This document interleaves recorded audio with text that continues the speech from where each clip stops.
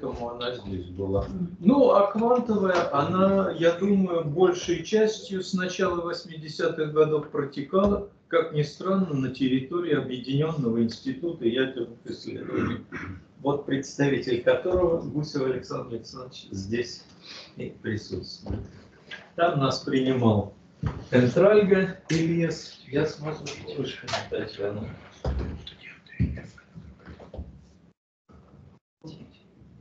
Все-таки перезвоню еще раз, чтобы сориентироваться. Они, наверное, едут на машине Зорина, стоят в пробке. Да Зорин-то совсем в другом месте. Ага, понятно, еще плохо. Ну, Зорин ладно, а вот Татьянка нужна, конечно.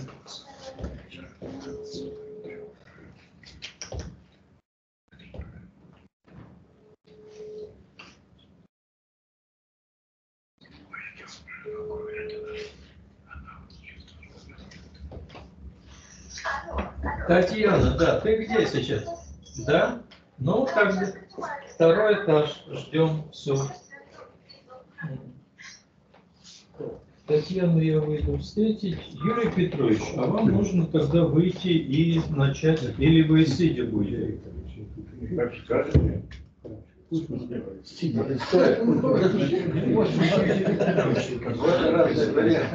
Я предлагала прямо отсюда Юрию Петровичу рассказывать. Мы все рядом. Извини, извини, Наша иначе. презентация вас, да?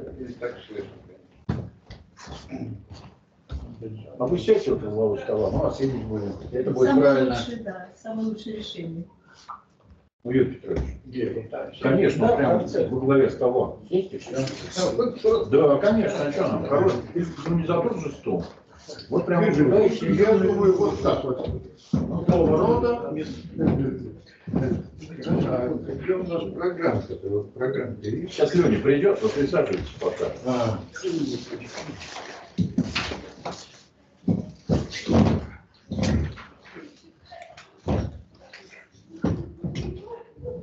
не видел уже давно. Вот программа прекрасно. Спасибо большое. Ай, Балашов еще, наверное, с Татьяной. Балашов видел. Добрый день. Да, заходите. Ой. Где тебе удобно? Привет. Да, спасибо. Либо ты сменишься,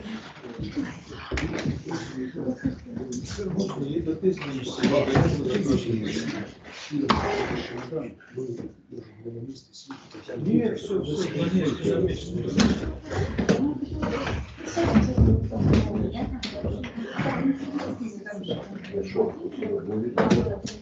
Уважаемые коллеги, прошу все-таки обратить внимание на и патриарха, и председателя данного заседания Юрия Петровича Рыбакова. Юрий Петрович был первым, кто видел, чем начинал заниматься Василий Васильевич. Сюда, поближе тебя. Так, Самсон, э, Николай Владимирович здесь сидит.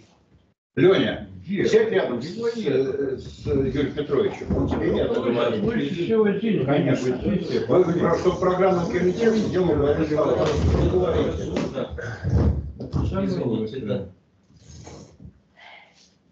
Так, ну, тогда что, можно начинать? Да, да, Юрий Петрович, конечно. Спасибо большое, но с вашего позволения вставать не буду. Здесь все предложили такой домашней обстановке. Но э, сегодня мы вспоминаем Василия Васильевича, э, как раз его день рождения, 29 марта, 85 лет, в 39 году он родился. Но что, что о нем сказать? Вот, э, на самом деле судьба была очень к нему благосклонна, потому что он начинал как обычный сельский паренек, там, в деревне как Кондратово, да, по-моему, называлось, в Курской области где-то. Вот, учился он э, в сельхозтехникуме, вот, точно агронома. Э, Занимался в сельхозтехникуме, занимался музыкой, спортом. Это очень такой активный был э, живой человек. С отличием закончился техникум. И потом дальше А, значит, естественно, возник вопрос, как дальше учиться, чему дальше обучаться. Ну вот у него был, конечно, путь прямой, поскольку он был отличником. Э, Его направили в Академию сельскохозяйственную Тимирязевскую. Ну, Климент Аркадьевич Тимирязев, известный человек, который создал эту академию. И там, на самом деле, а, он впервые встретился с физиками. Почему? Потому что кафедра физики на сельско- сельскохозяйственной академии была а, впервые организована Иваненко Дмитрием Ильичем. ДД Иваненко. Я этого не знал. Да, он, значит, как раз организовал там кафедру физики. Ну и после того, как он переругался с Ландау, вы знаете, там известно, раз прибыли у них постоянные. Значит, он оттуда ушел, но портрет его там остался висеть, как основатель кафедры физики. Вот. А, Ну, Василий А с Ландау он где поругался? В Академии же? ну, естественно, Там же, в да? Киеве еще. А, в Киеве еще, понятно, да. Это в Харькове они начали ругаться. Кстати, портрет висит до сих пор. Иваненко. Ну, понятно, он основатель кафедры, все нормально. Ну вот, и результат какой, что э, Василий Васильевич, ну, стал спрашивать, кто это ДД Иваненко, я первый раз слышу о нем. Вот, о нем рассказали, что вот основатель э, теории атомного ядра, нейтронно-протонная модель там, и так далее. Кстати, параллельно с Гейзенбергом. Гейзенберг тоже? Ну, в 1932 году предложил эту модель. Так что они считаются сооткрывателями теории ядра, на самом деле. Вот первые работы по ядерной физике были Иваненко и Гейзенберга. А, ну, естественно, это заинтересовало Василия Васильевича. А, И он значит, стал думать, а что такое физика. Здесь вот как раз, как раз и получился такой интересный момент, что он переориентировал свои интересы научные с сельского хозяйства на физику. Довольно серьезный переход. Но это случилось, тем не менее. Но а вообще это не удивительно, потому что Это будучи кем в это время? Он кем был? Студентом? Первого курса. Первый Нет, курс. смотрите, он поступил, естественно, он же там сложная система была него, он же в армии отслужил еще, по-моему, три года тогда армия была. Вот. И после армии поступил в э, Тимирязевскую. Нет, он, он, э, он после техникума, он, его как отличника отправили в Тимирязевскую учиться. Он там проучился семестр, хотел уйти, не отпустили отличник, значит, завалил сессию и ушел, и поступал в МГУ. А вот, то есть он хотел поступить в МГУ на физику. На физику, э, туда он не поступил, потому что там нужно было сдавать английский, а он изучал везде немецкий. Его забрали в армию. А, ну это уже более такие тонкие, которые я не знал. Но на самом деле, смотрите, э, Тимирязев Климент Аркадьевич, э, сын его Аркадий Климентович, известный физик, он профессор МГУ, читал как раз э, лекции в МГУ, Э, ну, до сих пор популярный его учебник э, «Кинетическая теория материи» по уравнениям Больцмана. Э, Так что он, естественно, это было как-то так, э, интерес такой возник. Вот. Но дальше получилось следующее, что э, когда уже э, Василий Васильевич обучался э, здесь, в ГРН, э, значит, он заинтересовался квантовой механикой под влиянием Меланчева. Меланчев Владимир Петрович как раз э, предложил ему тему э, по квантовой механике. Он тогда интересовался этим вопросом очень близко. Ну и Василий Васильевич действительно, как всегда, очень глубоко вник в эту тему и стал дальше развивать. Но дело в том, что это направление, оно довольно активно на Западе развивалось. В частности, были работы Вигнера, известные Яков Петрович Терлецкого были работы в этом же направлении. Это так называемая теория квантовых функций распределения. Вот первая работа была как раз Вигнера, потом Якова Петровича Терлецкого, ну и потом пошли следующие уже работы. И вот Василий Васильевич предложил свою квантовую функцию распределения, которая отличалась от предыдущих тем, что она была положительной. Ну, по смыслу функции распределения, плотность вероятности, фазовом пространстве, поэтому она должна быть положительной. И вот из этих соображений как раз э, Василий Васильевич составил эту функцию. Но э, основная мысль была следующая. Значит, можно взять волновую функцию обычных среднегерновских, а вот правила фронтования, то есть операторы физических наблюдаемых величин, подбираются в зависимости от смысла этих величин. Вот оказалось, что правило соответствия, которое Пулышкин предложил, оно отличалось как раз от всех остальных именно тем, что оказывалось однозначным. Ну почему? Потому что он просто брал классическую величину и усреднял ее по этой э, функции распределения. Ну, получилось среднее значение, отсюда определился оператор э, этой наблюдаемой. Вот примерно такой физический смысл. Но тут целый ряд проблем возник. Почему? Потому что первая проблема – это э, соответствие с обычной квантовой механикой, потому что нужно Э, ну, соотношение неопределенности, в первую очередь, проверить Гейзенберг, вот такой надо такую больше, аж пополам. И все остальные вещи.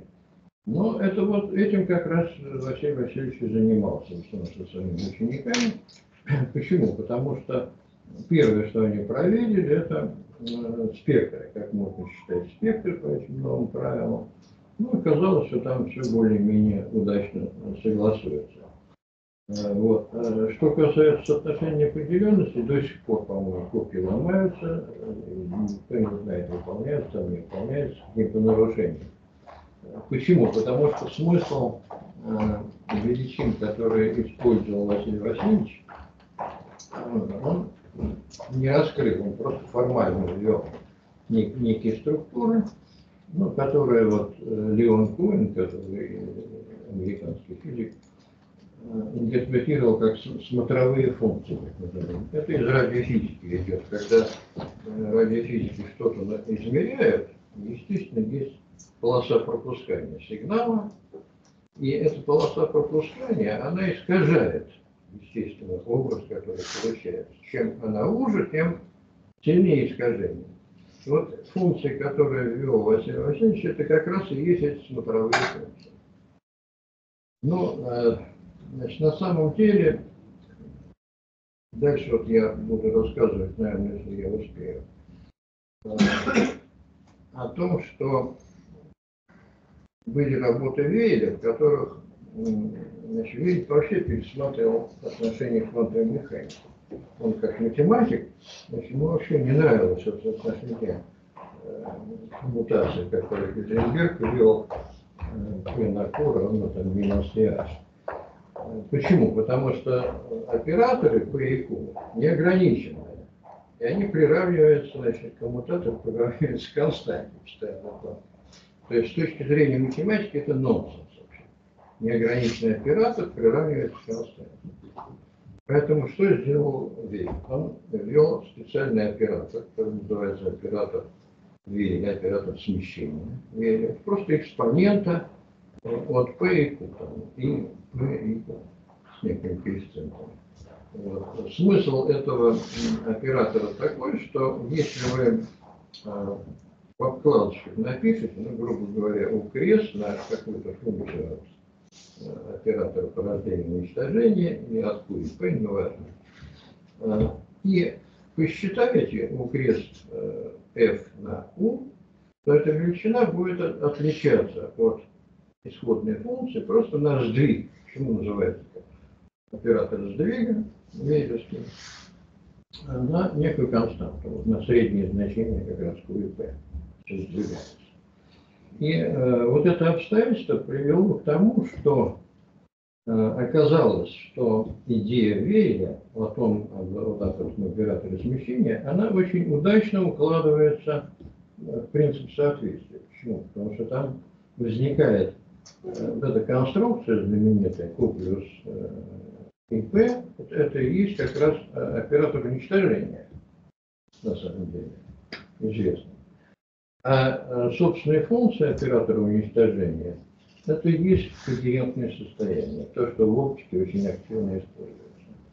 И вот Виль на этом сыграл фактически. Дальше пошло развитие э, в область оптики, э, Глауберовские работы Глаубера, американская физика, это Нобелевский э, лауреат, который открыл фактически когерентные структуры в лазерах, для лазеров, для лазерных пучков, Глауберовские состояния. Ну вот, и оказалось, что можно предложить подход, который э, обобщает подход Василия Васильевича Курыскина.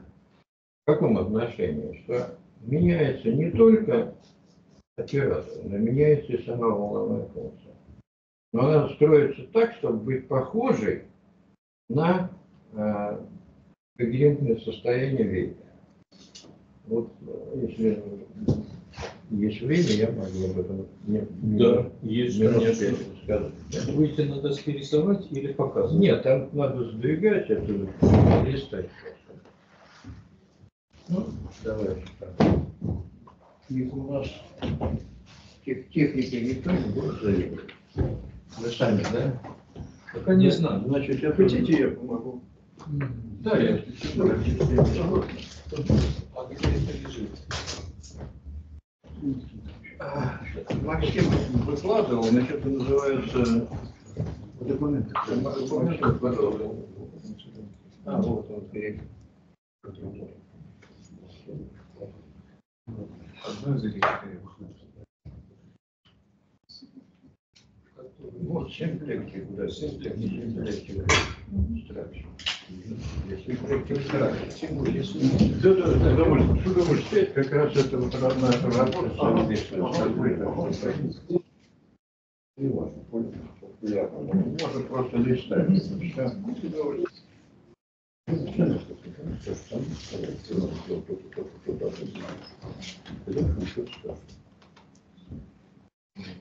Демонстрацию А когда вы лучше меня знаете? Ага. Так, не надо листать. Речь идет о том, что... Ну, покажи основные формулы. Ну вот, можно отсюда начинать. Значит, смысл э, этой деятельности такой, что в чем отли, отличается этот подход наш от э, Василия Васильевича. Значит, Василий Васильевич волновая функция остается стандартной как у Шрёдингера, у представления, скажем, никто не важно. Вот. А операторы строятся по-своему. Значит, мы предлагаем и то, и другое менять. Значит, как это делается? Ну, во-первых, оказывается, есть простое тождество, а, которое называется, по-моему, тождеством Пуассона. Вот оно здесь выписано как раз. А, это сумма плоских волн вы на экран показываете, что он большой, Юрий Петрович. А? Вот сюда показываете. Вот мышка видна. Угу. А можно ну вот, вот здесь вот оно. Это тоже тупоосоно, значит, о чем оно говорит? Что если вы э, просто возьмете решетку, кубическую, и э, в узлах этой решетки поместите солитоны, а солитонная функция это вот решение некого нелинейного уравнения, ну, взятая всем точка на больших расстояниях, просто хвост этого солитона, то тогда получится э, вот дельта-функция, которая дает после интегрирования плоскую волну. То есть что это означает? Что с одной стороны есть обычная плоская волна, дебройлевская, а с другой стороны есть сумма солитонов, помещенных центре их помещены в некоторую кубическую решетку. Получается тождество простое. Вот это простое тождество можно интерпретировать с точки зрения, скажем, Блохинцева, точки зрения Блохинцева, это просто есть э, ансамбль солитонов, который эквивалентен обычной плоской волне. Вот такая картинка получилась. Ну, можно дальше пойти.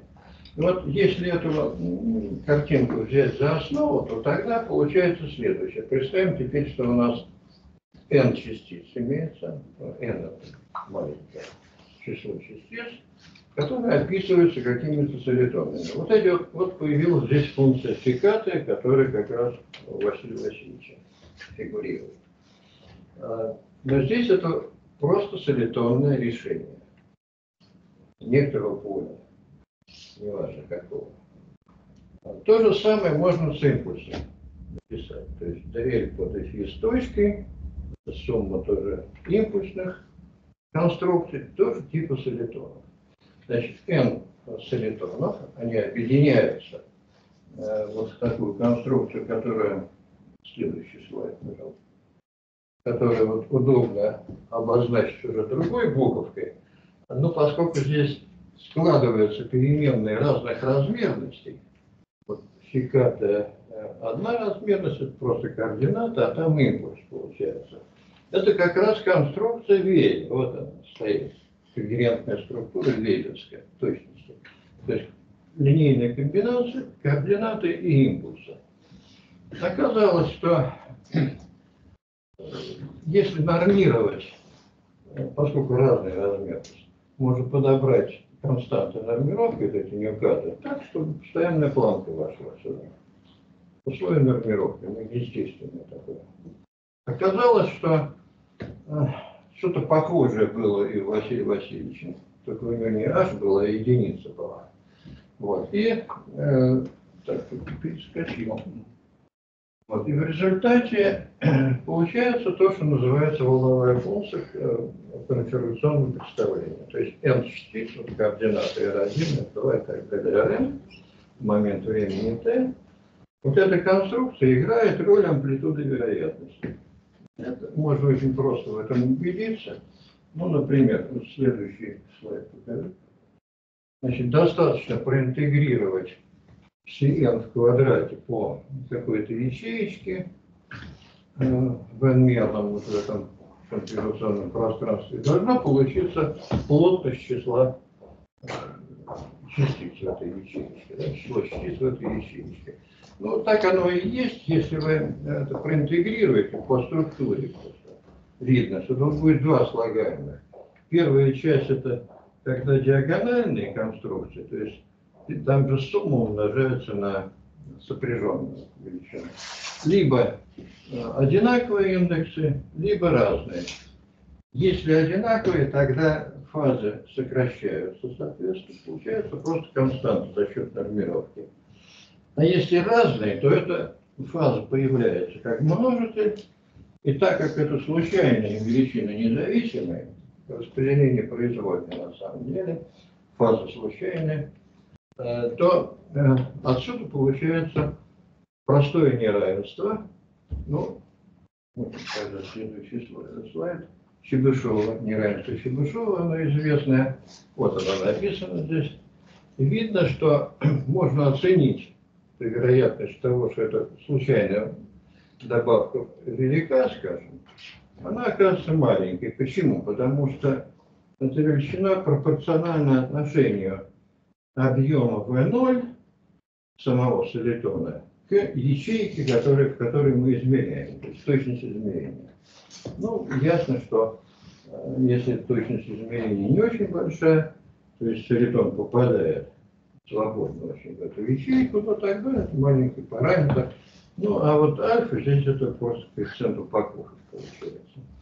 Вот. Таким образом возникает интерпретация Cn как амплитуды, то есть ну и наблюдаемый строится тоже автоматически, но вот как раз аргумент какой.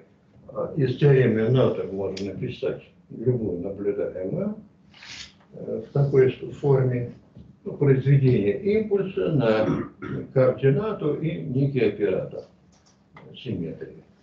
Например, если это импульс, тогда это оператор сдвига, э, если это, скажем, момент, это будет оператор поворота и так далее. Пусть алиминатор. И тогда вот эту величину тоже мы э, суммируем по всем э, реализациям и делим на число реализации. Это среднее просто. Обычное арифметическое среднее.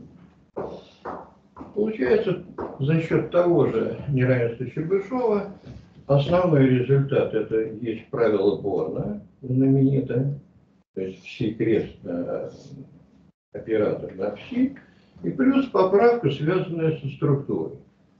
Со структурой, которая маленькая, потому что собственный объем солитона мал по сравнению с ячейкой дельта В. Вот, собственно, главный результат, который а, получается. Ну, дальше там уже идут приложения, это не так интересно. Сам, самый главный вывод, что действительно подход, э, который был предложен Василий Васильевичем, может быть естественным образом обобщен. Потому что Василий Васильевич волновая функция брала неизменной просто, такой же, как в обычной квантовой механике. А правила соответствия подбирались. Здесь же сама волновая функция строится на основе шаритов.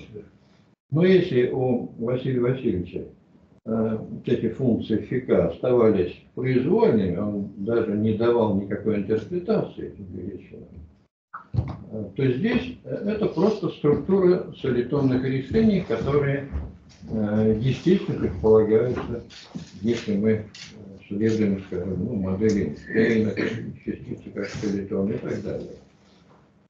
Кроме Эйнштейна, Деброль, другие люди тоже предлагали такие подходы. Так что здесь э, открывается, как говорится, вот окно возможностей. Ну, если... Ну, спасибо большое, Юрий Петрович. Я думаю, что мы обсудим, когда все прослушаем. И тогда будет свободное обсуждение, и вопросы вам зададут, и о взаимопроникновении. Юрий Петрович, а вы позволите, я сам себе не заготовил такую бумажку, если можно, я ее потом вам верну. Когда? Ну, давайте. Спасибо, Юрий Петрович.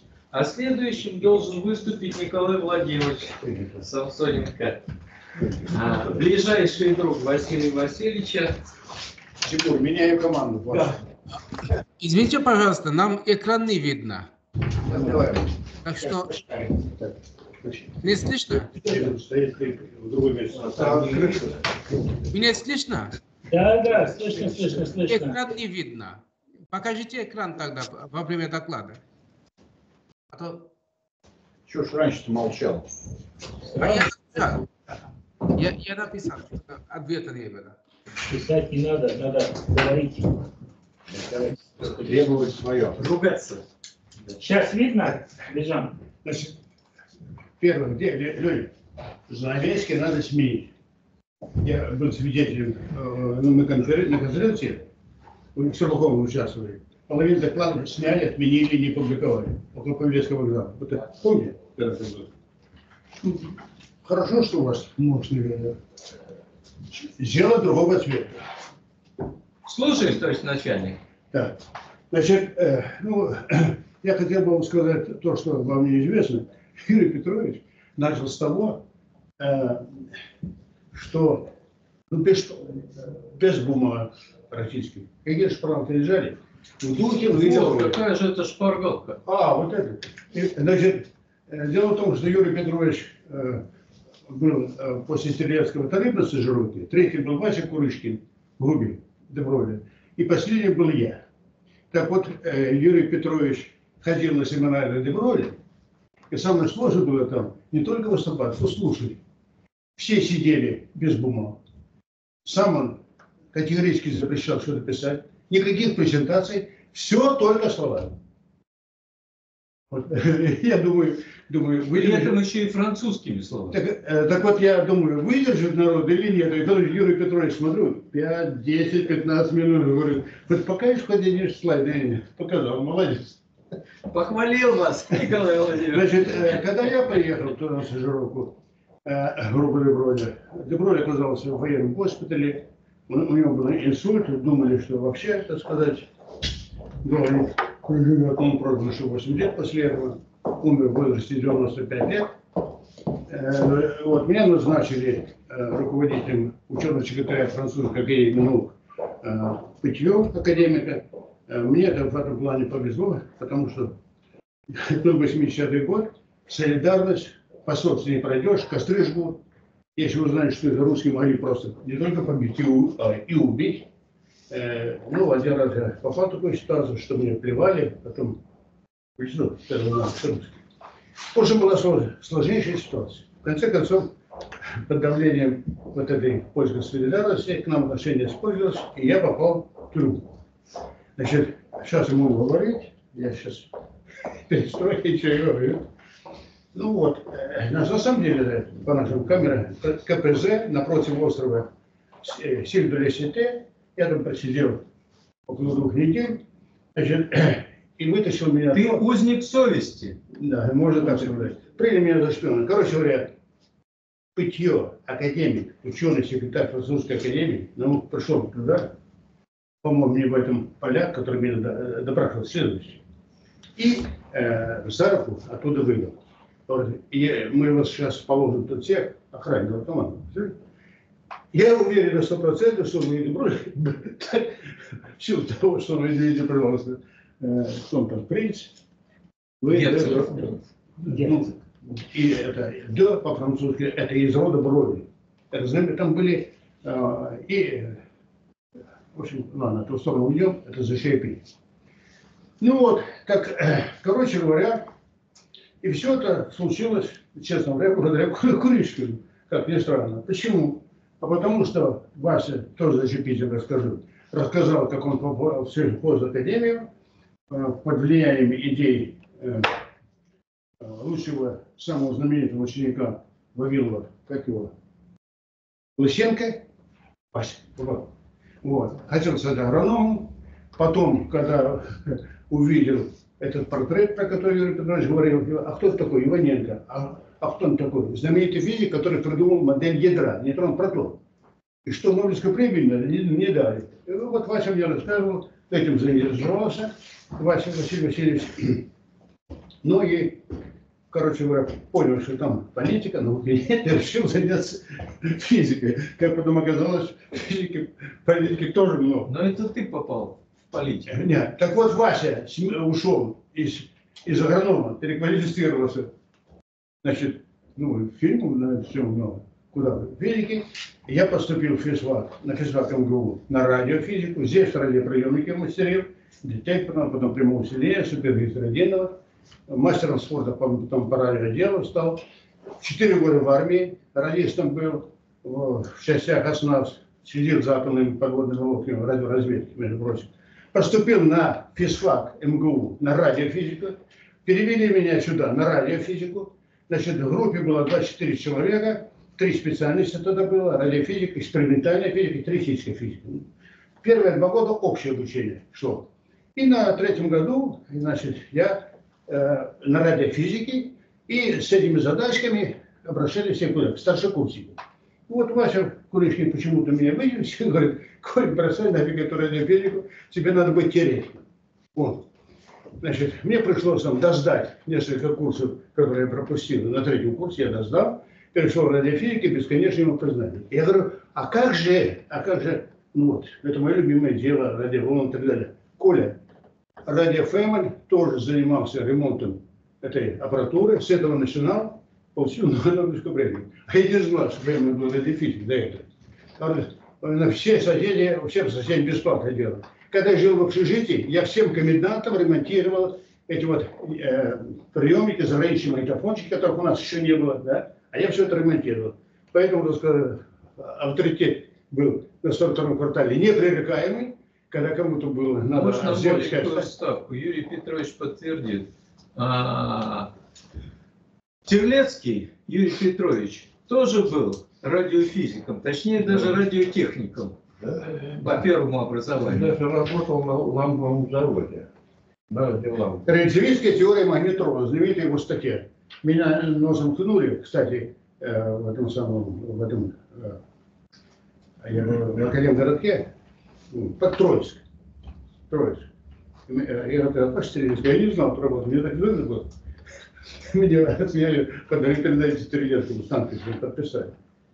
Так, я немножко увлекаюсь, но я постараюсь уложиться во время свое. У меня осталось 15 минут, 14.08. Так. так вот, так, следующий слайд. Светлой памяти Курышкина Васе посвящается, поскольку действительно я стал физиком вот именно благодаря ему. Мы с ним очень сильно дружили. Безумно много, безумно интересный человек, он так, так много от него узнал, про Лысенко, например, я могу рассказать. Я, это за столом. Это потом, за столом, да. Значит, со слов Васи. Со слов Васи, да. Следующий слайд. Вот цель работы показать, что вспомогательные функции фикатора квантовой механики Пурышкина могут описывать структуру э, частиц. Следующий слайд. Значит, если можно, значит, Юрий Петрович сказал, что описывает то, как выглядит частица через структурное, структурное... А, я буду, э, значит, прошу терминологии особо не, э, самое, не придираться, по той причине, э, значит, у меня изложение сложное по математике, приспособленное в изложении для пищевода. Значит, современная квантовая теория, самая крутая вещь, которая создана в физике всего мира, да, всей нашей земной цивилизации, это аксиоматическая квантовая теория поля. Есть два варианта. В России 12 аксиом, это Боголюбов, академик и вся его школа. На Западе Стритер и Вайтман. Там 8 аксиом. Они близки по сути. Вот. Идея была какая? В те времена, когда я был студентом. Это, вот, э, можно она развивалась. Что если строго с помощью Эпсилон Дельта доказать все теоремы, пропадут э, неопределенность квантовой теории, бесконечности, все будет красиво и понятно. Э, что оказалось? Э, значит, у нас э, в России на этой почве несколько человек стали академиками, и даже за границей Тодоров, Болгарин, президент Академии наук, он книжку Боголюбов написал, по этому направлению. На Западе было получено несколько Нобелевских премий, отдельно теоремы доказали, да? Но какой результат? Значит, из всех существующих теорий на сегодняшний день квантовой, квантовая механика релятивистская Шрёдингера, да, квантовая механика релятивистская Герака, э, квантовая электродинамика Феймана и других, э, квантовая хромодинамика, квантовая теория гравитации, ни одна из них не удовлетворяет этим аксиомам. Даже хорошо изучить, э, значит, нам известна квантовая электродинамика. Казалось. Значит, то есть оказалось пшик, из пушки по воробьям. То есть результат был полезный выход, был близок к нулю, и народ задумался, можно надо пойти другим путем, и тут вспомнили о Дуброве. Тогда, э, значит, Николай Владимирович, я следую Васе Курыщина, уж коль Вася замахнулся на само, как в известном переводе, а не параллельно замахнулся на само у, у Илья, вот Вася замахнулся на основу квантовой теории, я так в конце жизни замахнулся на а, волну Дубровы. Ну, значит, поскольку Вася показал, значит, то есть Вася на самой основе теории э, правила соответствия, фактически новую квантовую механику создал. Вот в изложении для пищеходов, здесь представлены аксиомы квантовой механики, математики присутствуют. Вот, смотрите, смотрите, как здесь много чего неправильно наворотили. Основная аксиома, во всех интерпретациях в мире, что существует неприводимое представление группы Лоренца, полностью описывая а, значит, свободную частицу. То есть, если возникает у вас, а их только два представления, спинория и тензор, красиво. Значит, а, значит, а вы скажете, а как же так в электродинамике правая часть уровня Максвелл тензор появляется? Оля, пожалуйста, это выражение взаимодействия. А для свободных частиц только так.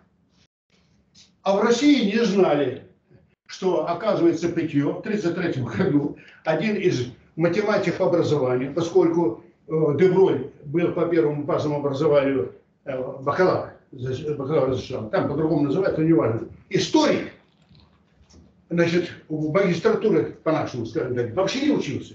Значит, дома его старший брат, экспериментатор, физик Моррис, натаскал, и он экстерном сдал, получил диплом. У него систематического математического образования не было, физического и математического, у него добро.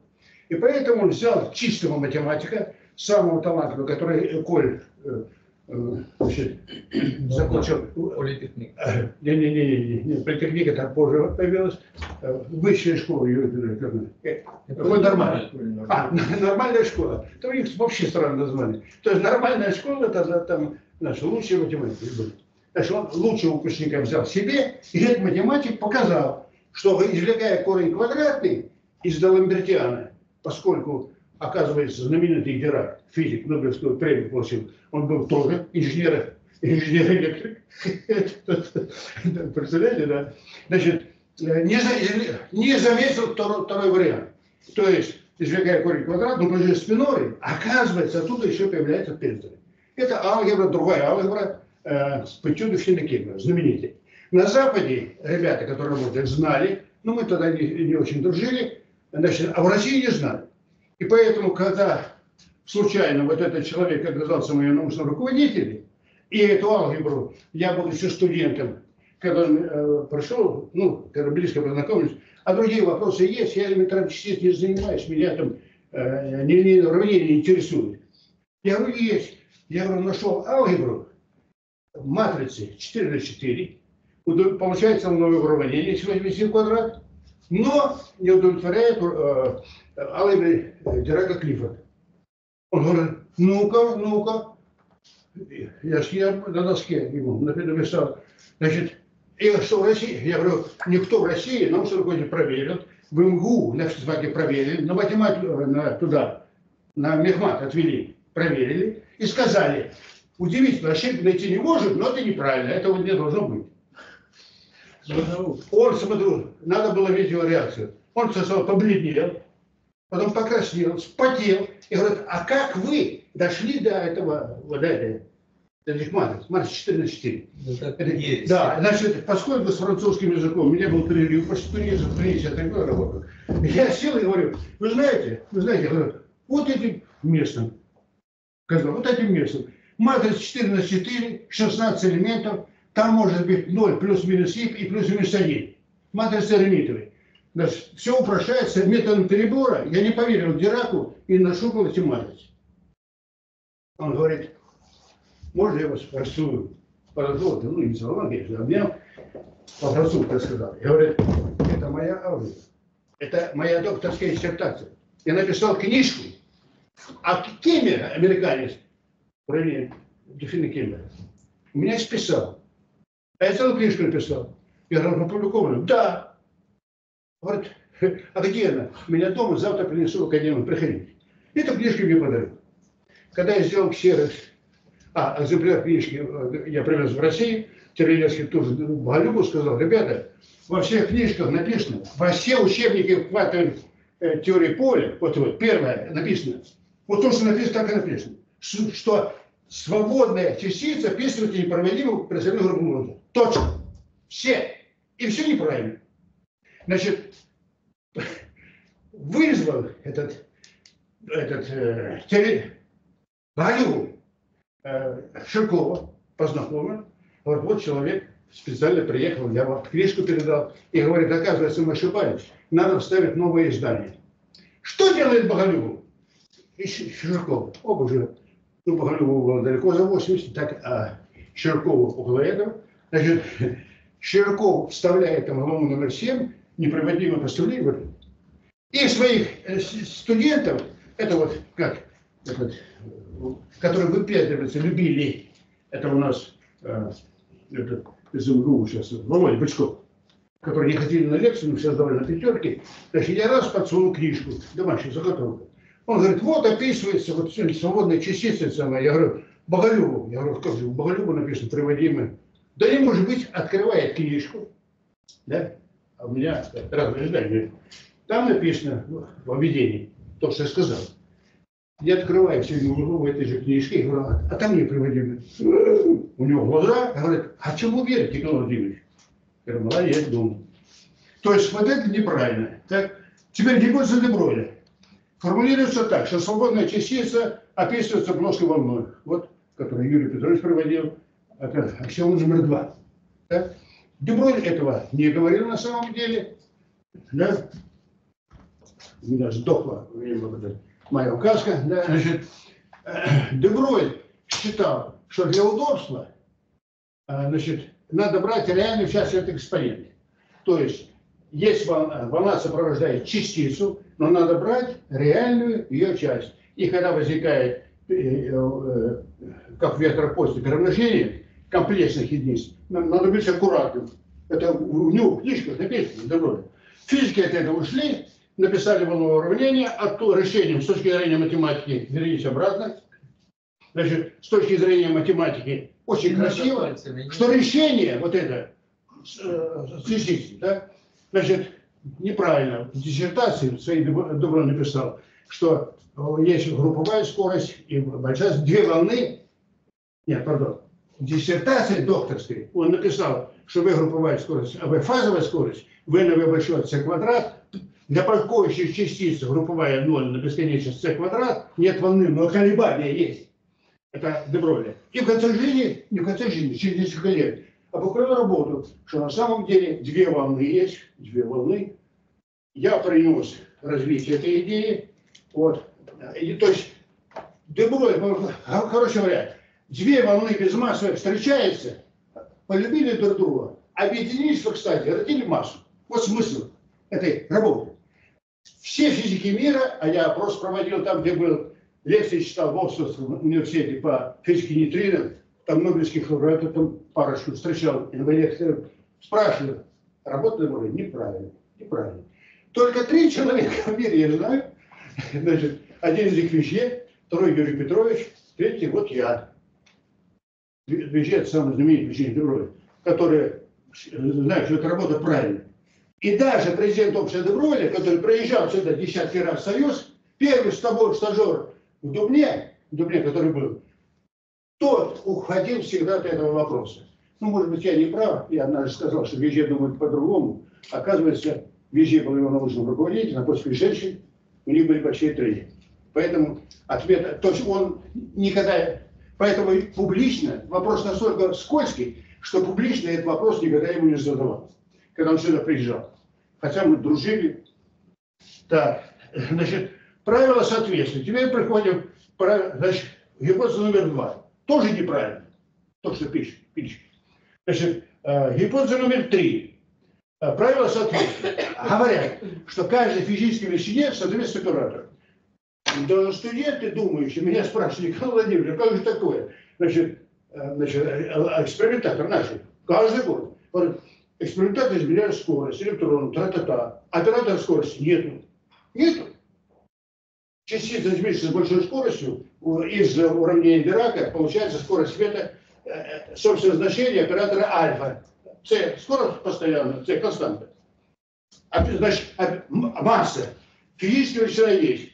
Открыто больше 400 элементарных частиц. Наблюдается спектр масс, которые связаны хитрыми закономерностями. Есть лептоны, мезоны, как, ну там, барионы, адроны и так далее, значит, представьте себе, оператора массы мы не знаем.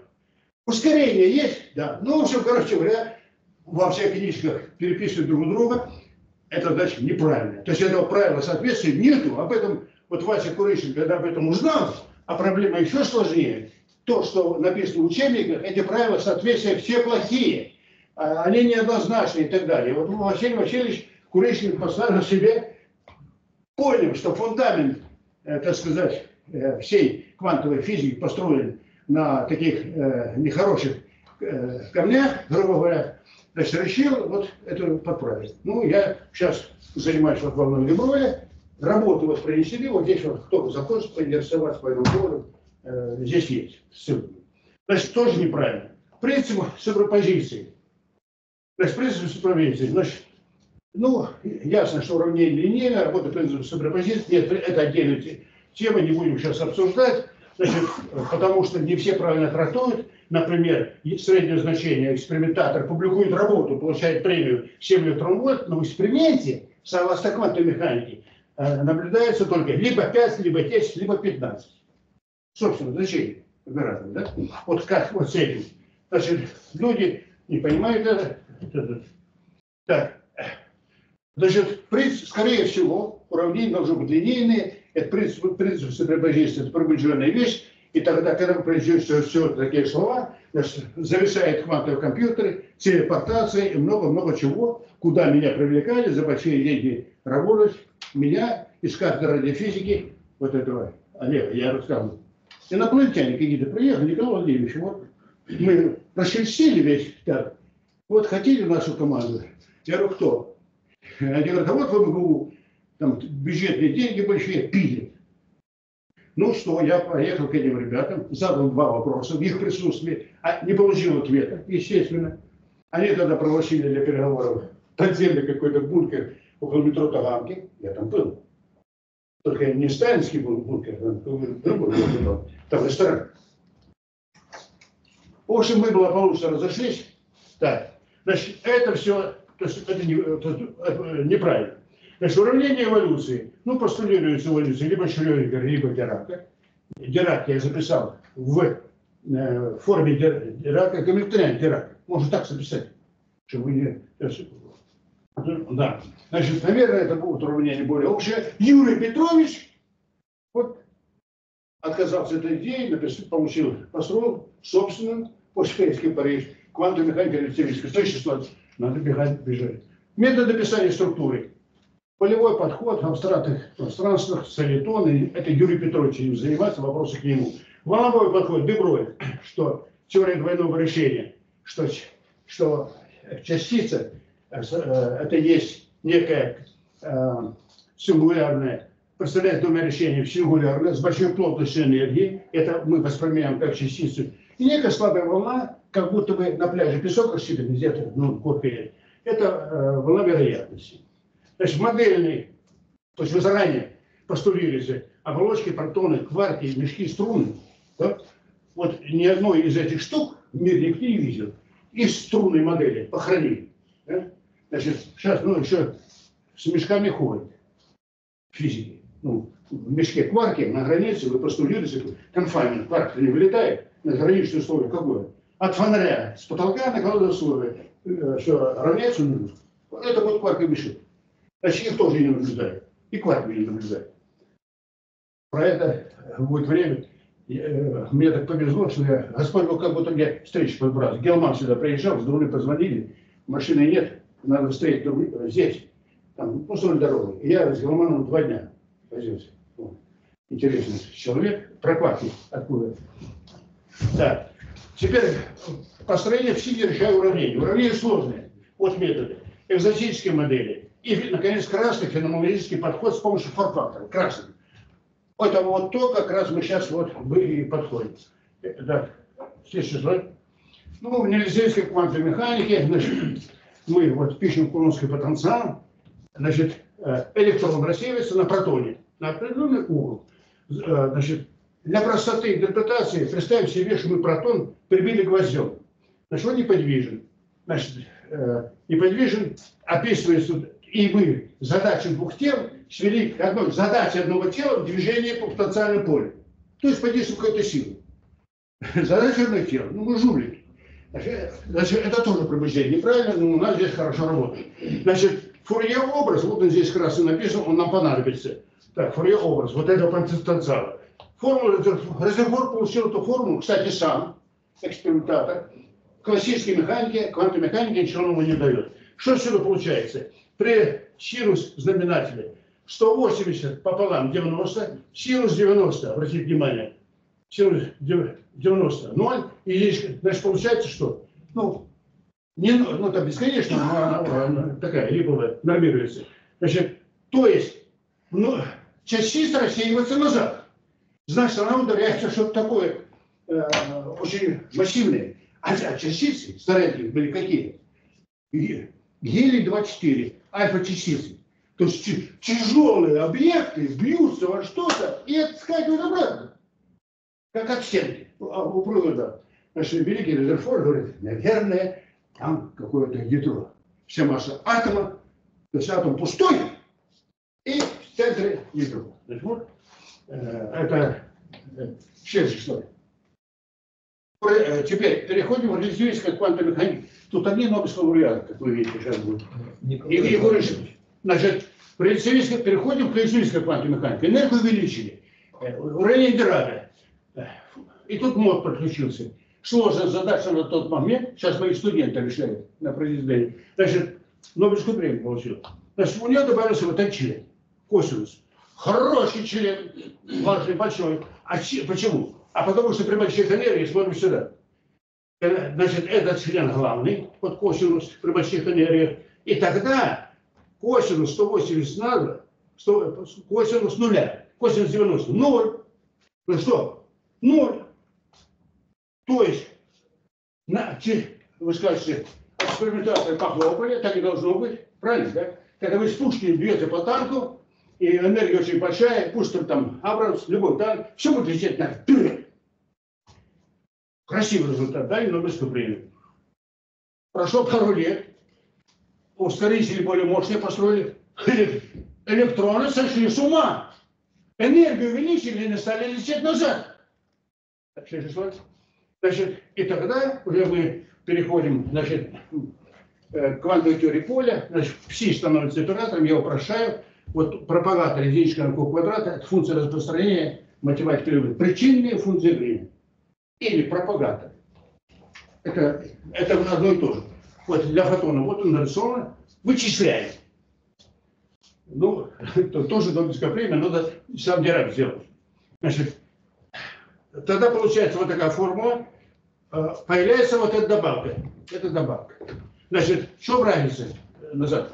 То есть раньше я вот этот, мою частицу протона описывал только потенциалом, возьмем ну, пример, да, и потенциал, это все. А на самом деле, там же есть у электрона есть спин, значит, вращается заряд, есть магнитный момент, да еще аномальный момент. То есть вот я сейчас это все учел и появился, заработал вот этот свет. Э, так, значит, ситуация лучше стала. Этот косинус сокращается, лупки, плейс, сюда, смотри. Вот синус скоро такой сокращается, обратно, да. То то есть подправляется. Ну, Куда вы скажете? Следующий. Так. Вот, оставим. Значит, синус квадрат на косинус. Косинус сокращается, синус. То есть назад уже парадокс какой? Энергию увеличили, формула предсказывает, что учет магнитных моментов дает возможность объяснить, почему снаряды полетели вперед. Но мало ле- летело вперед. Следующий слайд. Тогда, тогда физики подумали, наверное, там сложная структура, надо каким-то образом ее учесть. И родилась до гениальности простая идея, но безумно, безумно дорогая. А именно, для любой плотности, шарик, например, э, баранка или так далее, э, для любой плотности можно найти фурье образ, который обозвали, такие слова употребляю иногда неудачно, иногда, чтобы запомнить. Форм-фактор, форм-фактор. Только форма факта множества на русский язык. То есть он э, э, некий математический образ, который входит в качестве множества. Форм-фактор. Тогда экспериментально наблюдаемое сечение равняется теоретическому для точки и на f квадрат. Значит, теоретически я умею посчитать, кстати, о птичках. Ни одного физического закона неизвестно, который был написан для протяженного века. Законы Кулона, да, закон всемирного тяготения, даже взаимодействие проводов, биосовар и прочее, да, написано, что на самом деле для точки, потому что вот эти элементы могут быть кривые. Значит, то есть все, что мы работаем, только с точкой. Все. Вы не можете меня назвать ни одного закона. Все для точек. А природа сложнее устроена. Значит, таким образом, смотрите, я могу разделить вот это вот э, экспериментальное теоретическое, найду фактор. Делаю обратное преобразование Фурье и нахожу распределение материи, как устроено числительно. Красиво? Красиво. Сразу во время недостатка. Интеграл по всему пространству. Значит, а а там же э, энергия, куб и так далее. То есть надо поставить, построить много-много ускорителей, много точек. В лучшем случае в реальной жизни вы имеете 2-3 два мощных ускорителя, которые работают дальше. Пошли дальше. Ну вот пример я вам привожу. Значит, бильярдный. Владимирович, нужно. Элементарный шар. Вот, смотрите, бильярд, то есть, предположим, частица имеет форму бильярдного шара. На моем семинаре, на который многие из вас ходили, да, у меня там были ребята, которые ходили, я рассказывал, у меня идея, что фотон имеет форму параллелепипеда. Серьезно говорю, я говорю, ну да. Ну, я таких людей не допускал до себя говорить. Ну, интересная были. То есть, смотрите, вот аналитическое выражение плотности я написал, вот это, ровная константа внутри, а здесь ноль.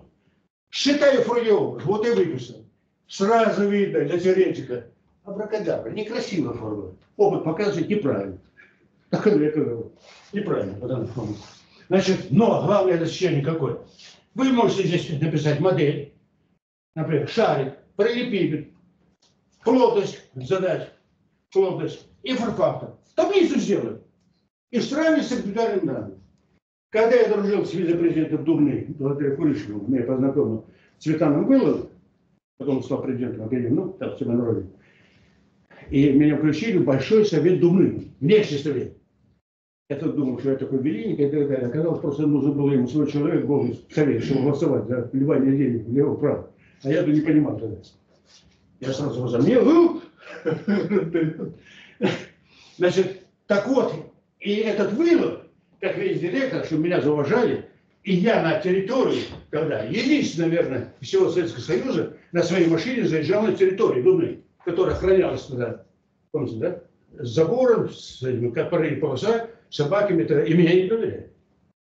Значит, и у каждого экспериментатора в лаборатории, даже кто не занимался высокой энергией, вот такая табличка была под стеклом.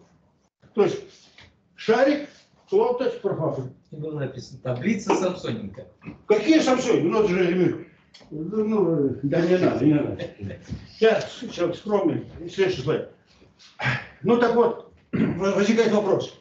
Хорошо, а можно, раз это безумно дорого, устаритель и так далее, а можно ли как-то теоретику, ну, можно нанять теоретиков, что он дешевле, тысячу теоретиков дешевле, чем один современный ускоритель, да? С хорошей зарплатой. Наняли. И вот один пример. Единственный в мире пример, поскольку плотность, согласно квантовой теории, модуль все квадрата, ротер плотность, надо найти все квадраты. Берем уравнение Шрёдингера, гармонический осциллятор, придумываем, добавляем связь, ну, параметры, и получаем вот такую график. Теоретически подчеркиваю. Сравниваем с опытом. Ну, например, двойка. Альфа равняется двойку. Двойка. Интересно. Летящее. Неправильно. О, Максим, я десятки раз это всем показываю. О, кислород надо исправить. Для кислорода. Смотрите, что получается. Как устроено ядро кислорода? Внутри почти дырка, то есть шарик, а внутри пудра сахарная только. Потом плотность возрастает, падает. И это все прекрасно работает для легких ядер, а равняется да. Ну, тоже получили несколько раз Нобелевская премия, здесь ну, экспериментация, теоретиком нельзя, правда, идея, тривиально. А, но когда э, больше 15, ну, кроме всей ядре, теории никакой. Тем более, когда там прошли про уран и так далее, там только феноменология. Пошли дальше. Значит, учет аномального магнитного момента. Нормальные аномалии. Э, написали ток, лептоны, наклоны и разрублют. Опять Нобелевского варианта. Это он придумал. Посмотрите. Получилась вот такая формула. Нобелевская премия. Теоретик. Через слайд. Значит, и тогда сравним с опытом. Значит, неважные вещи, типа формулы сбрасывает. Эксперимент, вот он, формула Розенблюта. Вверху формула Дирака. Здесь мод, резерв, резервот вот здесь будет, ну, выброшено. И что получается? Значит, если, а тут же у нас форфактор сидит, вот.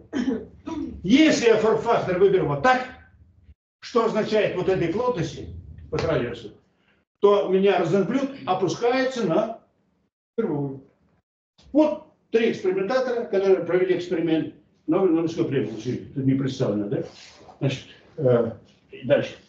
Значит, видите, то есть можно, можно, ну дорого, да. Значит, либо что-то придумать. Вот что, ну, что интересно, Вася Курещин, когда рассказывал свою квантовую механику, он вечно был в Дубне. Часто меня просил, э, за него лекции читал. Лекция начинается в 8 часов вечера. На эти лекции лучшие студенты всегда приходили куда-то Михаил Курочкин. Значит, а, а на лекции, которые читались по стандартному курсу, читал, читал Гусынаев, потом этот революционист Мискевич, не ходили. А на мои лекции ходили вот поэтому, да? Значит, э, вот правило соответствия.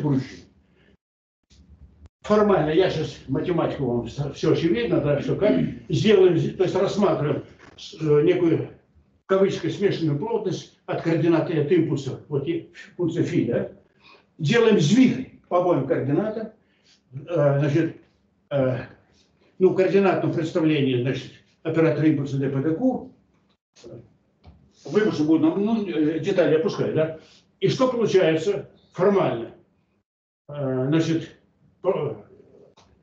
возникает некие функции фикаты вспомогательные, и сумма функций вот, равняется единичке. И Вася Куричка задал два вопроса. Это я просто помню. Ребята, Вася, э, нас так удивило, мы думали, что Вася все знает. Он говорит, ребята, первая сумма, не, не понимаю, почему сумма.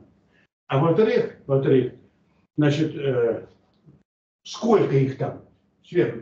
Ну, формально у него некий базис ортогональный, не обязательно нормированный. Ну, сделать э, правило соответствия.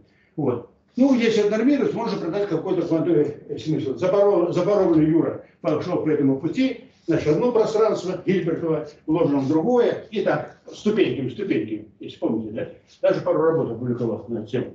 Значит, э, ну вот, этот вопрос зависит тогда в воздухе. К счастью для меня, это связано с со структурой частиц, рождением массы. Вот я уже прошел по умениям, может быть, даже на конференцию. Через пару месяцев я вам дам точный ответ, что это означает сумма и это, это, и с точки зрения математики и физики. Дальше пошли. Ну так вот, смотрите, теперь, э, значит, чтобы показать, как у Васи, э, Васин аппарат работает, вот тот же электрон, э, значит, рассеивается на ядре, в котором сидит Z-протон. Да? Значит, электродинамика линейная наука, значит, потенци... электрон это чувствует, я возьмем его пример для наглядности, значит, силу, то есть потенциал вот этого, значит, Суммарный потенциал – это будет сумма. Логично? Ну, понятно, так. Тогда форм-фактор значит, определяется. Вот он, это то, что выражение в стандарте, это ортодоксальный, Вася, это термин ортодоксальный квантовый механик. Вот, вот. Видите, сумма k единичка до z, Фурье образ, вот это плотность, вот, e в степени и вот, вот. А РК, РК это что такое? Это э, расстояние от электрона до каждого из электронов. И все это потом суммируется. Если вы э, рассматриваете случай малых энергий, q к нулю, я в нулевой единичка, тогда модуль пси квадрат, норма единичка, вы получаете что? Форм-фактор получается 1 плюс 1 плюс 1 z. Как красиво. То есть ядро выглядит как точное, которое содержит z точных протонов. Это стандарт, я говорю про стандартный аппарат. А, а что у Васи получается? Следующий слайд. Все, закончил, я извиняюсь. Значит, механике я беру этот потенциал кулоновский и, просто в лоб, да, э, по правилу строю, получается некая штука, которую я заранее. Вася обозначал альфа, а я обозначал f от q. f от q. Что такое f от q? Смотрим, ребята. f от q имеет точно такой же вид, формальный, как в предыдущем случае. Только обращаю ваше внимание, нюанс, кто вдруг заинтересуется. Здесь функция каты, сумма пока. Фи каты, вернитесь на слайд назад. А здесь ката возникает откуда? И вот это. От ката протона. Так, и, и, так я проблему обозначил, народ поймет. Кто умный, тот поймет. Значит, вот такая вот разница. Вывод какой? А в Васиной механике, в Васиной механике он начинал плясать от точных объектов, да? и если построить однозначное правило соответствия, возникает положительно определенное, сколько профиля, понимаете, да? То есть прибыли там россыпью, прямо золото собирать. То есть первое, значит, положить определенная функция распределения ну, расплата за это, конечно, введение скрытых параметров. Но скрытые параметры, говорит, теория фон Нейман написал теорему. Правильно, фон Нейман доказал теорему, которая правильная теорема, ну, ускоряю, значит, правильная теорема, но в рамках тех аксиом, которых я рассказал, неправильно. Это да. А Вася Курыщин что? Испортил одну аксиому, заменил другую. То есть теорема фон Неймана неприменима в этом случае. Все прекрасно работает. Второй профит какой? Автоматически появляется структура. Автомат. Так. Так, что дальше? Ну вот, литература, дальше, где Курыщин работает, где вот с Дубков, светлая ему память, надо тут рамочку, известен уже, это мы с ним эту работу сделали. Потом говорят, Дубков. Даже, и- Потом, потом, Николай. это мы его, вы знаете, по известной причине мы его часто изолировали. Значит, Вася вечных разъездов. Значит, Дубков мучает аспирант. Он мне говорит, Коля, значит, э, э, давай так, бери Дубкова, ну там, чем нужен, де- займи его чем-то. Значит, ну, я, э, потом встречаемся. Как только они встретились, ну, проблему, опять, другие уже возникли, так, Васей. Значит, ну, светлая ему память, талантливый человек был. Так рано ушел из жизни. Бывает же такое вот. Вася там, ну, 50 лет, Дубков около 40 не было. Так, ну, ну, так что там дальше? А, все. Ребята, я извиняюсь за сумбурное изложение, не несколько, да? Конечно, тут бы по-нормальному, это надо бы примерно час хотя бы, да. А я, но я знаю минут 40 ваших. Но, но думаю, что а, вас немножко заинтересовал. То есть я попытался передать институт Москвы. Очень экспрессивно и очень импрессивно, да. Спасибо большое. Я думаю, что вопросы и обсуждения уже потом, когда закончится все. Сейчас э, Значит, вот у меня статьи есть, вот смотрите, вот, который сказал. Интерпретация квантовой механики раз, да? А, работа Курышкина, Роберт Курыч 2, да? и Володя Броля как амплитудно модулирует сигнал. Я как радиофизик понял, что такое Володя Броля. Да, вот она сейчас гуглила. Что ты хотел сказать, Леонид Антонович? А вот следующий доклад. можете разобрать статьи, кто хочет. Спасибо, Николай Владимирович. Мы обязательно и посмотрим их, и обсудим. Сейчас, если не возражаете, Александр Александрович Гусев выступит.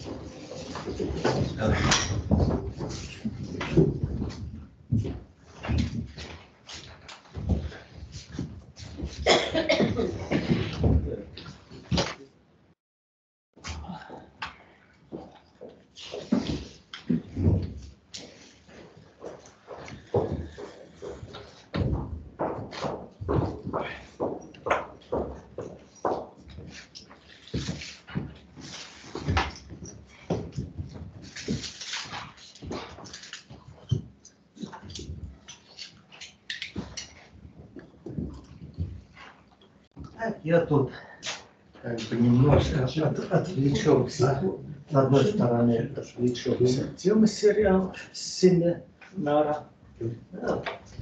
А с другой буду, буду рассказывать о задачах прохождения системных связанных осцилляторов че- через войну. В рамках классической механики. Можно Юрий Николаевич вначале, а потом следующий?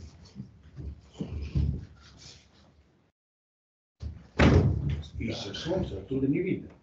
Вот, видите? Занавески заменить. Я уже сказал, сделали. В общем, разрабатываю модель. Так, а, вы знаете, я э, так громко еще, наверное, говорил, я Лукой всего возраста. Поэтому просьба, пожалуйста, погромче для всех, потому что он Хорошо, хорошо. Это в чем постановка задачи? Вот сейчас, сейчас вот как раз постановка. Вот у нас име- имеется система нескольких частей. Взяли для простоты осциллятор и про- потен- число частиц А, потенциал взаимодействия. Это x минус xgt. И проходят они через неко- некоторый потенциальный барьер. Вот в случае двух частиц это в конфигурационном пространстве потенциал представлен на рисунке. И задача найти такое решение, что вот эти системы, волновые функции системы связанных осцилляторов будут либо симметричны, либо антисимметричны вот в этих координатах. Да, у нас в рамках обычной квантовой механики никаких ни спинов, ни прочих релятивистских штук нету. И одна и решаем задачу обычным мет- методом Галеркина, разлагаем по собственным функциям ос- осциллятора. Да, и, и получаем систем, систему обыкнове- обыкновенных уравнений, ставим, ставим граничные, граничные условия.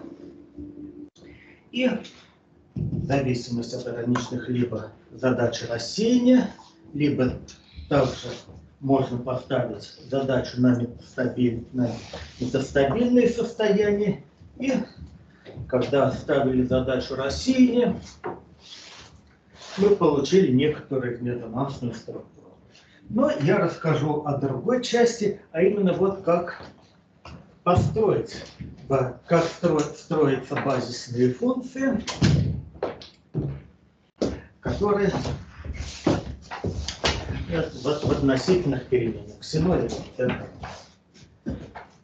да, тут уже заранее сказано, что в координатах, стандартные координаты Якоби, но они на самом деле здесь неудобные, длинное описание, и у нас мотивация уже из книжки Машинского, что все решается в симметризованных координатах.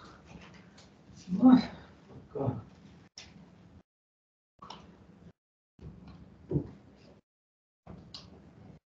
Если мы уберем переменную центр масс, то наш потенциал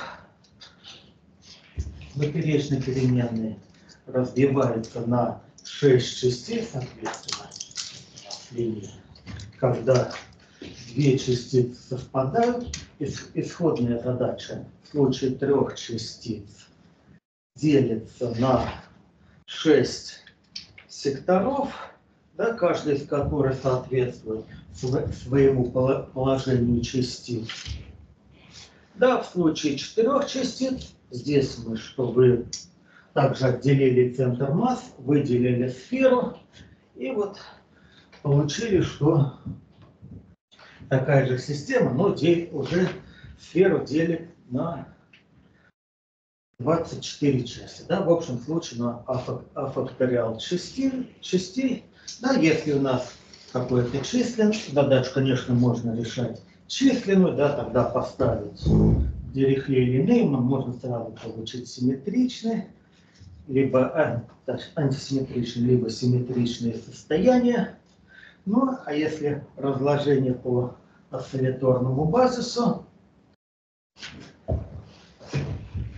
то тогда уже возникает некоторые сложности. Да, в кни- в книжке машин, Машинского это было, было описано на несколько страниц, и была фраза, а все будет проще, если симметризовано. координаты. И здесь кое-что об, об истории вопроса. Вот как раз началась с работы Паладжера, которые рассмотрели случай трех частиц, да, и Джеспин и Хершфельдер. Да, вот как раз вот у них, как раз они, они использовали как симметризованные координаты для четырех частиц. Да, тоже из известных Питер Крамер, Крамер и Машинский тоже вот рассматривали. Все в, семи- в симметризованных координатах, но симметризованные координаты известны только для четырех, и они в письме там упоминали, что в случае 2 в, 2 в степени n. Как раз в нашей работе мы рассматривали задачу, мы как раз наш, нашли обобщение между исходными координатами x и симметризованными координатами, где ксеноль это у нас будет центр масс. Тогда переход осуществляет, можно написать вот в таком матричном виде, причем получилось, что это у нас, эта матрица есть обратная самой, самой себе, и если мы уже функция, если в исходных координатах симметричная, то она будет симметрична и симметризованных координатах. Да, тоже, тоже и в асимметричных. Ну, на самом деле, связь между симметричными координатами и координатами Японии – это поворот в конфигурационном пространстве, да, в случае трех частиц это поворот на 15, 15 градусов, да, вот в случае четырех уже вот три поворота вот на соответствующие три угла. Вот представлены здесь разными жирными линиями. Да, вот тот же Питер Крамер уже как раз уже в своих работах упомянул вот эти симметризованные координаты, вот как для меня это как бы есть самый результат.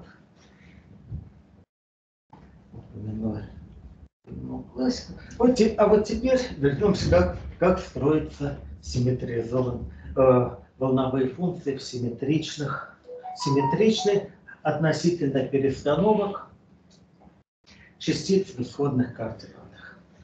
Ну, во-первых, у нас симметризованных координатах, за исключением центра масс, да, общее решение уравнения Шрёдингера это есть линейная комбинация собственных функций, которые представлены произведения волновых функций одномер, одномерного осциллятора. Да, и вот из этих комбинаций вот как, как построить симметричные функции. Построение осуществляется здесь в два этапа, да, причем функции в аналитическом виде. Первое, если у нас строим, поскольку если исходная функция симметрична в исходных координатах, значит она будет симметрична и в симметризованных да, либо антисимметрично, поэтому мы строим их стандартным образом. Да, но тогда, тогда получаем следующее. Да. То, что если у нас симметри... функции симметричны симметризованных координатах, это не обязательно, что они будут симметричны в исходных координатах. За счет того, что у нас есть еще переменная центр масс. Да, но как раз то, что у нас есть проекция, но что оказалось, для того, чтобы построить симметричный координат, да, они будут симметричны относительно вот таких перестановок, кроме перестановок с первой координатой. Да, и оказалось, что нам достаточно, чтобы получить функции, проверить только симметричность относительно одной перестановки первой и второй координаты. Да, вот как раз следующее, то, что общего решения уравнения да, мы, нам найти удалось только для случая трех, трех и четырех частиц. Вот здесь представлены симметричный случай для системы трех, трех частиц. Здесь симметрия, да, и вот выражение в полярных координатах для этих функций представлены для симметричных и антисимметричных. И получилось, что и в случае симметричных и антисимметричных координат шестая и седьмая функции, они вырождены. Да, как для симметричных, так и для антисимметричных. В случае э, четырех частиц оказалось, что тоже есть, есть общее решение, да, которое представлено в виде симметричных координ, комбинаций собственных функций осциллятора. При этом вот эти числа, номера собственных функций по трем переменным, да, должны быть либо четные, либо нечетные. Это тогда получилось общее решение. Да, волновые функции в случае трех частиц это симметрия C6. А вот для четырех частиц они имеют либо тетраэдральную, либо октаэдральную симметрию. Да, чтобы проверить, можно разложить по отделить радиальную переменную, тогда для также выделим сфер, можно функцию, функцию нарисовать на сферы. Здесь проекции, которые соответствуют направлению грань куба, в ребро куба и а, верш, вершину куба. Это у нас случай симметричных частиц. Здесь видно, что это акты, октедральная симметрия. Да, второй, второй класс функций это у нас тетраэдральная. Более, более сложный случай это когда анти, антисимметричные частицы. Тоже тут уже как получается некоторые антисимметрии, но чем-то похоже на тетраэдральную и октаэдральную симметрию тоже. В случае тако, таких общих решений для случая большего числа частиц найти не удалось, но можно добраться до, соответствует, до соответствующего энергетического уровня.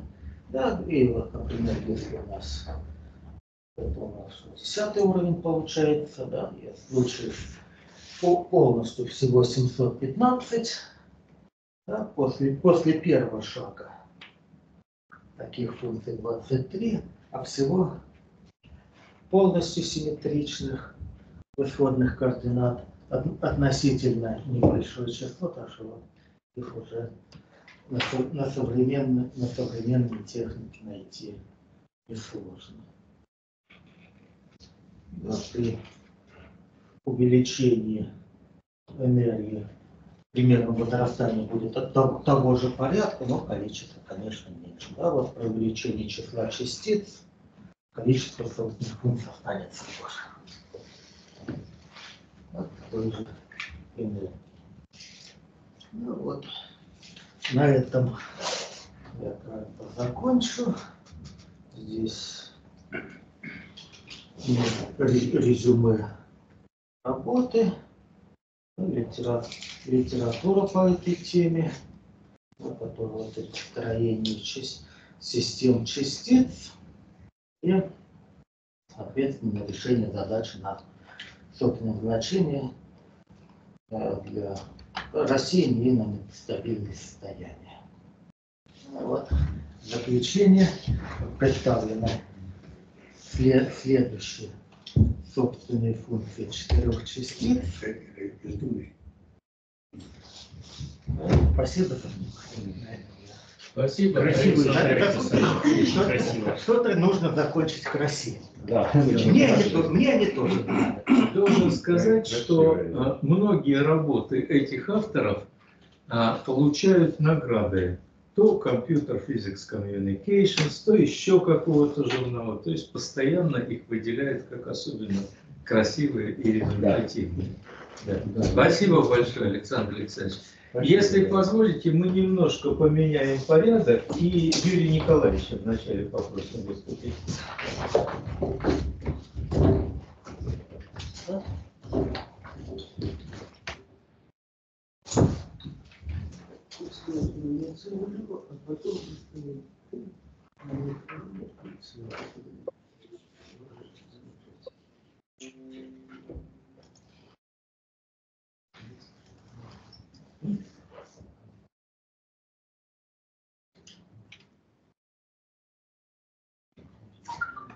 Так, дорогие коллеги, во-первых, большое спасибо, что э, э, дали возможность поучаствовать в такой представительной, интересной научной конференции, э, поговорить об э, основах квантовой механики всегда интересно. Э, но я вот буду э, говорить в направлении э, математических аспектов. То есть вот не про физические процессы, которые лежат э, в основе экспериментов, а про математическое описание моделей. Это э, как бы не совсем э, вот, э, то самое, чем занимаются физики. Э, вот, э, но, э, э ну, наверное, надо два слова сказать. Исторически, значит, мой научный руководитель, ученик Боголюбова, а э, вот я уже как бы скорее математик, э, поэтому а, ну, среди учеников Боголюбова много математиков, кроме прочего. Вот Василий Сергеевич там, Владимиров, например, вот совершенный математик. А, и а, в этом плане я вот поговорю о математических концепциях квантования как процедуры, потому что во многих случаях есть некоторые такие, ну я бы сказал, Э, физические гипотезы относительно того, что есть некоторая правда жизни, которую мы значит, можем найти в эксперименте. Вот. А математик, он правдой жизни особенно вот не интересуется, вот, а интересуется тем инструментом, с помощью которого значит, физики эту правду пытаются познать. И вот в этом плане, ну вот скажем, э, не надо ожидать, что в эксперименте можно найти соотношение неопределенностей. Ответ – не найдете никогда. Потому что соотношение неопределенности является простым следствием, математическим абсолютно того, что вы раскладываете свою жизнь по плоским волнам. А плоские волны – это, как мы понимаем, свободные частицы в пустом пространстве. Нет у нас свободной частицы, нет у нас пустого пространства. Поэтому никогда не будет найдено соотношение неопределенности. Просто никогда. И можно за него не бороться. Потому что разложить собственную функцию можно по плоским волнам, по собственным функциям гармонического осциллятора и вообще по любой полной системе функций, которые в данном Гильбертовом пространстве вам нравятся. Разумеется, соотношения там будут между каноническими переменными и операторами совершенно другими. И дальнейшее выбирается только из соображений удобства. Вот то, что э, как мы обычно пишем, э, что оператор координаты это э, Q соответствует x, оператор импульса p это минус там i d dx, это исключительно соображение удобства, что мы используем плоские волны. А можем что-нибудь другое взять. И тогда символы операторов будут совершенно другими. И вопрос-то как бы удобства, хорошо нам решать дифференциальные уравнения вот в таких вот переменных или не очень. Или надо какие-то другие выбрать конструкции. И э, вот в этом плане мы примем, что раскладываем по плоским волнам, потому что ну, удобно. То есть никакой специальной как бы, физической концепции здесь нет, просто это некоторое удобство. И э, вот этих терминов дальше мы пойдем. Э, я бы хотел вот кратенько рассказать про э, вот эту, скажем так, достаточно великую формулу. Великая формула – это подход, э, обобщение подхода Фейнмана к построению функций от операторов. Ну, в частности, конечно, поскольку решались уравнения эволюции, ну вот здесь уравнение Шрёдингера выписывалось, и h там d пси по dt равняется h пси. То есть надо для решения построить экспоненту от оператора. Если у вас есть оператор, как выглядит тот оператор, который есть экспонент от оператора? Можно, конечно, разложить это в ряд и сидеть с рядом, но это неинтересно для практики-то. То есть нужно посчитать некоторые собственные значения такого получающегося оператора, а у тебя бесконечный ряд. Ты же его в машине не просуммируешь. Так не будет никогда. Значит, следовательно, очень хочется изготовить математически корректную процедуру, которая позволит вычислить этот оператор с любой наперед заданной точностью. Важно понимать, что теория возмущений любую наперед заданную точность не даст. Она, это неизвестно какой ряд, и, как правило, расходящийся. Вот, следовательно, там первый и второй порядок, он хорош для вот, э, конкретной физической задачи. А для того, чтобы гарантировать сходимость какой-то вычислительной процедуры, этого мало. И э, вот тот конструкт, который э, здесь написан, вот это экспоненты, я позволю себе даже, может быть, немножко использовать доску. Это как бы много времени не займет.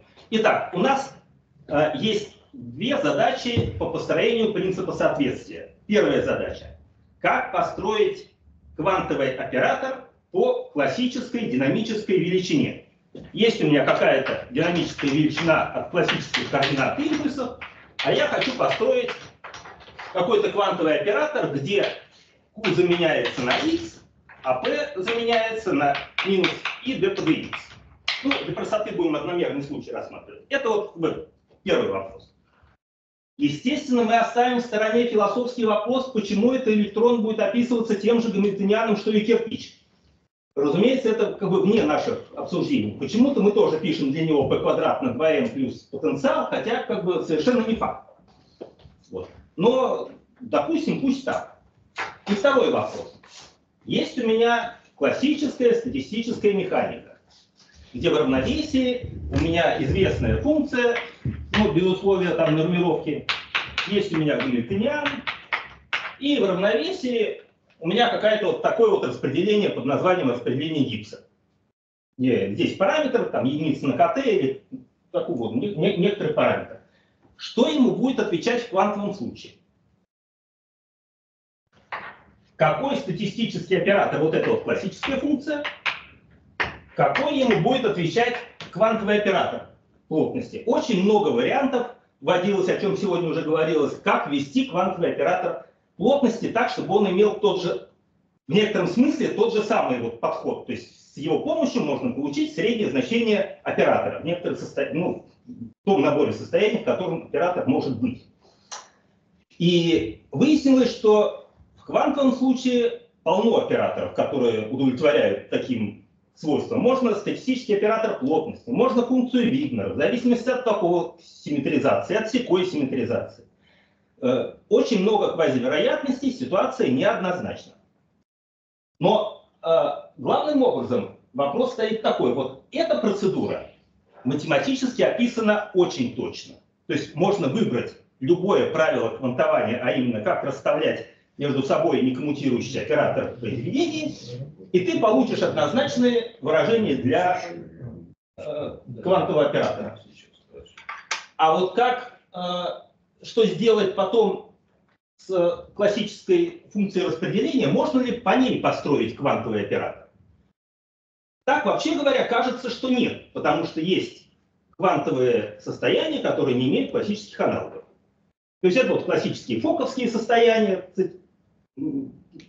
по одному кванту, как говорится, по два кванта в состоянии, это э, то, что в классику не переходит.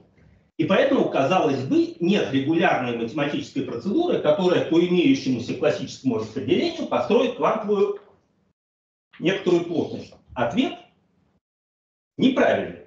Вот такой вот интуитивный ответ оказывается неправильным. А э, верно следующее. Если мы произведем. Вот здесь вот есть некоторое правило, которое мы будем называть вот правило квантования, я чуть позже его как бы, озвучу. Если мы произведем вот такую операцию F первая с крышечкой, это будет результат применения ядра квантования К, которое сопоставляет букве А, букву А с крышечкой. К вот на эту экспоненту. К, F, я так вот его напишу от бета. Вот F1 от бета. Это вот такой вот k на f от бета. А f2 от того же бета. Это будет k квадрат умноженное на f от z пополам. И так дальше. fn от бета это k в степени n умноженное на f от бета на n. А это крышечки. И вот в этих двух работах доказано, что при стремящемся в бесконечность вот такая вот, вообще говоря, абсурдная процедура, ну, с точки зрения физики, но математическая, она сходится к точной формуле экспоненты от оператора.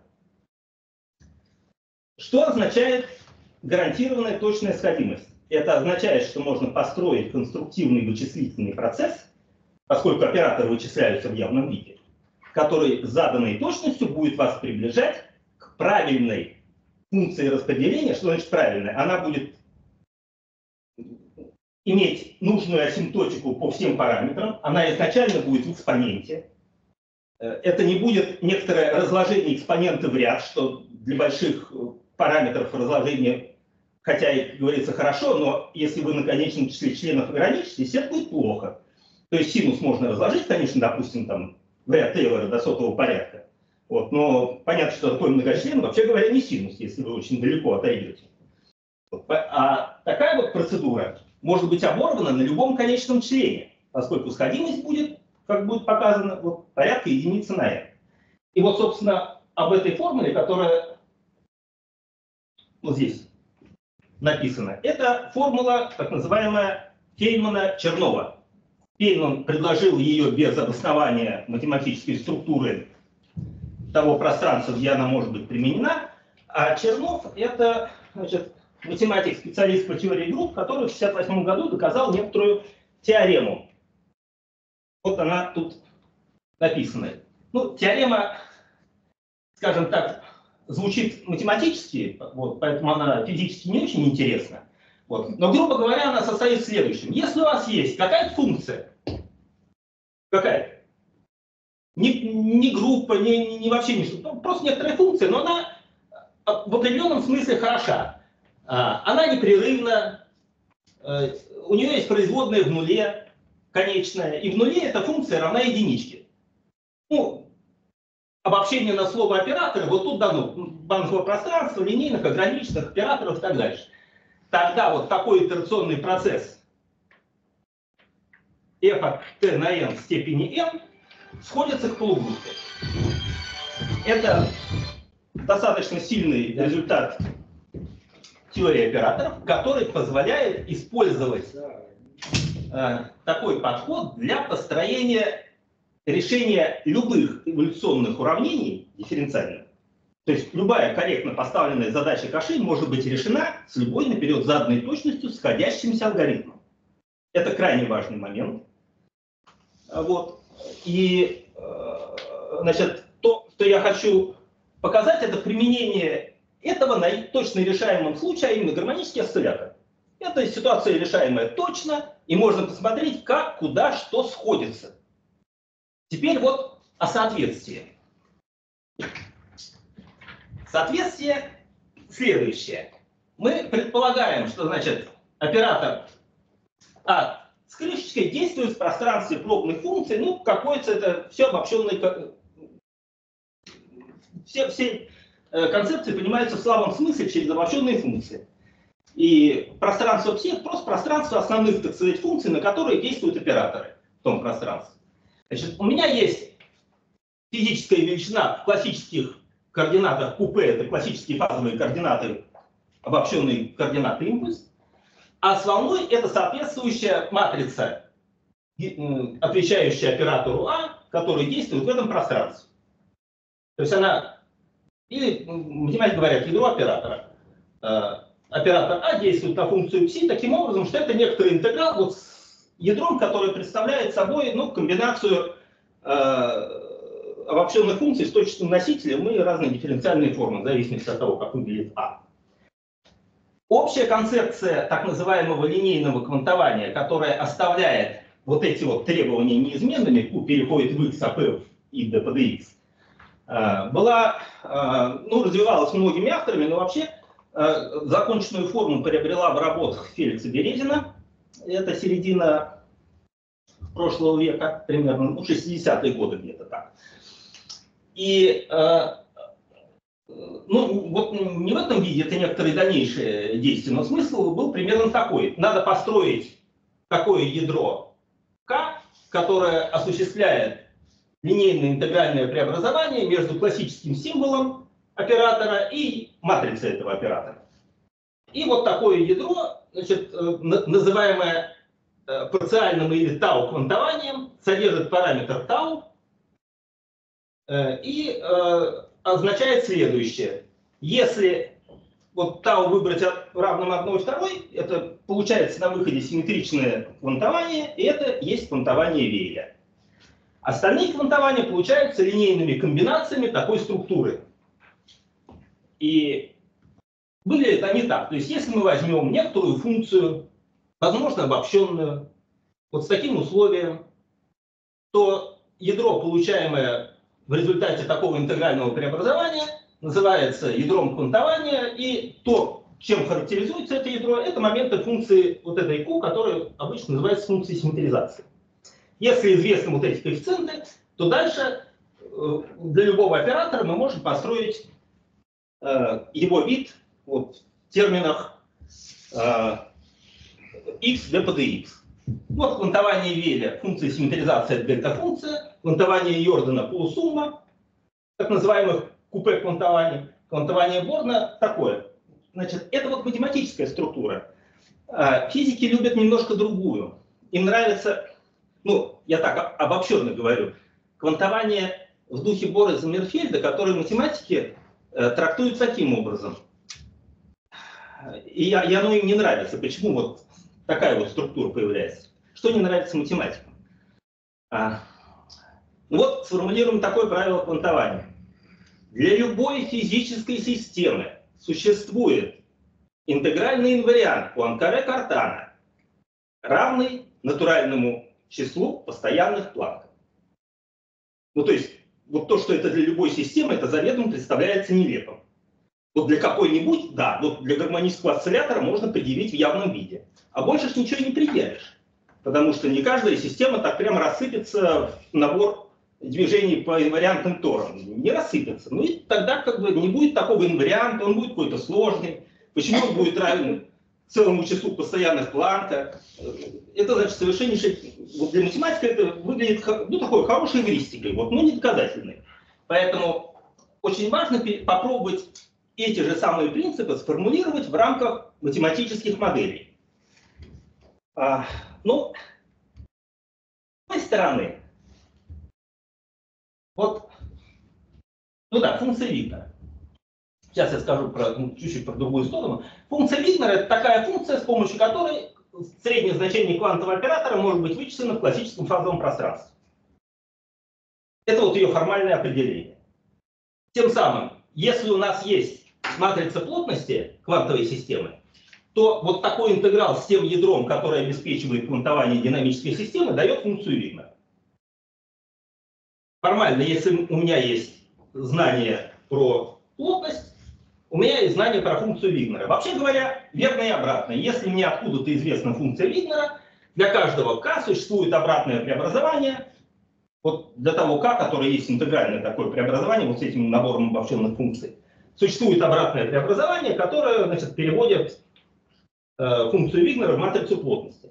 Но надо сказать следующее, что даже если вот такая функция может рассматриваться, Q, может рассматриваться, хотя и не обязана, как плотность вероятности, то есть она будет положительно определена, интеграл от нее единичка, все моменты положительные, она вот в таком смысле, то обратный оператор, имеющий, вообще говоря, тоже такой же смысл, не будет э, интерпретирован как набор вероятностей и будет однозначно представлять собой квазинорму. А, и а, это понимание важное, потому что в квантовой механике естественным образом появляются объекты, которые вообще-то не всегда имеют вероятностную интерпретацию, то есть вероятность может быть отрицательной и комплексной. Не в том плане, что это прямо вот вероятность измеримая, а это тот объект, который имеет те же вероятностные свойства, нормированность, сохранение по времени и так далее. Вот, но, к сожалению, не все они положительные. Ну, так бывает. Вот относительно правила квантования, здесь вот гармонический осциллятор написано, а я хочу сказать э, э, э, пару слов относительно того, вернусь назад, вот сюда, пару слов относительно того, можно ли как-то различить между собой вот это. То есть есть разные подходы, как бы нам симметризовать оператор. На практике это на самом деле все будет сводиться к теории измерений. Потому что э, как узнать, как бы природа, она как проквантована-то, чем? И выясняется следующее, что в квазиклассике, то есть это стандартный подход к прибору, прибор классический взаимодействует с квантовой системой, поэтому функции вот эти пси, они рассматриваются в квазиклассическом приближении, и там выясняется, что все эрмитовы квантования эквивалентны. Все они описываются первым моментом функции симметризации равным 1 второй. Первый момент во всех этих конструктах вообще всегда, если квантование Эрмитова равен 1 второй. И этим определяется показатель степени корня, как известно, там, из скорости при э, виде квазиклассического приближения. То есть пси пропорционально корень из конструкции умноженной на экспонент. То есть в первом приближении по постоянной планка мы всегда будем иметь одно и то же. Но на самом деле не по постоянной планке, а по постоянной тонкой структуре. То есть планка все-таки размерная величина, а там будет одна, одна сотая, так сказать. Второй порядок по постоянной планке и по постоянной тонкой структуре даст вклад всего лишь в фазу волновой функции и совершенно экспериментатору не интересен. Поэтому наличие какого-то эффекта от правила квантования надо ожидать в третьем приближении, которое по порядку относительно величины представляет собой одну миллионную, и на эксперименте я, в общем, не уверен, что будет опознаваться. И в этом плане вот экспериментаторам совершенно неинтересно, каким правилам квантования, что там проквантовано. Вот, потому что отличие вот, от того, что они в принципе могут наблюсти, находится в относительной точности 10 минус 6. Вот, если такая точность им интересна, вот, то они, конечно, могут туда полезть. Вот. Но вообще-то говоря, нет. Относительная точность – это вот не, не абсолютные величины, а точность относительная, с которой они что-то могут померить. Имея в виду, что такой же точностью должна обладать статистическая выборка, которую они измеряют, значит, выборка должна представлять собой миллион, так сказать, в квадрате, как известно. Вот. То есть это 10 минус 12. То есть 10 в 12 экспериментов – и вы тогда получите ответ вот, вот с той точностью, которая сложно достижима. Ну, поэтому даже 10 третий не очень хочется обсуждать. Вот. Именно поэтому я говорю, что я нахожусь как бы в мире некоторой схоластики относительно того, как в принципе устроен математический конструкт про квантование. И вот в этом плане э, я исключительно хочу вот поговорить, я практически сейчас в завершающую фазу рассказа перехожу, поговорить о том, как Э, как, каков смысл вот э, этого итерационного фейнмановского черновского подхода к построению оператора от экспонента. Вот когда мы начинали этим заниматься, было предположение, что действительно, да, мы сейчас построим э, значит, математическую вычислительную процедуру, которая может в компьютере вычислить нам значение функции от оператора, а это, в общем, почти квантовое вычисление. Вот, уже почти оно. Вот, если с любой точностью, так вообще мы как бы, почти на коне. Вот. Но тут выясняется следующее. Есть проблема, которая даже на точном э, гармоническом осцилляторе имеет место быть. Вот, во-первых, можно показать, ну, вот это известный результат. Значит, поскольку матрица плотности не зависит от правила квантования, ну, гамильтониан здесь распадается, поэтому как ни квантуй, все время будет один и тот же оператор. Вот, но функция Вигнера от квантования будет зависеть, что прекрасно было показано значит, еще вот, Березиным. Это функция Вигнера для квантования Вилля, а это функция Вигнера для квантования Йордана. Оба квантования симметричные, э, эрмитовые в смысле, но э, одна функция как бы, известная приличная, а другая приличная мало. Вот. Ну, понятно, тоже экспонента показателей, вот, но вообще говоря, другая. А отличие между ними вот, они в порядке третьего порядка по постоянной планка. Вот, хотя формулы разные, вот, но если смотреть численно, то получается так. И мы можем получить функцию Вигнера и для того квантования, и использовать вот этот итерацион, итерационный процесс для того, чтобы получить ядро. Ядро вычисляется явно, я опущу э, формулы и скажу вот такую штуку. Вот.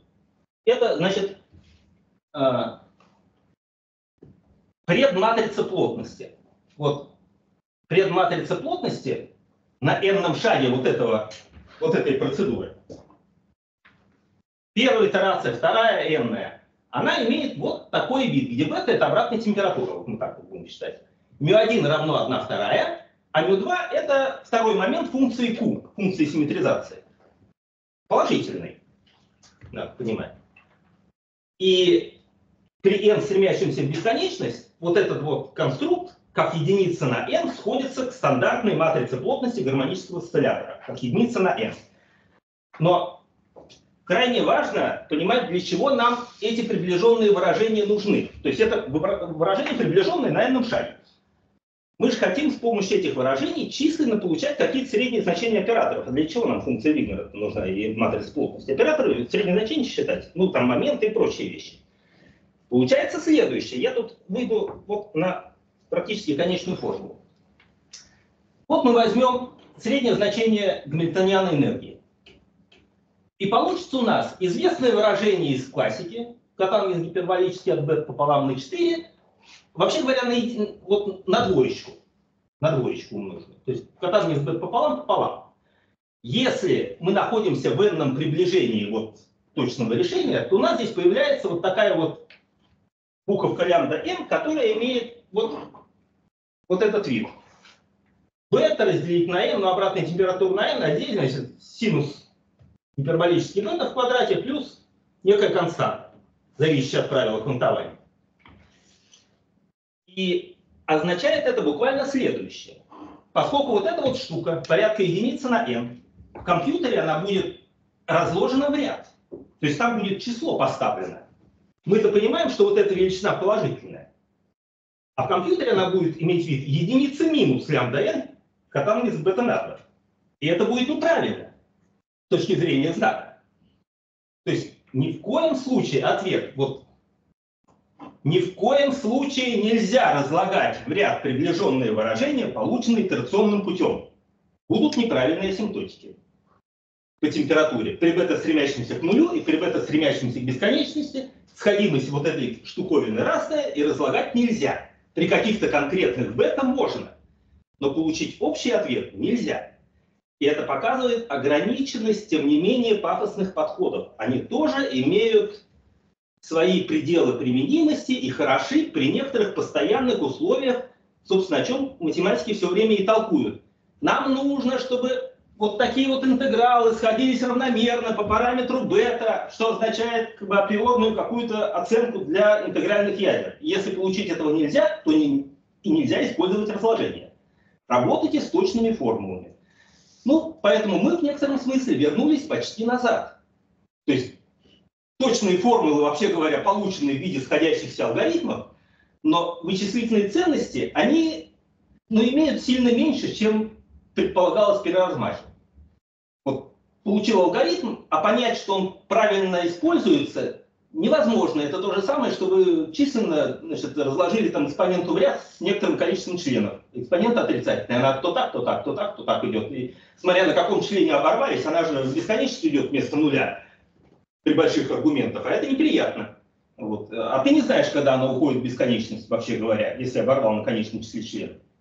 Вот. Поэтому, э, значит, хотя подход э, был достаточно любопытным, вот, но э, из него я вот хотел закончить методологическим таким все-таки эффектом. То есть проблема не в том, что мы вычислительно чего-то тут не можем сделать, а то, что оказывается формально можно взаимно однозначно отобразить пространство динамических переменных плюс статистическую функцию распределения, пространство квантовых операторов плюс статистический оператор.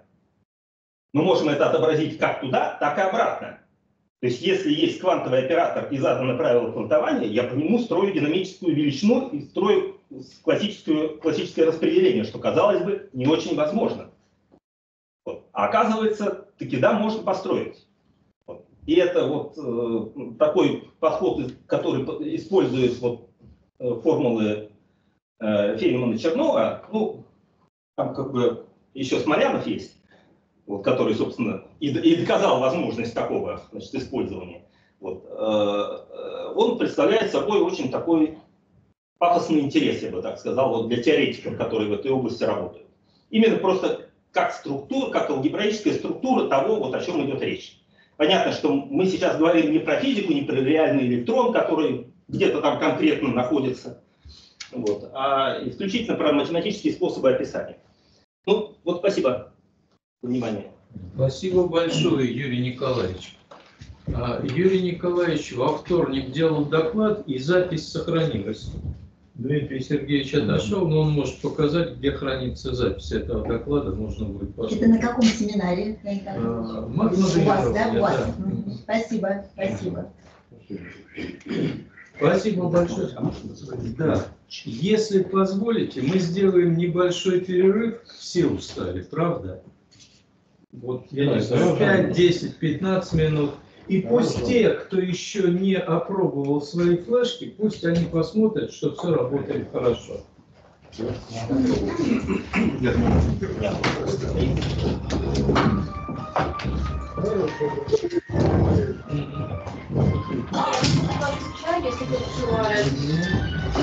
Думаю, что желаю.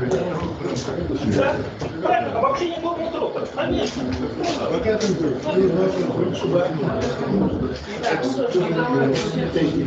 Николай Владимирович, ну шляпка, ну шляпка технический, технический дефект.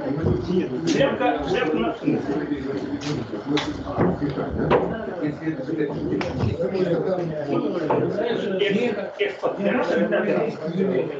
а, а вот это вот, вот шляпку, пожалуйста, вот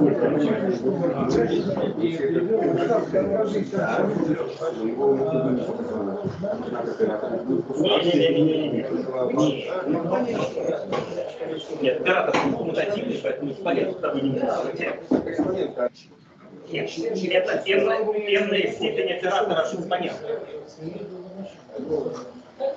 Вот то, как написано, вот это, вот, вот, да, вот на слайде так, я говорю, это техническая невозможность написать шляпу там, где надо. Вот поэтому я вот специально написал вот так. Шляпка вот так. Вот так. Вот так. Экспонент ценность аж. А, нет, аж, аж вот там.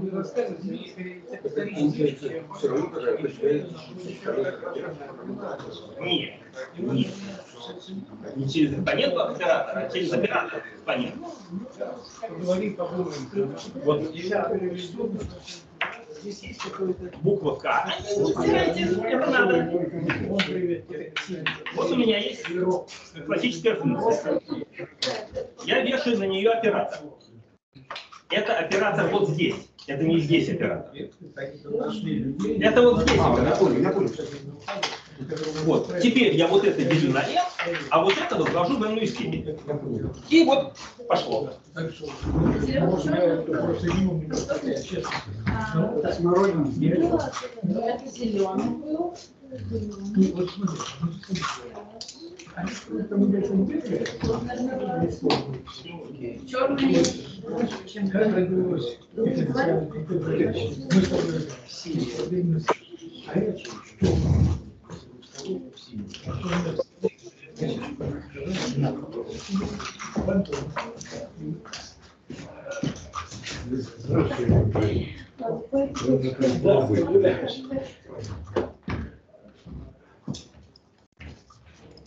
Да, вы уточнили очень хорошо, как он присовывал. Да, я хотела бы как раз А рассказать. вы звали меня Да, да, нет, я раз хотела рассказать.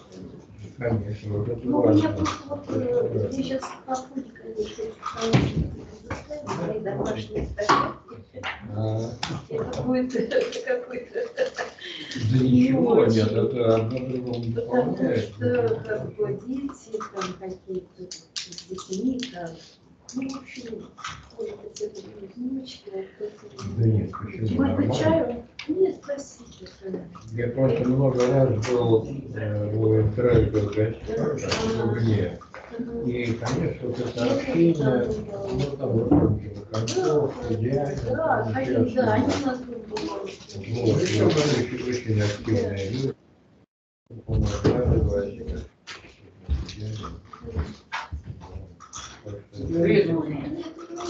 Васик. Это хорошо. Немножко охлажусь.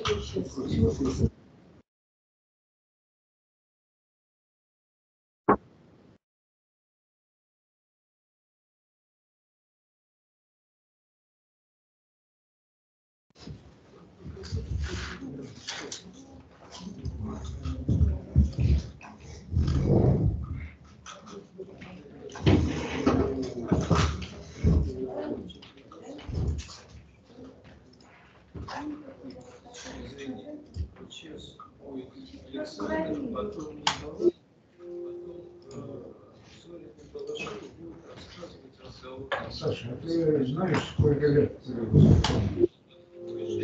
Конечно. Тоже перейдет на 85. Не очень много на самом деле. Кругом, если разобраться, то и не очень много. Вполне могут быть с нами. Нет, спасибо. У нас.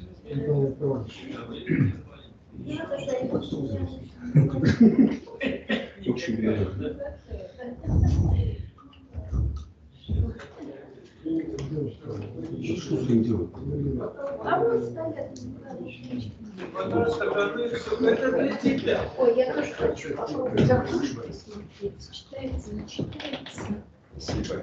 А, Любое, да? Да, да, любое.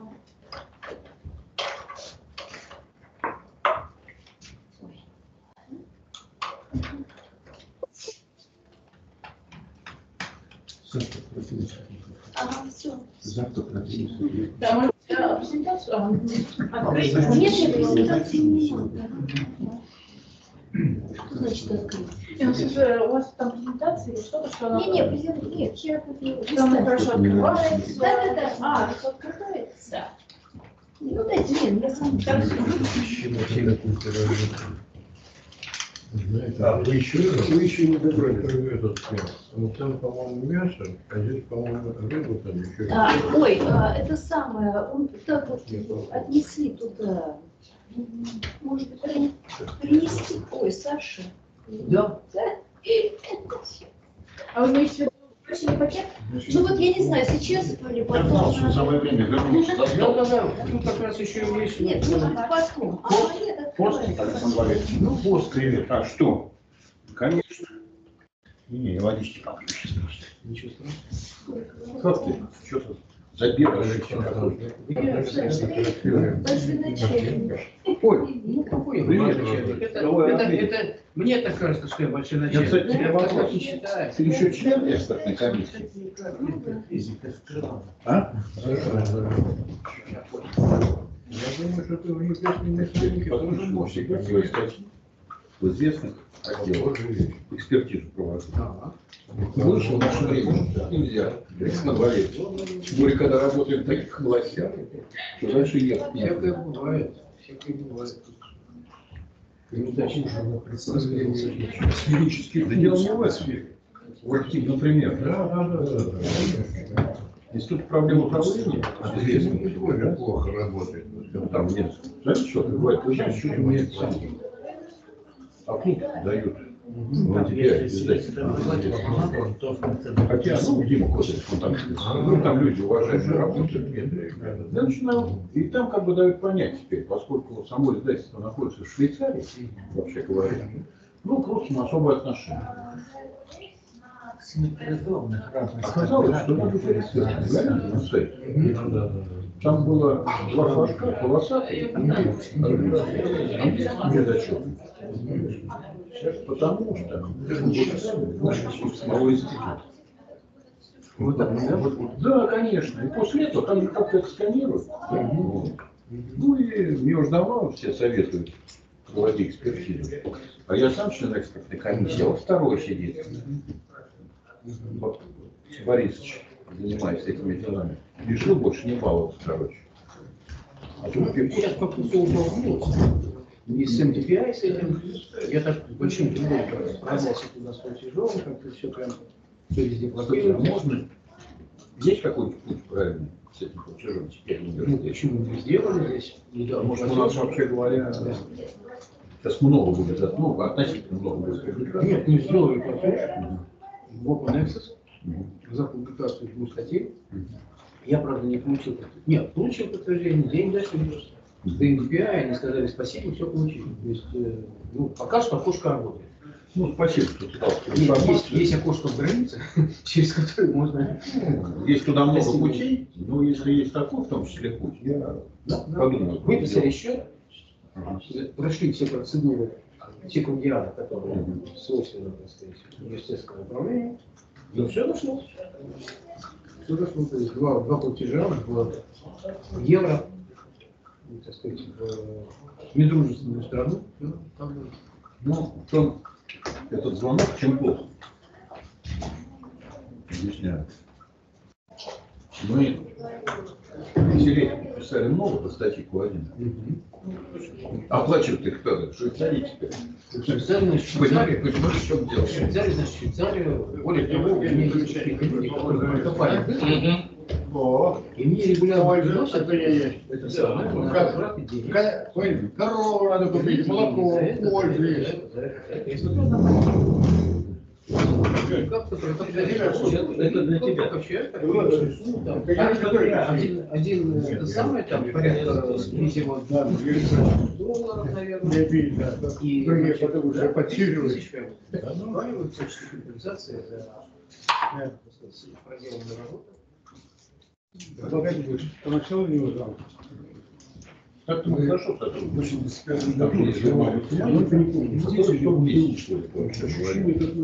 Там как не может математики, но попробуй. Я тоже, есть конечно, Но самое главное, чтобы они воспринимали нормально. Да, нормально. Ну, я отвечаю не чай главной угостили, вот только где не помню, здесь. И, ну. Ну, не все, оказывается. Кое-кому из россиян там дают отход. А вообще, раздаются там теперь новый год.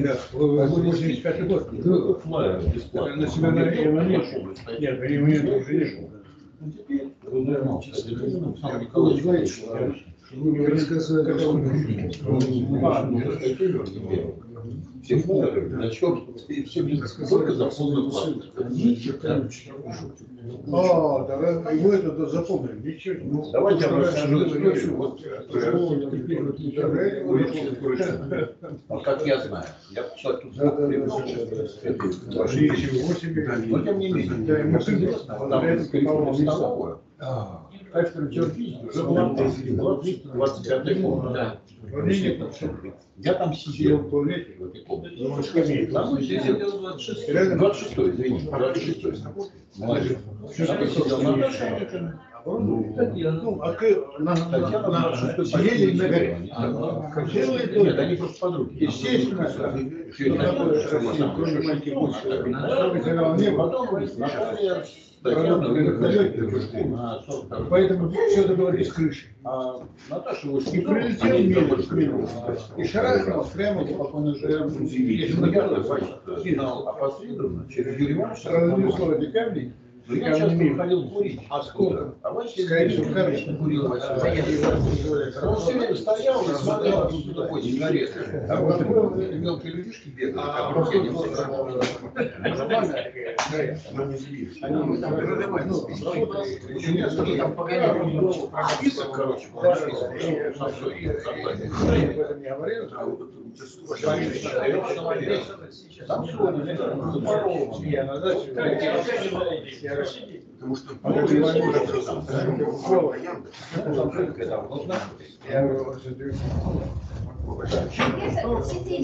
Что я объединяли, во-первых. Очень интересный вопрос. Я знал всех, Сережу очень хорошо знал. Про Сережу такого сейчас отдельно скажу. Я его так знал, дальше ехать некуда. Серега, ну, конечно. Ну, вот. Слушай, а я не знал, что с ним так произошло. Ну, это давно произошло. Ну, Давно, ну, как Ты же так? от алкоголя он умер. Да я знаю, он мастер Такое. кандидат наук. Имеет смысл. Ну, Вася-то не успел. Серега тоже. Остальные, видимо, не смогли. Но дело не в этом. Я рассказываю свои личные истории. Ну, Юрий Иванович я знаю потому, что однажды я стоял, курил вот там в переходе, да, мимо бежит Владимир Михайлович Репин. А Он уже был очень активен. Сейчас это не секрет. И тогда сформировался вопрос, а кто будет директором большое. Бежит, останавливается, говорит, ну, как дела там? Он, по-моему, уже ушел в того. Ну. Вот это у нас проблема. А Юра уже сидел в восьмом классе, занимался своим русским языком. Татьяна Васильевна. Да, да, да. Я говорю, а он, Юрий Иванович, хороший. Ребята, какая идея, скажу. Там, наверное, между собой. Ребята, я хочу ваше внимание привлечь, рассказать несколько интересных моментов. Я тоже Курышкин. Я про Курышкина рассказываю сейчас А историю. почему ты это между собой надо? Потому что ты кричишь, а я тебя не слышу. Ты долго говорил. Дай другим поговорить. Пусть Костя Нет, нет, Коля. я конкретно про Курышкина. Коль, я сейчас быстро доскажу. Я же не могу так долго рассказывать историю относительно.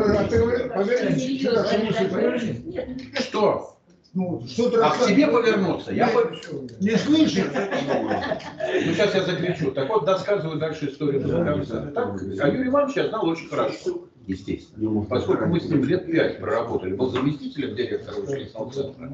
Вот. Ну, вот Александр Валерьевич хорошо знал эти истории все. Вот, и я. Так что Юру Запоровна я знал хорошо, и Татьяну очень знал хорошо. Но уж сын Леша знал тем более, он был моим дипломником. Вот, я был в бакалавриате. А, нет, Вот. подожди, подожди. Но Юрий Иванович никогда мне не рассказывал вот эти вот истории, а вот только рассказывал о том, как он занимался теоремой Ферма. Не то, что я трогаю. Вот, он в каком в частном случае ее доказал. А, могу. Запоровный Юрий Иванович. да. а? Для какого-то, для каких-то чисел. Серега Дубков, как в мою жизнь попал. Антонина Тихона Дубкова, вот, она подруга Любовь Геор- Георгиевны Каратаевой, моей тещи. Я просто их видел, и Серегу на своей даче миллионы раз. Серега еле добирался, поскольку он всегда просил чего-нибудь для того, чтобы выпить, как известно. И все. А Антонина Тихоновна, конечно, великий человек. Она же воевала в полку Марины Росковой, да? Да. И я лично слышал и слушал ее рассказы про эти истории. Значит, у нее был орден Ленина, орден боевого красного знамени. Она, когда ее представили герою Дубкову, она просто это рассказывала, а муж ее Лев, он просто посторонний человек, как бы для нас, для всех, но я его тоже знал. Он конечно, ее представили, после этого сразу посадили на губу за что-то, да? И она на губе просидела свою герой Советского Союза. Потому что там всем девушкам давали, кто там сколько-то вылетов совершил, А Серега, помнишь, как она гоняла? Что значит помнишь? Не то слово, как я вспомнил. Серега еще за моей женой ухаживал. Когда в девичестве, за Ольгой. Ну, ну, он помоложе ее. А какая ему разница? Ну, не Конечно. Нет, ну там разница не Я тоже всё своей жены. На пол, конечно. Я 55-го, она 54-го. Они, по-моему, ровесники Серега Зубкова. Но про Серегу я слышал, что он кое-что умеет делать. И вот его сегодня упомянул Самсоненко. В общем, я всех, да, всех, всех великих, короче, ну, наверное, только не надо было давать ему пить столько. Вот в чем дело. Я скажу открытым текстом. Вот. Это генетические особенности. А, кстати говоря, Может быть. э, а, кстати говоря, вот э, э, пригласила э, значит, Валентина Николаевна Закрыто было иностранных языков. Его взяли из школы. Не-не-не, что русского языка. Мотина была русская. Не, не, Каратаева это химия. И Мотина, и Дубкова, и Каратаева были подругами близкие. Они все там были, вот эти люди. А Мотина была подруга моей матери. Еще давно. Просто по русскому языку они дружили, независимо. А потом я женился на ним. Вот сейчас Коля спросит, Коль, кто был за кафедрой иностранных языков в наше время? Наше время? Да, иностранных языков. Валентина Николаевна. Вот, а тебя не было, Татьяна? Я Не, не, рассказывал, не. что я сидел в 326 комнате долгое время. Правильно называют, Макеенко. Макеенко. Макеенко, Макеенко, конечно. конечно. Вот. Она, она, она же, вы знаете, что она преподавала, ее взял Румянцев из э, школы КГБ, для, где она преподавала для нерезидентов. То есть ну, есть официальные резиденты, которые едут в страну, а это люди, которые ехали, ну, а это просто люди, которые выдавали себя за место. Вот это мне рассказывал Филиппов Он говорит, она тоже из Академии географии. Ребята, а я сейчас ближе к Прыжкину. Это будет, Таня, приятно. Она там может подтвердить. Все, Коля, я все сказал. Я больше ничего не знаю просто. Ну, Извини, пожалуйста, ты великий человек. Я, Нет, не я просто про вас опять вспомнил. Вася во всем. Значит, Тимур и его команда. Так, сидеть, слушать, слушать. Это меня довольно это слушать, слушать, как высотки говорят. Так вот, значит, э, очень постараюсь кратко на сей раз, но хотя это очень интересно. Значит, за, за, э, защиту кандидатской диссертации Вася, помните, настоящую? Когда человек из Дубны приехал с отрицательным отзывом. Это была настоящая защита, да. Это мы тогда э, значит, сказал, что мы смотрели, а мы студенты были. Нет, э, я, он не пустил на да. защиту. Короче говоря, а Простаков как грамотно там про- тогда был общий совет. Ну, вспомнил про защиту, и перехожу дальше на другую, э, более интересный момент. Моя защита. Э, Значит, здесь устроили банкет. В те времена 400 литров спирта в год получали на протирку оптических хозяев, микроскопов, э, на вычислительный центр. Все это было полуше выпивалось. Да. А лица нормальные. Значит, слушай, и все бы, в общем, короче говоря, на моей защите э, столовой, потом на кафедре, да, набрались как следует, вышли сюда, нас из университета вы, выпроводили в 12 часов ночи где-то, около этого. Ловим такси, богом забытое место, такси нету, кто-то говорит, а давайте выйдем на Ленинский проспект, поэтому вот напротив, да, и там легче такси поймать. Вот наш человек 10 примерно, Вася, Таня была, помню, значит, выходит на Ленинский проспект. И Вася, значит, обладая свежим воздухе, посмотрел и сразу начал генерировать идеи. Посмотрите, ребята, на столбы, какие стоят. Говорю, все нормально, столбы, тра-та-та. А мне говорят, Он посмотреть на урны. Действительно, смотрим, урны, значит, квадратные, и жести, и темно, э, краска почти черная. А столбы круглые, и там какой-то орнамент и серебристого цвета.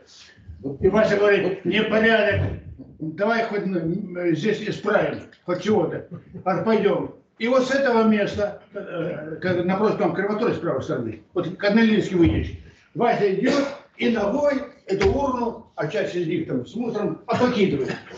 Значит, значит, Вася не дрожь, пусть лежит. И к следующей. Потом, значит, я вижу такое дело, направляю ребят, Васю, давайте тра-та-та, я сзади пристраиваюсь, к нам милиция сзади пристраивается. И так наблюдает с мигалкой и мигает.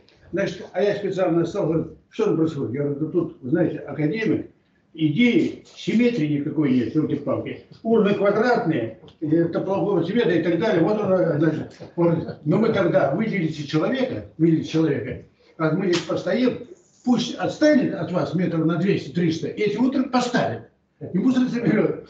Вот как раз Дубкову, по-моему, мы мы тогда оставили, значит, Вася все урны шел до дома, э, до, п- э, как его, до площади Гагарина, с правой стороны дом перед этим. И там Гагарин разбился о стол, у него шрам был. Именно там развернулся его, да. И там табличка стоит, до школ, где жил Гагарин. И вот до этого места Вася все урны тра-та-та, что, а, а милиция стояла, ну, мы там устанавливали, потом проехали, нам по- помигали около меня. Молодцы ребята, давайте, гуляйте. Нас отправили. И мы, бац, вот на этом бойком месте, да, нашли там три, две-три машины, и хором приезжаем на дачу. Значит, на даче надрались уже под утро, рассвет, а я жил э, в трехкомнатной квартире, там где 13 человек. И утром на рассвете выходим, Таня тоже знает, на чем их опять такси нет. Ждем, ждем, ждем, и тут идет поливалка. Поливалка, сам настоящий. Значит, э, Вася на... Остановили поливалку, значит, женщину воткнули кабину, включает Таню, да? Вы Участвовали в этом мероприятии? Значит, а мужики облепили этого самого и поехали. И да, а я жена провожаю, это улица Газгольдера, около Чакра. Значит, и опять милиция. Я это выскакивал, милицию останавливаю и объясняю, вы там академики, та-та-та-та-та и так далее. Пронесло. И, наконец, самое интересное. Значит, мы праздновали Старый Новый год. Коль, ты остановись все. Все, я вообще, са- самое интересное. Дай другим поговорить. Старый, Старый Новый год, самое интересное, никто этого не знает, не помнит. Старый Новый год собирались. На сцене собрались у Маркевичей. Значит, и, значит, решили каждый домашнюю заготовку. Танцевон делает. Ва- кого председателем комиссии? Ну, естественно, самого уважаемого, самого Вася Курочкина. Вася Курочкин. Значит, там очки такие ему сделали. э, э, Как актер из него, во, классно был, да? Вася сидит и так далее. И номер. Пропуская номера, и у меня были номера. То есть каждый должен был номер. Маркевич, значит, оседлав свою жену, на ежом, естественно. Ну что, Мама, Сидит на, сидит на Марине, да, и, и, и, и, и, и вот такой, и, и вот, вот такой жест такой делает, значит, все, а, пауза. Это что? А, Меня, а, на Маркевича пояснение. Значит, так, вон отсюда, стребление устраивает. И уходит. Оказывается, это был заготовлен. И нам объясняет. Говорит, ребята, это, наверное, приз получит. Обратите внимание, на кобыле это памятник, который стоит на мэрии сейчас. Э, Его сделали на э, кобыле, проезжает Хрущев. Увидел, елки-палки, почему нет там э, аппарата? Значит, те говорят, ну как, исторический факт, он на кобыле, любимая лошадь была кобыла, немедленно приделали. Приделали. И я еще посмотрел, посмотрел, почему маленький? Это отпилили, сделали небольшой. В общем, дальше не буду продолжать. Так вот, Вася, значит, просветил нас в этом вопросе. Я, например, и не знал. После этого я уже ходил на это, специально поехал туда, ну, с женой, смотрел.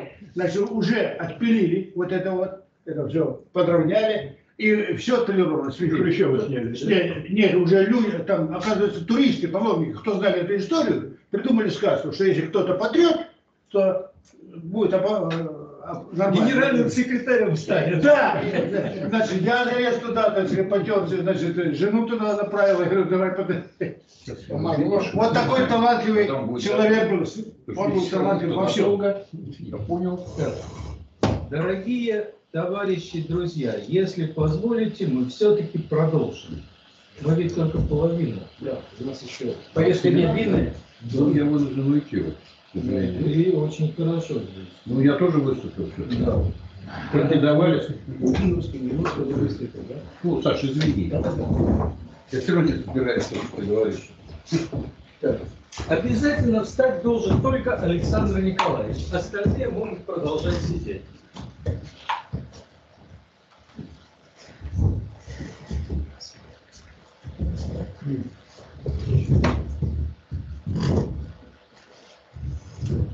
Так, я. Вам не думаешь, кто? Да. Я познакомился с Василием Васильевичем в 1985 году. Он был тогда секретарем Конституционного совета.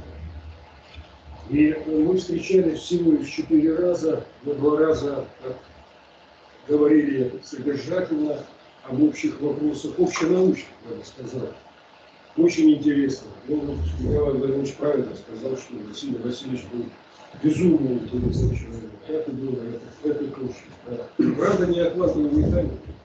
В те времена такое мнение господствовало, что не надо думать об интерпретации, не надо думать о том, как это все получается. Есть теория, которая дает правильный результат, и есть свобода. Больше ничего нет. Ну, И даже лозунг «Заткнись и вычисляй». Да, да, это э, был такой физик американский, ну, он сейчас, по-моему, жив, нормально все, ему за 90 уже, наверное, Дэвид Мирман, совершенно верно, он известен у нас как автор переводного учебника по, по физике твердого тела, совершенно верно, да, да, да, он именно так, да, shut up and calculate, да, именно, именно, именно так, да. Так вот, ну, естественно, что, в общем, о работах его, конечно, я знал. Но теперь-то понятно, что не вникая в сущность измерения, не вникая э, в тонкости вот этой самой интерпретации, причем не копенгагенская, она здесь не подойдет никак, э, многие вещи квантовой теории просто невозможно понять. Э, ну, на слуху у всех, конечно, квантовая нелокальность, это понятное дело. Так что в определенном смысле Василий Васильевич был в этом деле пионером, потому что это явно относилось к этому, так или иначе. Да. Ну, мой конкретный доклад, он скорее технический, это часть ну, большой работы, потому что совсем недавно я в этих стенах выступал на семинаре, и по законченным результатам повторяться не хочу. А здесь речь идет о Э, квантовых блужданиях. Это один из таких популярных алгоритмов, алгоритмов для всего. Ну и, собственно говоря, э, собственно говоря, о чем идет речь. Я задерживать долго не буду. У нас имеется система из N-кубитов и одного вспомогательного кубита, который обычно называют монетой. Так что Гильбертово пространство – это вот такое тензорное произведение – у содержательного n большая размерность, 2 в степени n, естественно, и у кубита размерность 2. Ну, предположения такие, что квантовые системы, эти кубиты, расположены э, в математическом смысле симметрично, то есть граничных условий нет, это окружность.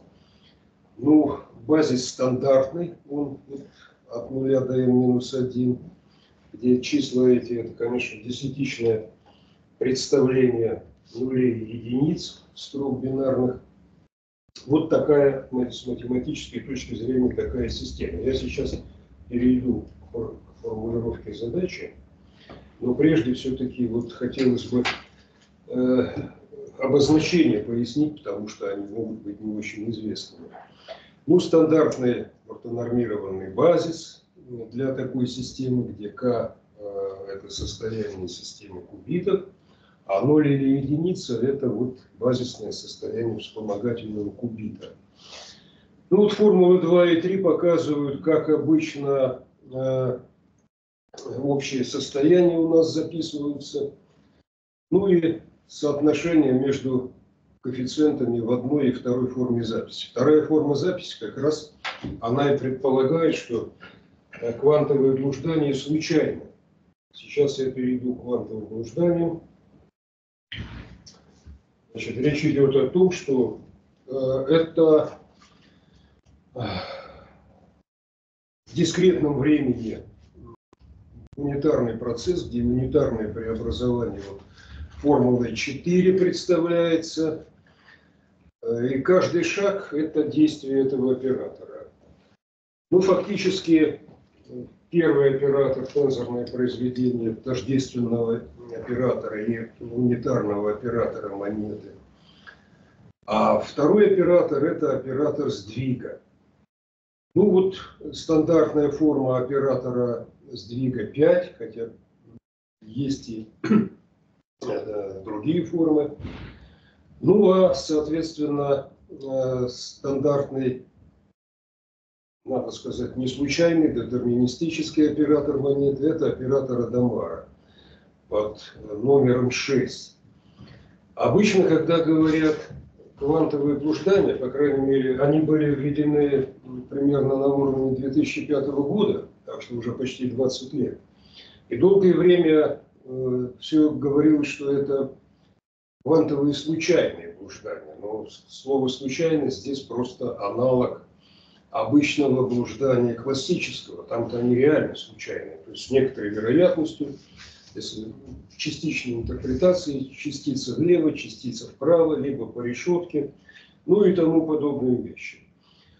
А э, здесь предполагалось, что э, вот это квантовое блуждание детерминистическое, оно дает примерно тот же результат вероятностный по вероятностям амплитуд состояния, как и обычное э, классическое блуждание. Вопрос, конечно, такой, а что если перейти, значит, вот технический момент, он заключается в следующем.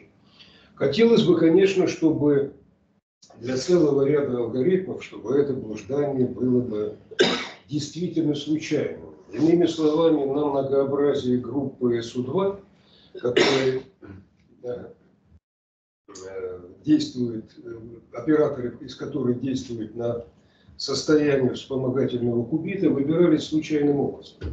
Причем э, важно, чтобы распределение этих операторов по многообразию группы было равномерным. То есть, попросту говоря, по мере Хаара мы бы выбирали э, операторы случайным образом, но с, раз, с, с равной вероятностью при условии, что вот площадь э, при одинаковых кусочках площадей на группе вероятности были бы одинаковыми. Я очень удивился, узнав, что эта задача не решена не, смог, не пролистав кучу, совершенно кучу литературы, ничего такого не нашел. Ну, э, э, значит, многообразие это, этой группы – это три сферы, это известный оператор. Э, любой произвольный из группы по формуле 7 представляется в виде разложения по базису операторов Пауля.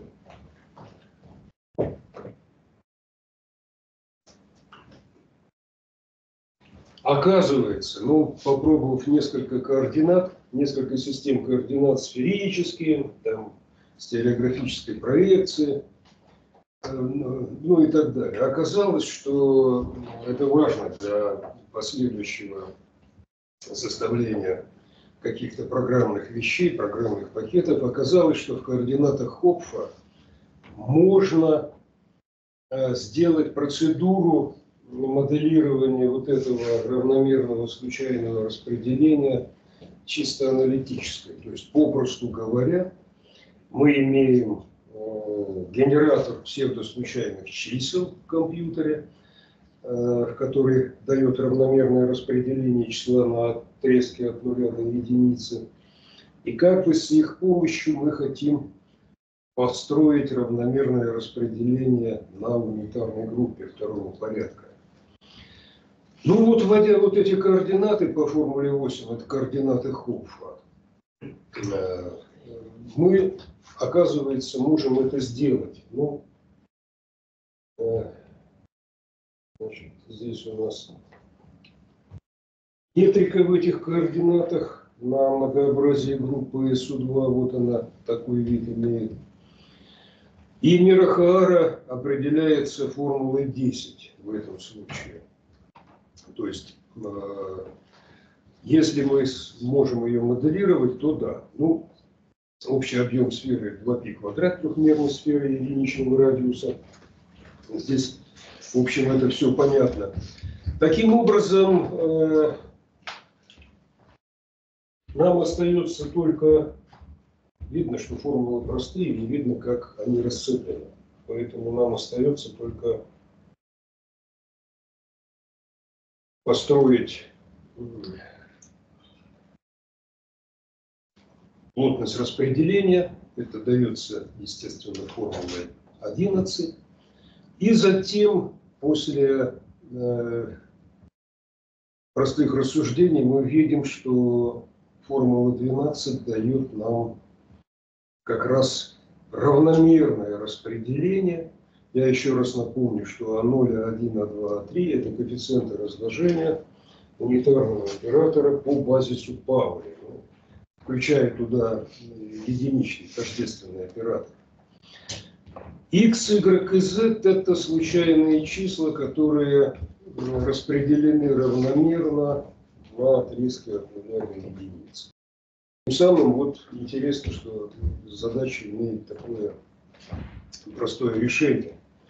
Ну, и вот этот алгоритм, он, конечно, позволит получить, я надеюсь, очень интересные результаты по квантовым алгоритмам и э, также другим вещам. Вот э, встает вопрос, конечно, об э, выполнении этого унитарного оператора. Ну, поскольку э, экспоненциальное отображение генераторов группы ну, касательного пространства в единице на, на саму группу субъективно, то мы можем гамильтониан просто соответствующе построить по заданному унитарному оператору. Ну, вот здесь вот э, этот гамильтониан, к сожалению, формула не пронумерована, не влезает. Вторая сверху, гамильтониан так представляется, а коэффициенты разложения самой нижней формулы. Тем самым, ну, в современных вот этих квантовых цепях это э, достаточно просто реализуется такая вещь. Наконец, результаты некоторых численных экспериментов. Все зависит от того, какое начальное состояние. А, вот в двух случаях, которые ниже рассмотрены, устойчивое состояние достигается приблизительно после, здесь ошибочка, не единица на корень из на корень из шагов. Угу. Ошибочка вышла. Вот. Э, и ну, n, n достаточно много, потому что n большое, это 2 в степени n малое.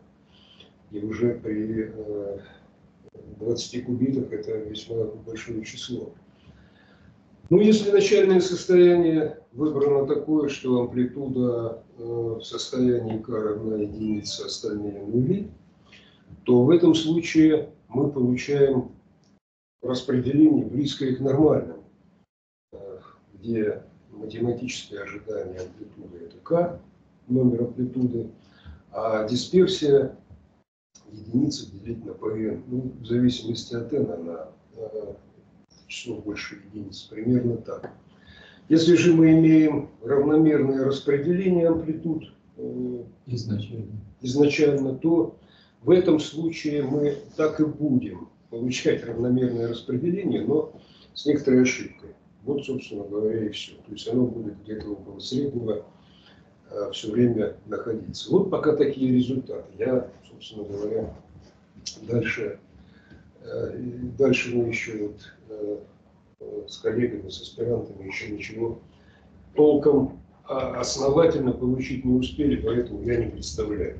Ну, Леонид Антонович меня, так сказать, фактически озадачил этим только две недели назад, поэтому я что успел, то успел. Спасибо за внимание. Интересно большое, спасибо. А вот как оно осциллирует при приближении? А, вот, вот это вот? Да. Как при приближении мы не смотрели, а уже только вот когда вот мы сделали достаточно много шагов, то результат. Мы, да, то в этом случае результат вот при равномерном распределении, оно такое, что э, ожидая, математическое ожидание единицы на, ну, спишка делал, опять, опять, ну, ну это ладно, так а дисперсия вот такая вот, единица делить на p квадрат квадрат, приблизительно. Mm -hmm. Это вот, так сказать, эмпирическим путем получено. Компьютерным путем. Компьютерным, да, компьютерным, совершенно верно. Спасибо большое. А корреляцию между кубитами можно в этом случае вычислить?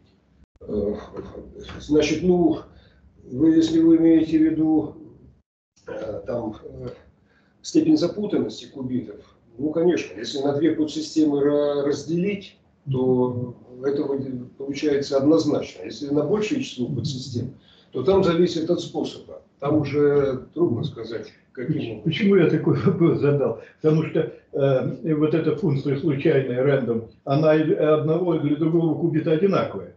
Значит, э, они должны как-то смещаться по фазе, если э, в процессе вычисления. А, Да, Прошу но вы прощения, Да-да. Тимур, э, Да-да, э, Тимур, да. да, если можно, с Александром вы побеседуете. Да, я просто окончательно- отвечу. Не забыл, они одинаковые, но не забывайте про оператор сдвига. Да, И да. там же есть оператор сдвига, который все перепутает в конечном счете. Спасибо большое. Теперь, если позволите, Николай Павлович выступит, а потом а, будут по выбору, кто первым, кто вторым. Светлана Алексеевна и Александр Валерьевич. Вы решите. Кто решит? Последними, давай.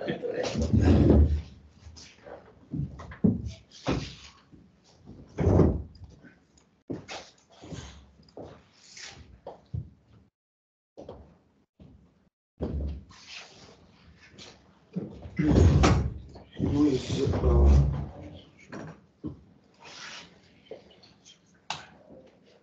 одно из перспективных, я в этом уверен, направлений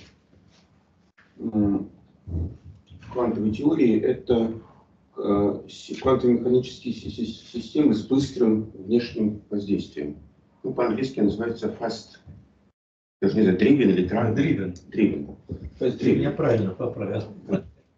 Ну, разумеется, все, кто занимаются этим, этим вопросом, очарованы вот этой вот системой, которая называется маятник Капицы или перевернутый маятник.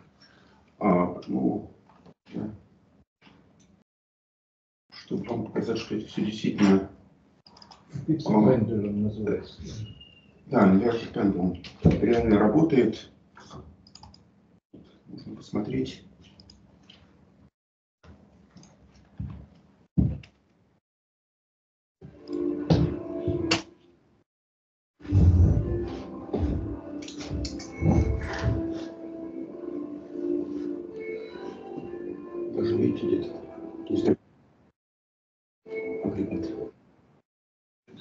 Студентам демонстрировал такую штуку.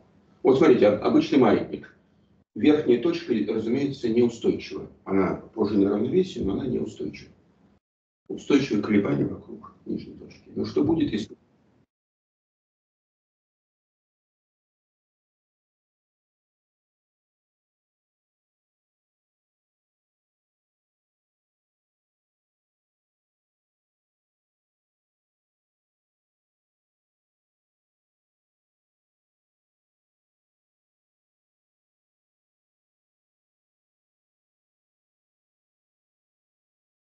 Пока Да, да. колебания точки должны иметь э, некую горизонтальную составляющую.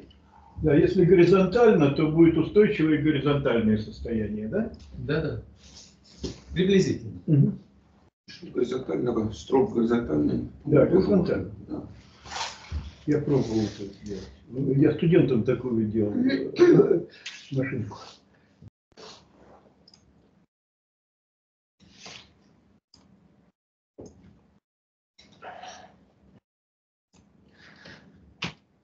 Значит, ну вот, а, очень удачную цитату хочу вам сказать. Пути развития научной мысли во многом непредсказуемы. Одни идеи после быстрого расцвета отходят на второй план, другие же могут медленно развиваться в течение нескольких десятилетий, а затем пережить взрыв нового интереса к ним. Именно такая метаморфоза произошла около 10 лет назад. Но это, на самом деле, сейчас уже около 30 лет назад. Да, да. А, с областью физики, посвященной запутанным квантовым состояниям. А, И во многих областях физики теоретические исследования намного опережают развитие эксперимента. И в свое время такое сложилось именно вот с этим направлением а, запутанных а, квантовых состояний. А, При этом бурно развивающаяся теория запутанных состояний является однородной. В ней можно выделить, по крайней мере, два направления. Математические исследования свойств запутанных состояний и приложения по проведению экспериментов, связанных с созданием и использованием запутанных состояний. Почему я это процитировал? Потому что э, на самом деле попытка обобщить э, вот этот, э, ну, в э, механике вода улившись, это называется параметрический резонанс. Соответствующий параграф, который описывает переговорный называется параметрический резонанс. Почему? Потому что э, вот эта э, стабилизация маятника происходит, когда частота колебаний превоз... э, больше некого порога. Ну и вот э, такую еще цитату, что запутанность – это одно из основных составляющих неинтуитивных квантовых явлений. Ну, действительно, инту, интуиция тут нам плохой помощник. Все присутствующие прекрасно понимают. Вот. Да, ну я это уже, так сказать, я уже говорил. Вот. Driven Systems. Да, что мы имеем в классике? В классике мы имеем, что, собственно, вот этот, вот этот подход к описанию, он восходит э, к Капице, который, как исследовал этот маятник экспериментально и дал теоретическое объяснение. То есть, э, что, здесь, э, что здесь делается? Основная идея – это произвести усреднение, усреднение уравнения движения по быстрому периоду. Омега большое – это частота внешнего воздействия, соответственно, усреднение по быстрому периоду. И решение динамических уравнений ищется как сумма медленных, медленных переменных, то есть те, которые мы предполагаем, будут изменяться, а, будут изменяться со временем, но не, не, не, с, таки, не с такой И быстрых составляющих. Тут обозначены по большой, по большой это медленная составляющая, хи и ро это быстрая. Соответственно, вот это тогда э, реальные траектории систем, это идет о классике, реальные траектории системы представляют собой быстро колеблющиеся траектории, но то, что э, получается в результате вот этих э, медленных, мед, э, медленные уравнения, э, их решения описывают огибающие. А, огибающие составляющие, ну, как мы, и как мы видели на примере маятника, при определенных условиях будут устойчивы.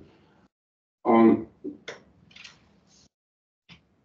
вот этот э, алгоритм расчета тоже, опять же, восходит именно к Капице. Именно он его разработал, приложил.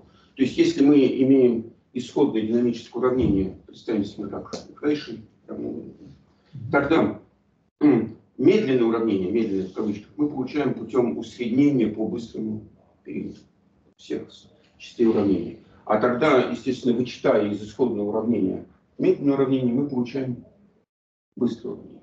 И вот быстрое уравнение мы пытаемся решить. Ну, чаще всего его можно каким-то образом решить. Ну, а потом подставляя, подставляя 4 в 2, собственно, решение для полученные э, э, при решении быстрого уравнения мы подставляем медленно и получаем искомое динамическое уравнение, которое как раз должно описывать вот эти набегающие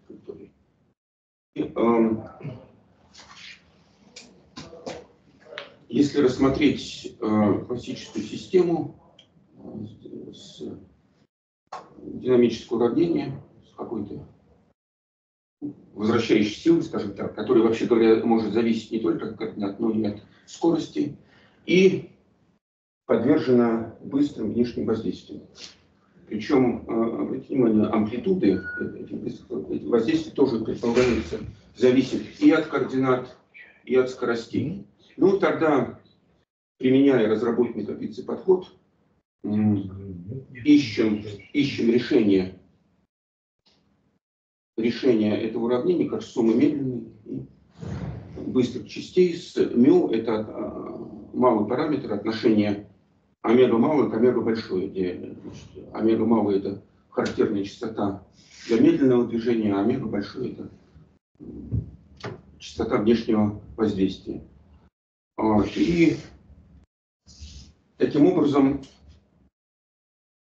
из этого уравнения можно получить вот это. Вот до сюда, вот это, это то, что с, вот с этим членом без остальных, это как раз то, что было получено капицей.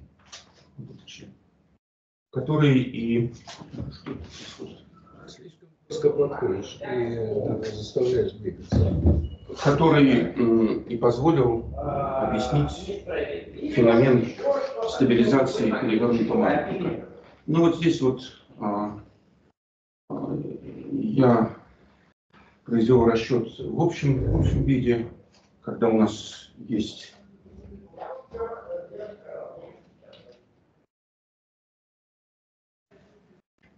вообще говоря, зависит, амплитуда зависит не только от координат скоростей, но также есть четные члены и нечетные по времени.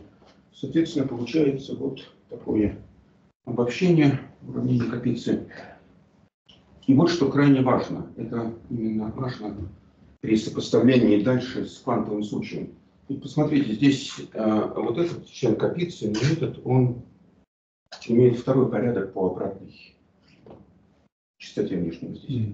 Но, посмотрите, здесь возникают члены намного больше амплитуде. Они пропорциональны не единице на лямбда омега квадрат, а единице на омега. Еще раз напомню, омега – это частота быстрого внешнего воздействия.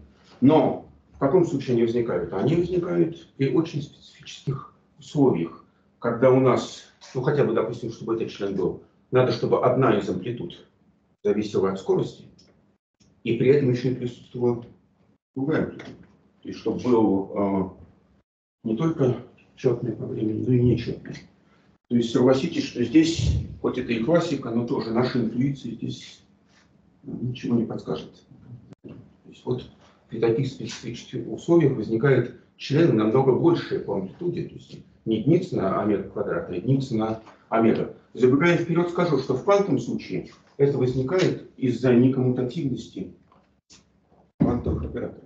Знаем, они не коммутативны. То есть тут там э, член обратно пропорциональный первой степени.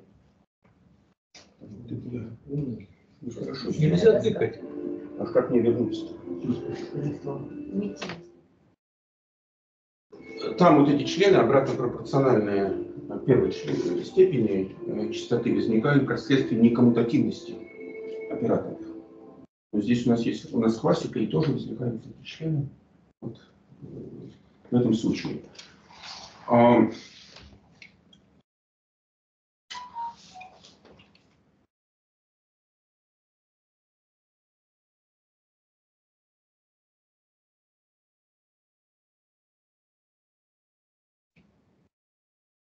А, Да, ну давайте, чтобы эко- экономить время, пример я не буду. Да, и как это все обобщить на квантовую механику?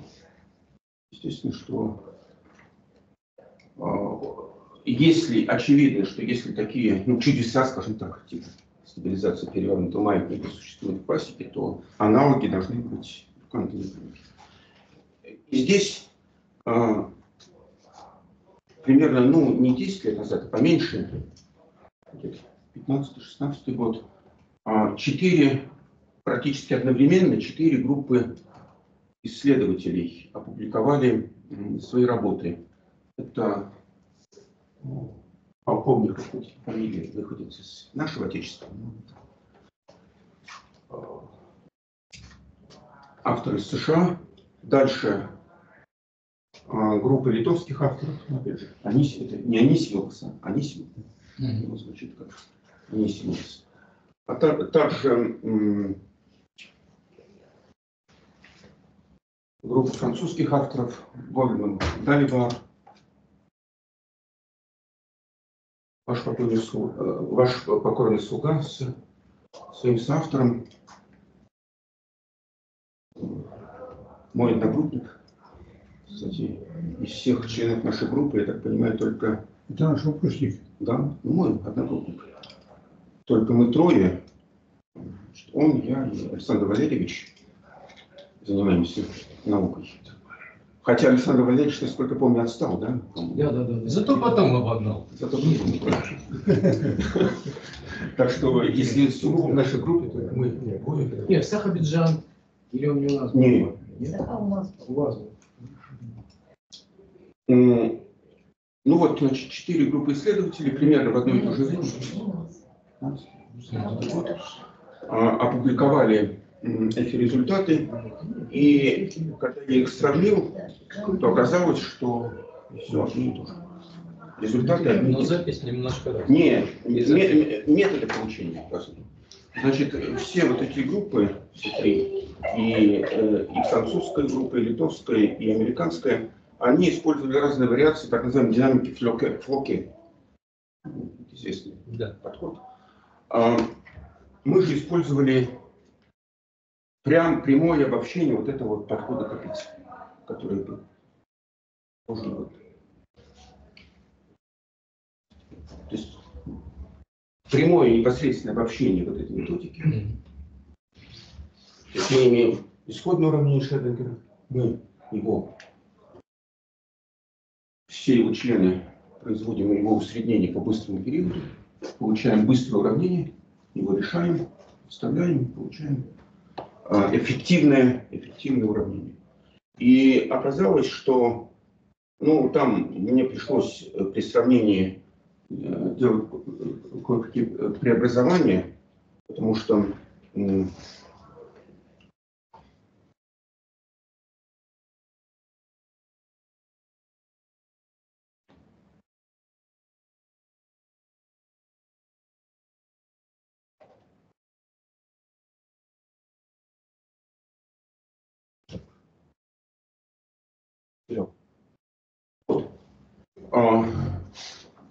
мне надо было сравнить результаты, полученные нами, с результатами, полученными остальными группами. Потому что, все, еще раз, все они использовали разные модификации динамики Филке. Мы использовали вот это непосредственное обобщение подхода Капицы на квантовый случай. Фо- э, и оказалось, что все совпадает один к одному. То есть э, методы совершенно разные подходы, а результат один и. Поэтому можно, можно сказать, что четыре группы авторов получили одни и те же результаты. И что же это за результаты? Значит, ну, э, опять же, точная волновая функция представляется как сумма медленной волновой функции и быстро, быстрой волновой функции. Причем, вообще говоря, э, да, μ это малый параметр, который э, представляет собой отношение характерной эне- энергии системы к, э, к h омега большой. То есть омега большой, напомню, это частота внешнего воздействия. Ну, вообще говоря, хотелось бы это сделать и до μ квадрат. Соответственно, мы имеем медленную волновую функцию и две быстрые волновые функции. А, ну, здесь надо было э, вопрос связанный с на- нумеровкой, аккуратно все сделать. Я думаю, сейчас это не время, чтобы это сейчас обсуждать. А, Да, и вот, как я сказал, э, первоначально исходное уравнение Шрёдингера было под- подвергнуто вот этой процедуре усреднения по быстрому периоду и далее по алгоритму. И вот получилось такое уравнение, причем здесь это уравнение только э, по э, с, э, членам первой степени по обратной внешней частоте. На мегабайт. Так получилось. Нет. Здесь оно вставлено. Ну почему? Потому что именно это приближение представляет собой наибольший интерес. Оно же намного больше, чем единица на мега квадрат. Напомню, а мега это большая величина, высокочастотное воздействие. Ну и что мы видим? Мы видим, что здесь член пропорционален коммутатору между амплитудами.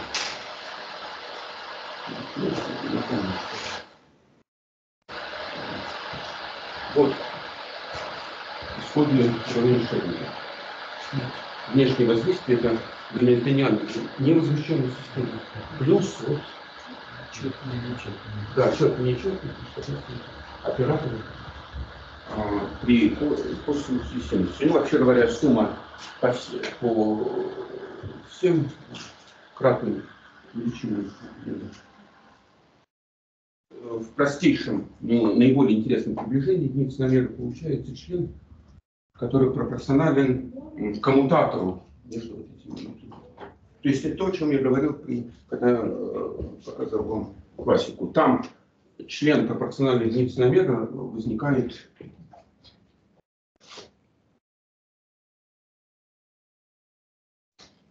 при очень специфических условиях, когда одна из амплитуд зависит от скорости, а другая но присутствует и также и другая амплитуда, допустим, четная и нечетная.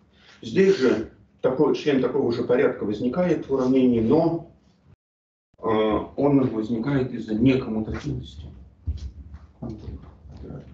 Еще раз хочу подчеркнуть, это э, то, что так, так, такое уравнение было получено практически одновременно э, групп, четыр, четырьмя группами исследователей, само по себе является очень сильной верификацией этой модели.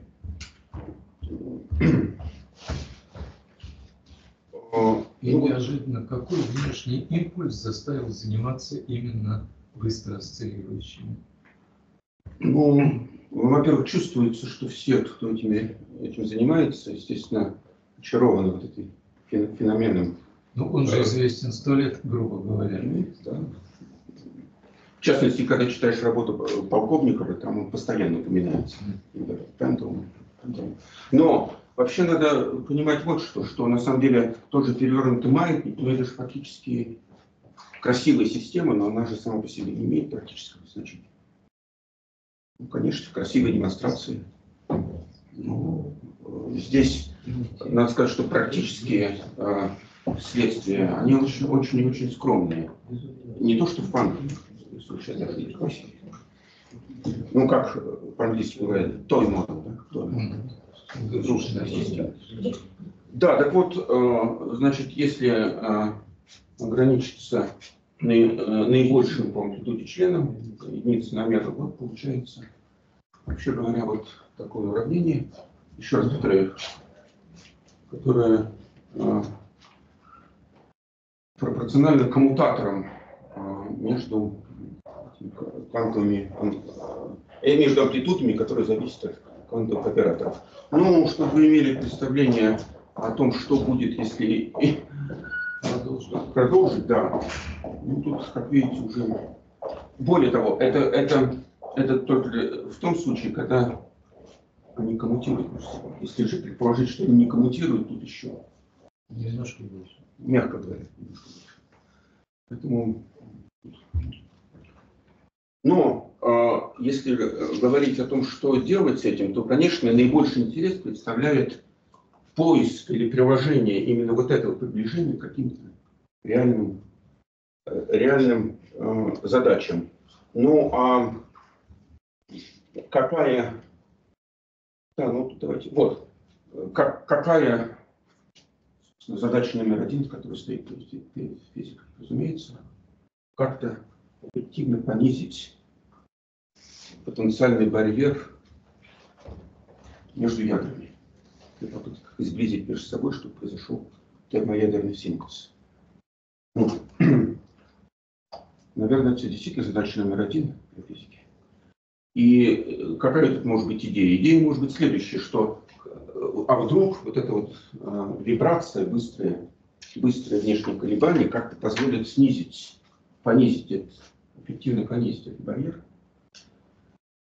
что может облегчить, облегчить а, вот этот процесс термоядерного синтеза. Ну, если подойти в лоб, в лоб, а, то есть в простейшем случае, то здесь, конечно, Наоборот. Э,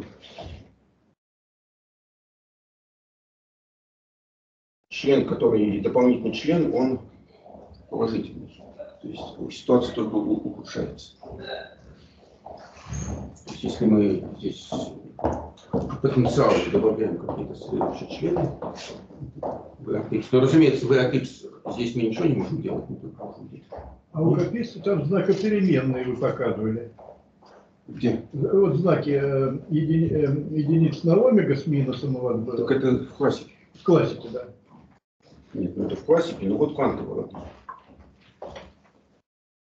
Понятно. Соответственно, э, если просто...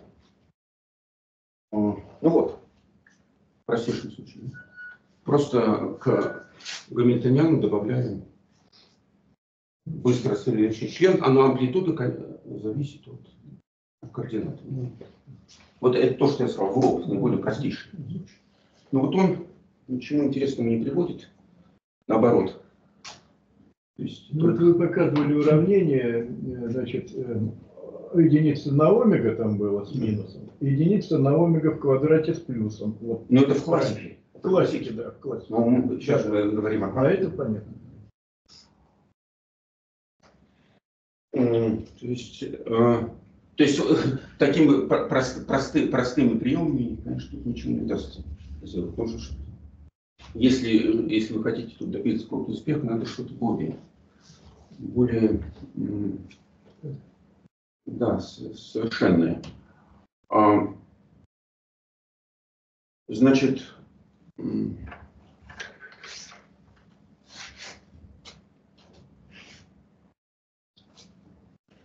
ну, тут, э, допустим, если попытаться взять четные по времени члены нечетные, и, допустим, пусть у нас амплитуда и синусе просто оператор импульса, а амплитуда при косинусе это некая функция координаты.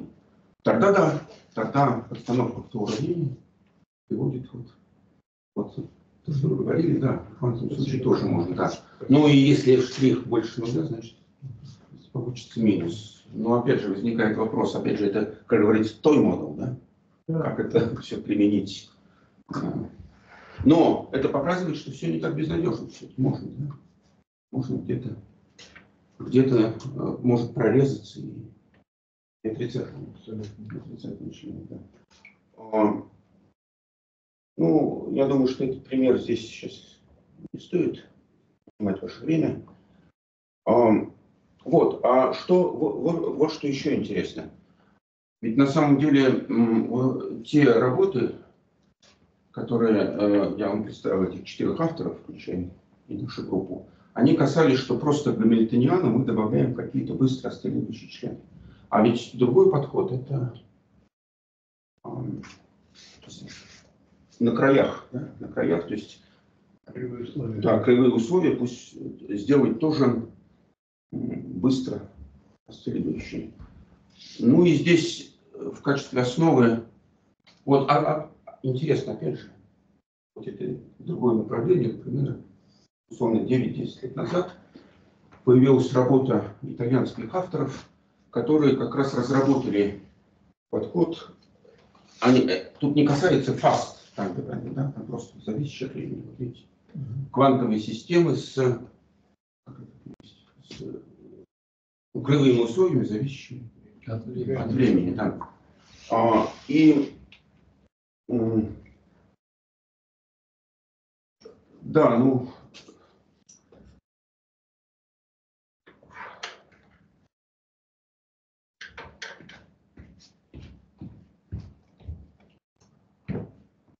тут смысл этой цитаты стоит в том, что в квантовом случае а, кривые условия, они более, более интегрированы в саму физическую сущность задачи, чем в той же классике. Да? В той же классике они как-то выглядят с точки зрения физики, может даже как внешне.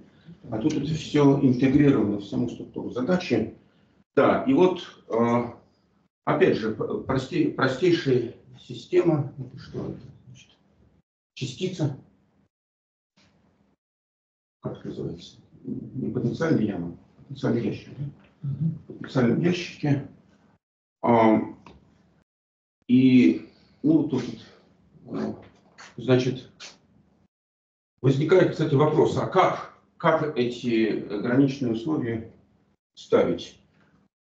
Ну, есть разные подходы. Можно просто потребовать, чтобы на границе ума исчезала. Это то, что называется а, граничные условия Дирихле. Можно потребовать, чтобы производные умные функции границе исчезали. Это называется граничные условия Неймана. А также есть обобщенные граничные условия а, Робина, которые как частные случаи включают в себя и то, и то. Это не зависит от параметра. И при разных значениях параметра получается либо Дирекли, либо Нейман, в общем случае нечто, нечто обобщенное среднее. А, и поскольку квантовой механики граничные условия интегрированы в саму структуру э, теории, то здесь э, выбор тех или иных граничных условий – это вещь нетривиальная и затрагивает саму структуру э, задачи. А, кстати, опять же, здесь же, здесь же речь идет об одномерной системе, а обобщение на большие размерности квантовой механики совершенно нетривиально, вносит новые ингредиенты, поскольку в этом случае, ну, если у нас одномерную систему нашли, точка, да? Правый конец, левый конец. А в случае, когда у нас а, размерность больше, чем один, в этом случае Гильбертово пространство границы имеет бесконечную размерность. Все, конечно, не так просто при переходе от этих а, одномерных игрушечных моделей к более реалистичным. Да, так вот, э, в чем же состоит а, идея а, Демартино и Фачи? Значит, ну вот, рассмотрим э, частицу в потенциальном ящике, уровень Шрёдингера. Но не просто система в потенциальном ящике, а еще и добавим сюда потенциал, да. И самые простейшие граничные условия на, на, наружу, да, просто волновая функция обращалась в ноль на, на границах. Но а, границы пусть осциллируют, причем осциллируют как ящик в целом, да, то есть вот середина осциллирует так и независимо осциллирует левые и правые границы. То есть мы тут имеем четыре амплитуды D1, D2, L1, L2. Так вот, в чем же состоит э, идея этих э, итальянских э, авторов? Она состоит в том, чтобы провести вот все это подвергнуть такому унитарному преобразованию, волновую функцию подвергнуть такому унитарному преобразованию. Ну, легко видеть, что он действительно унитарный, поскольку сопряженный оператор, если применить, вот, применить к этому, то мы придем к исходной функции. И тогда смотрите, что произойдет. Тогда произойдет, что зависимость от времени, от граничных условий перейдет в уравнение. Здесь у нас время в граничных условиях присутствует. А здесь граничные условия становятся стационарными, но зато зависимость от времени переходит в. Хочу подчеркнуть, что это не приближенная процедура, это точно процедура. То есть точно вот такая система с уровнем Шрёдингера плюс граничный срок, зависящий от, от времени, путем такого унитарного преобразования, эквивалентно вот такой системе, когда зависимость от времени переходит в, в само уравнение. Ограниченные условия становятся стационарными. Ну, тут обозначение, вот, как не коммутатор, а антикоммутатор. По вам. А, вот. Значит, да, кстати, в, в той же самой работе итальянских авторов очень остроумный и интересный пример приводится. Если это все применить а, вот, к такой, такому движению специальным ящиком, а что это такое? Движение с, с постоянным ускорением, да? то а, уровень Шрёдингера приобретет такой вид мнение простого. То есть, что действительно генерируется, что гравитационное, гравитационное поле. Но, значит, да. Ну и вот а, я применил это, этот подход итальянских авторов к, к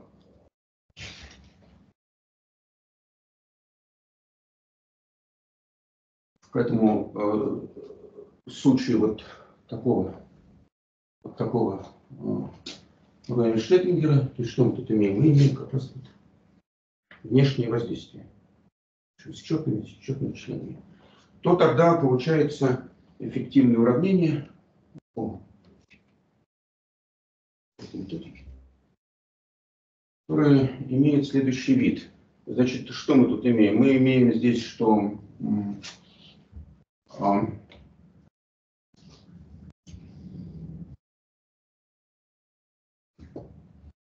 появляется дополнительный член, вообще говоря, со вторыми производными. Я хочу подчеркнуть, значит, L1, L2, D1, D2 это коэффициенты, коэффициенты при, ну, естественно, только первый порядок рассмотрим. Коэффициенты при водном. И да, но тут еще возникает вот это вот кинетическое мышление. Это что означает? Это означает, что эффективная масса немного подрастает больше. Становится немного больше, чем немного. То есть приводит к некому утяжелению частицы. Но интересно, конечно, нет эффекта представляет утяжеление массы. Что можно извлечь из этого? А, ну, здесь э, в работе, который, в, рабо, в работах, которые были опубликованы, я помню, где-то три работы опубликованы, тему там разные, а, разные случаи рассматривались. А, например, если рассмотреть, что а, коэффициенты d э, равны нулю, а коэффициенты m не равны нулю. То есть это что означает? Это означает, что потенциальный ящик остается на месте, но колеблется только границы.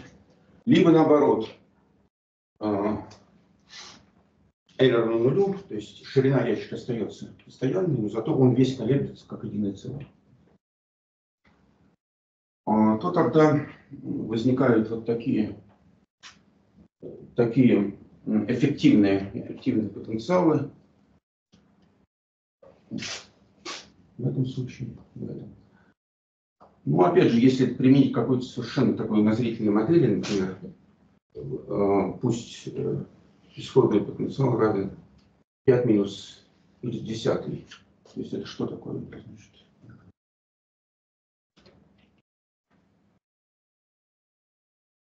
потенциальный барьер. Да? то а, при различных значениях амплитуд внешнего воздействия можно добиться того, что этот потенциальный барьер на самом деле превращается в такую функцию. меняет свое направление.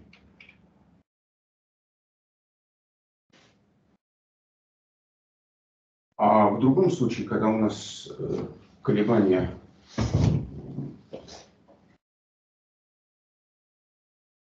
практически не помню, это и как единое целое или ширины.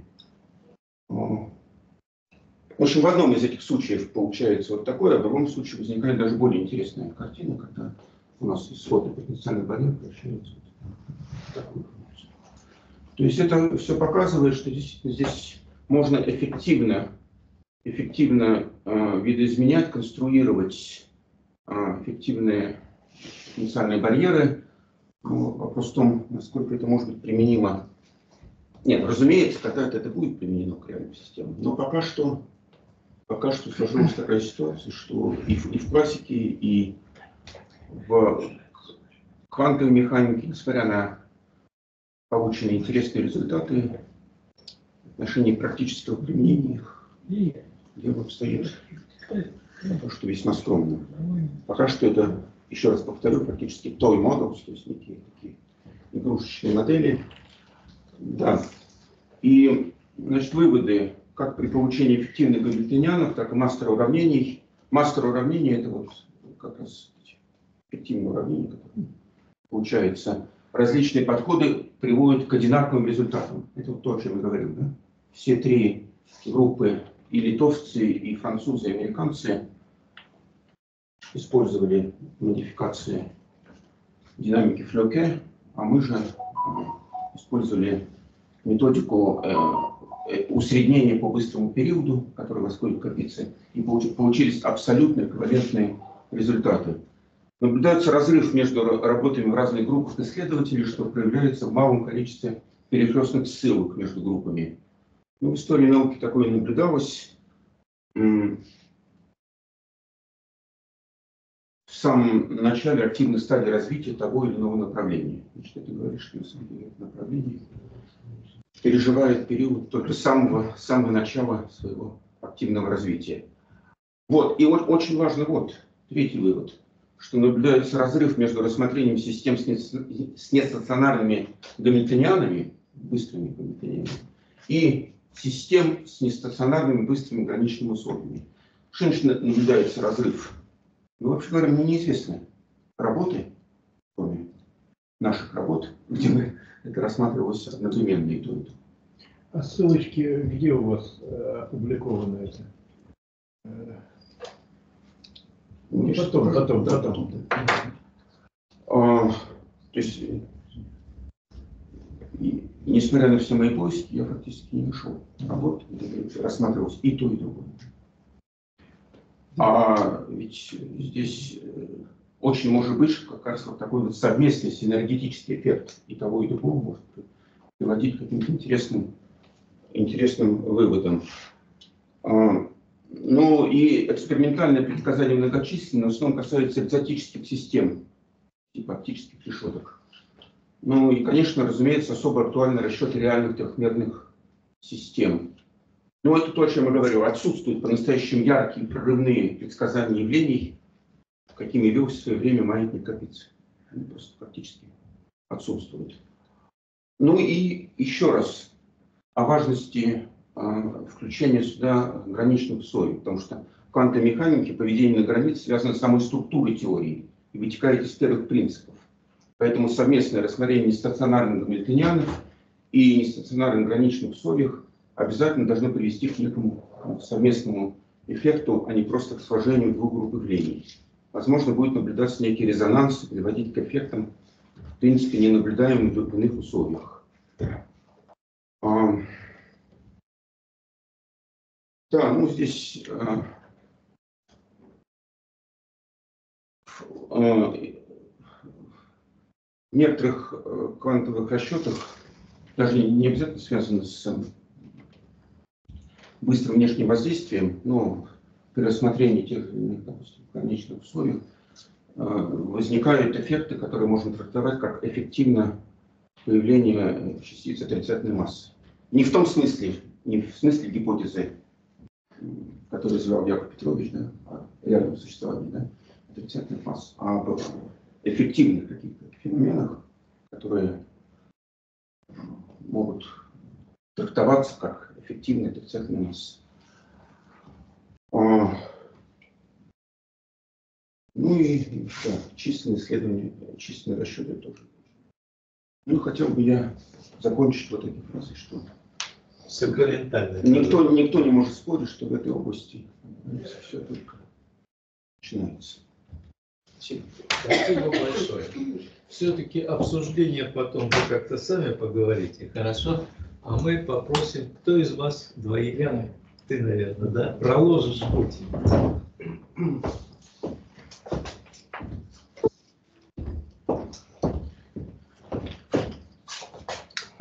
Коллеги, ну, мой рассказ скорее будет носить не научный, а мемориальный характер. Так это и хорошо. Наконец мы снова перейдем к Курочкину. Да. да. Вот. Э, э, значит, э, те статьи, о которых я буду говорить, написаны 40 и более лет назад, поэтому, ну, наверное, может быть, уровень там немножечко не такой, но идея, смею вас заверить, вполне современная и интересная. Эта история для меня лично началась где-то лет 45 назад, когда я слушал лекцию Николая Владимировича Самсоненко. Почему-то это был курс астрономии. Вот он как-то смело отбросил ее в сторону, очистил всю доску, нарисовал маленький квадратик на доске и написал «классическая механика». Вот классическая механика, так как она. Ну, вот если мы маленькие размеры возьмем, вот микромир, и нарисовал рядом еще один квадратик, написал «квантовая механика». Ну, а если у нас будет очень большие скорости, то у нас будет релятивистская классическая, релятивистская квантовая механика. Нарисовал еще два квадратика. Но не остановился на этом. Но на этом не остановился. Говорит, а если будет много степеней свободы, то у нас возникнет классическая статистическая и квантовая статистическая механика. Вот. А если они еще будут релятивистскими, то у нас возникнет классическая релятивистская статистическая механика и квантовая статистическая релятивистская механика.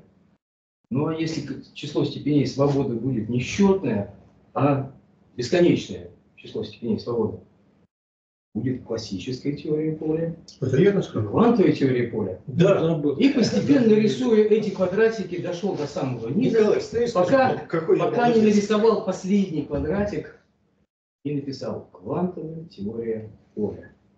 Такое основа мироздания, из которого, значит, вот все там упрощается и вытекает вся наука, вся физика.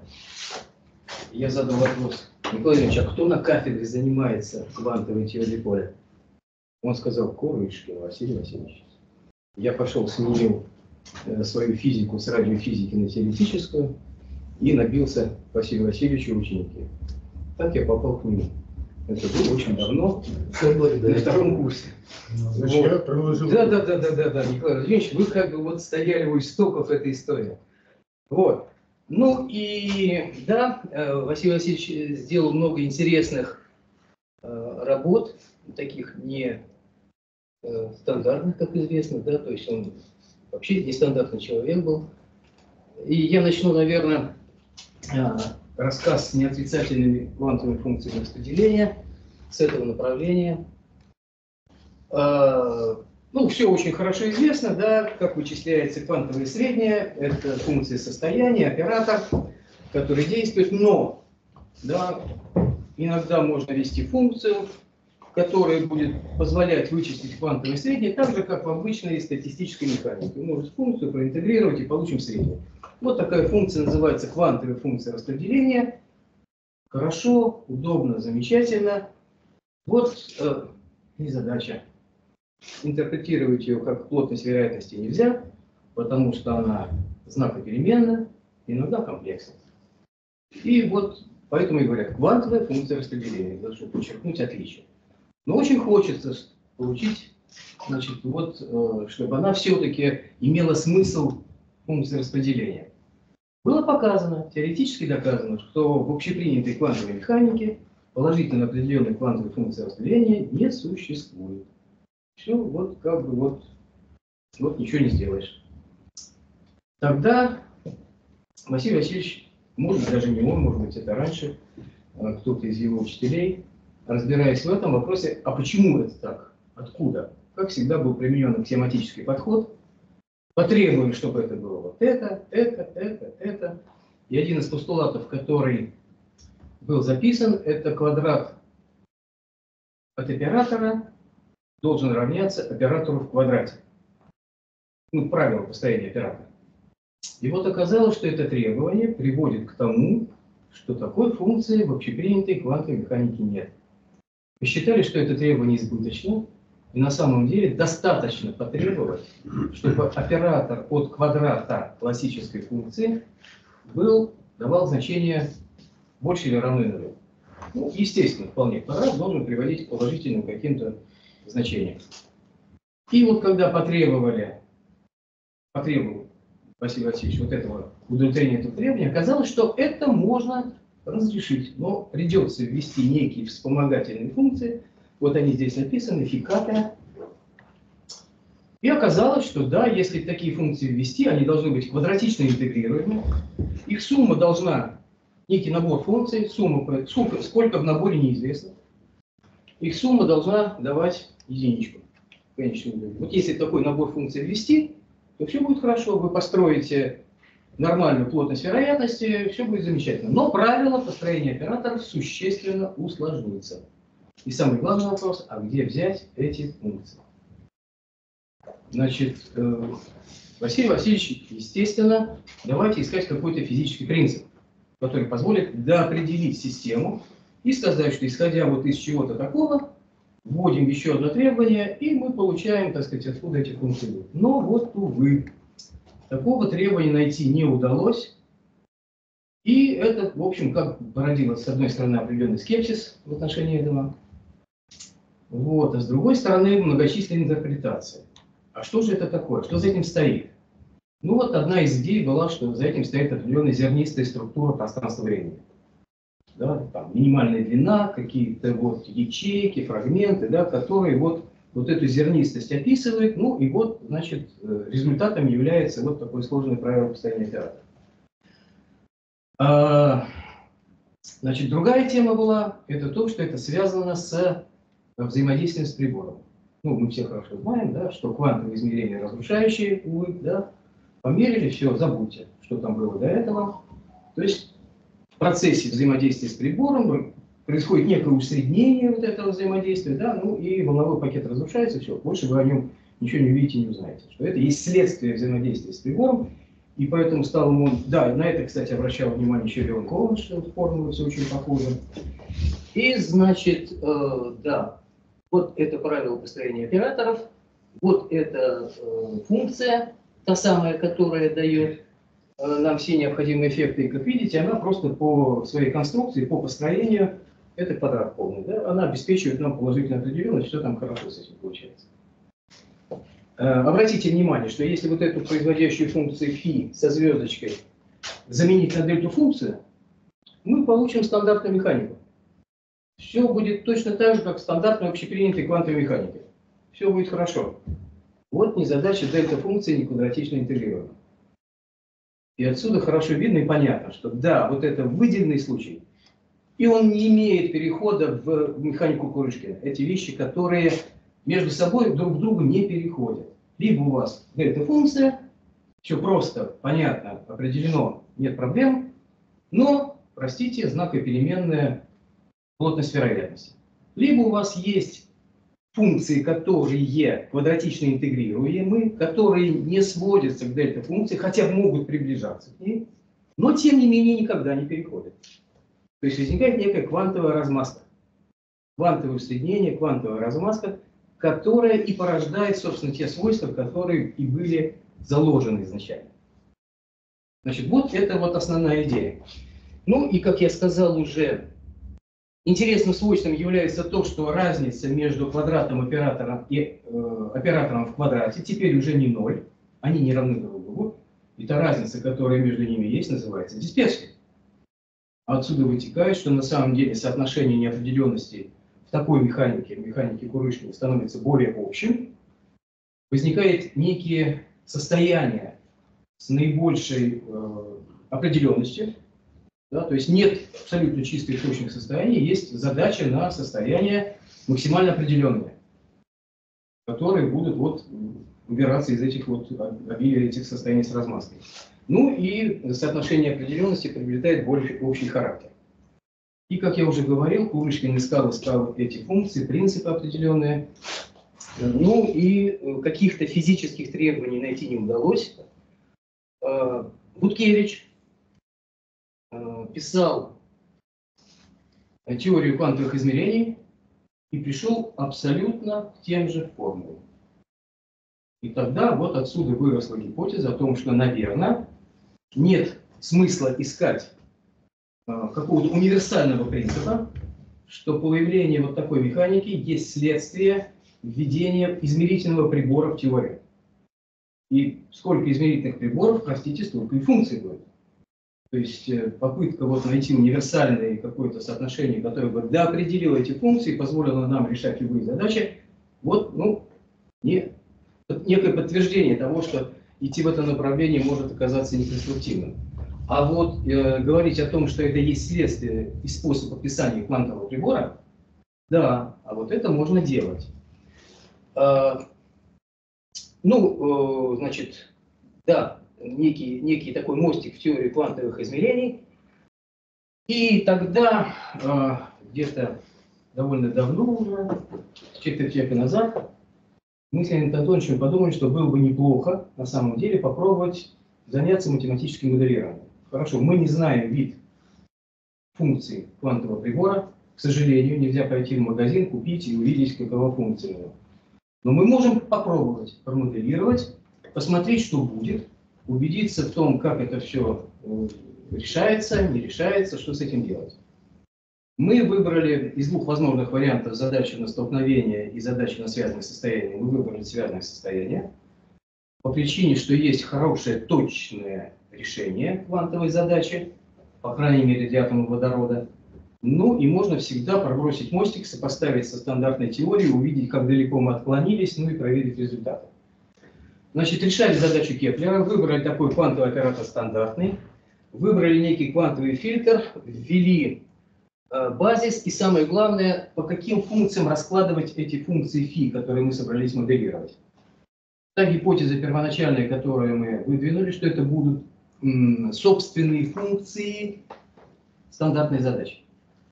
То есть раскладывать вот эти дополнительные функции фи, представлять их в виде разложения по собственным функциям стандартной задачи Кеплера. Впоследствии оказалось, что не совсем подходящий вариант. Мы убедились в том, что это не догма. Достаточно удачно выбрать базис. Ну, это хорошо известно для математиков, тех людей, для людей, которые занимаются математическими вычислениями. Удачный выбор базиса зачастую очень сильно приближает к решению задачи. А, вы, вы были, были выбраны штурмовские функции, по которым раскладывали. Если вот. можно, я комментарий. Подсказал Виницкий. Да, Виницкий, да, тогда помог нам в этом. Кто пришел? Сергей Ильич Виницкий. А. Ну, вот так записываются в явном виде операторы. А дальше оказалось следующее, что можно э, провести, э, преобразовать функции, и можно использовать методы численного интегрирования для получения вот этих парциальных планов. Ну, мы изучили сходимость, значит, убедились в том, что поскольку там есть правило, что все коэффициенты, сумма всех квадратов всех коэффициентов должна равняться единице, то ясно, что чем больше мы берем этих функций, тем меньше их парциальный план. Да, то есть э, ясно, что если функции, так сказать, убывают, ну, как бы там сходимость была доказана. Ну и вот первые несколько э, подправленных, скажем так, э, операторов, которые появились в результате численного интегрирования, применения методов численного интегрирования. Конечно же, во времена Курочкина такого не было. А удачный выбор базиса и проведение численного интегрирования позволил существенно... Аналитические вычисления. А, аналитические, хорошо, давайте, аналитические, не численные, да, вру аналитическое вычисление позволило существенно сократить количество интегралов. То есть какие-то части интегралов была просто взята в аналитическом виде, и алгоритм, который э, у нас очень удачно воспроизводил Николай Павлович, позволил, вообще говоря, ну, записать, ну вот хотите 5, ну давайте 5, хотите 10, давайте сделаем 10. Ну, если есть ресурсы для решения больших матричных задач, пожалуйста, можем делать столько, сколько считаем нужным. Оператор Гамильтона был выбран с пятью функциями. Пять – это условное количество, можно взять и больше, это просто вопрос вычислительных ресурсов.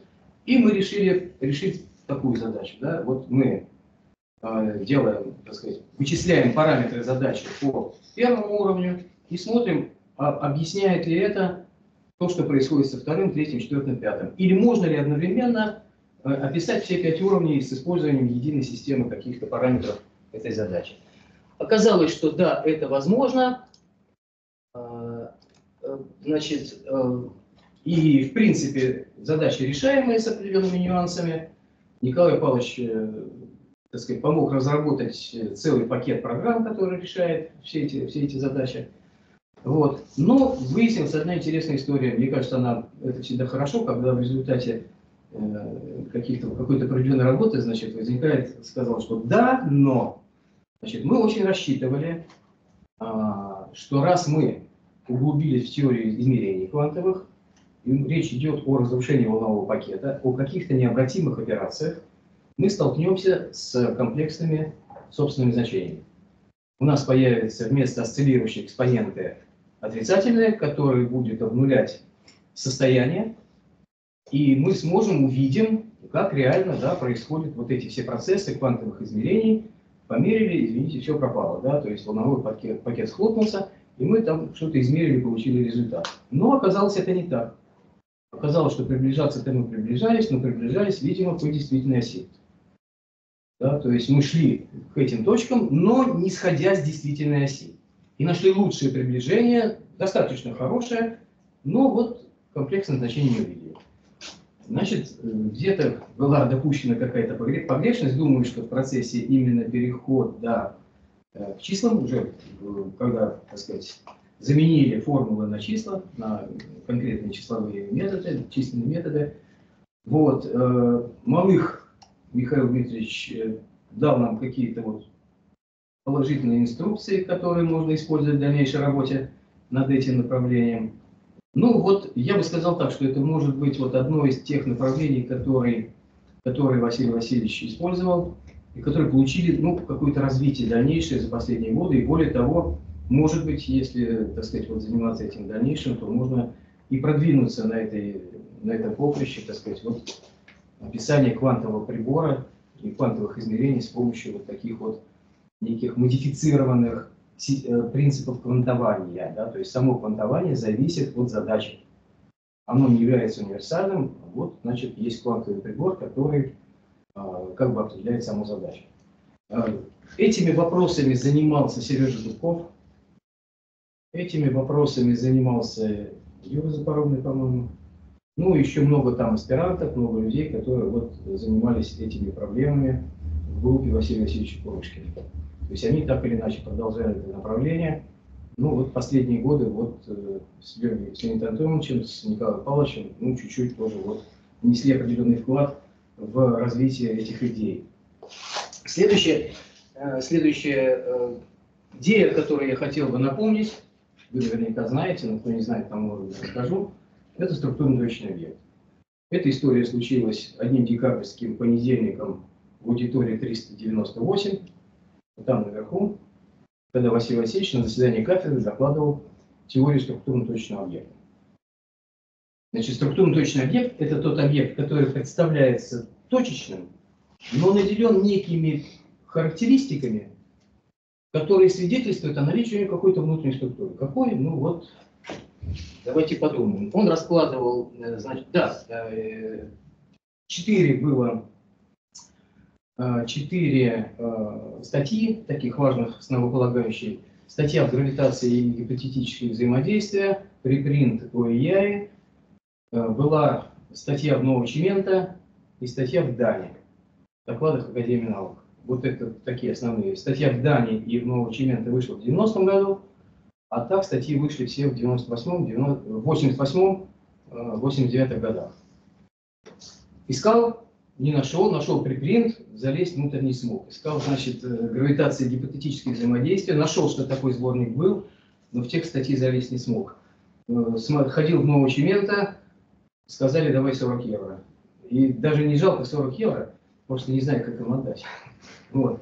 Ну вот залез в Дан, и в Дане нашел э, некое изложение, четыре странички всего лишь э, всей этой вещи. Я искал просто полные формулы, потому что то, что у меня было, это были какие-то частные случаи этой модели. Мне очень хотелось все-таки воспроизвести полные формулы, которые тогда Василий Васильевич представлял нам. А, значит, что важно, да, что Следующие, обсуждали, следующие характеристики. Есть масса, заряд, геомагнитный фактор, характеристическая длина некая, которая характеризует этот объект, характеристическая частота. Значит, вот предполагается, что наряду с постоянными, э, которые присущи частице, есть физические характеристики. Спин, дипольный момент D, собственный момент, орбитальный момент, полный момент, ну и соответствующие, э, вытекающие отсюда вещи. И в качестве независимых перемен, переменных может быть выбрано некое множество, их 15, ну, 3, 5 векторов по 3 координаты, и для них записывается система уравнений. Эта система уравнений позволяет выразить все величины только через себя, больше ничего не привлекая. Да, вот такая замкнутая модель получается. Ну, первое уравнение всем известно, второе, вот первые три члена тоже всем понятно, а вот дальше начинается уже некие, ну, после четвертого члена начинаются некие дополнения, а, значит, и вот, э, значит, полная система уравнений, которая есть, это система уравнений для пяти физических величин. Последнее уравнение – это уравнение для спина. Сам спин – это 3А, последняя формула. Это есть комбинация из собственного механического момента и, значит, скорость изменения дипольного момента и сам дипольный момент. То есть это некая такая комбинация извлечений. Не собственный момент, не дипольный, не скорость его измерения, а некая вот комбинация из них. Посмотрите на формулу 2D, это очень просто. Значит, квадрат спина, квадрат спина сохраняется, просто умножили там на s и увидели, что значит, будет ноль, тождественный ноль. Квадрат спина всегда сохраняется. Третья проекция спины в однородном поле. Пожалуйста, смотрите, всегда сохраняется ноль проекции. два основоположных, основополагающих свойства спина, о которых мы хорошо знаем, они здесь просто вот в. Из последнего уравнения просто вытекают. Значит, ну вот э, остальные величины здесь записаны. Есть связи, которые там устанавливаются. И, в общем, такая целая, целая теория. Э, надо сказать, что значит, этот доклад произвел шокирующее впечатление. Особенно на студентов, аспирантов. Не знаю, знаю ли преподаватели о том, что существуют классические модели спина. Может быть и нет. Я вот до сих пор не убежден, что они есть. Но мы все, прослушав лекции, преподаватели кафедры теоретической физики были убеждены, что спин – это неописываемая классическая двузначность, которая возникает при квантовании, что это исключительно квантовый эффект, будете квантовать, получите спин. Да, значит, все. Классики спина нет. И вдруг, значит, выходит Василий Васильевич и говорит, вот, смотрите, вот вам спин. Можете посчитать? Значит, ну, мы там бросили что-то считать, писали какие-то уравнения в однородных полях, так, чтобы убрать все градиенты, все, так сказать, производные, там, упростить себе. Оказалось, что в случае вот нейтральной частицы, я даже с каким-то своим студентом, который был там, значит, да, берем однородные поля, берем нейтральную частицу, смотрим, значит, летит она по кеплеровой траектории в гравитационном поле, и при этом испытывает какие-то там, значит, прецессии, да, которые вот в этом направлении, в этом направлении, там сдвиги и так далее. Да.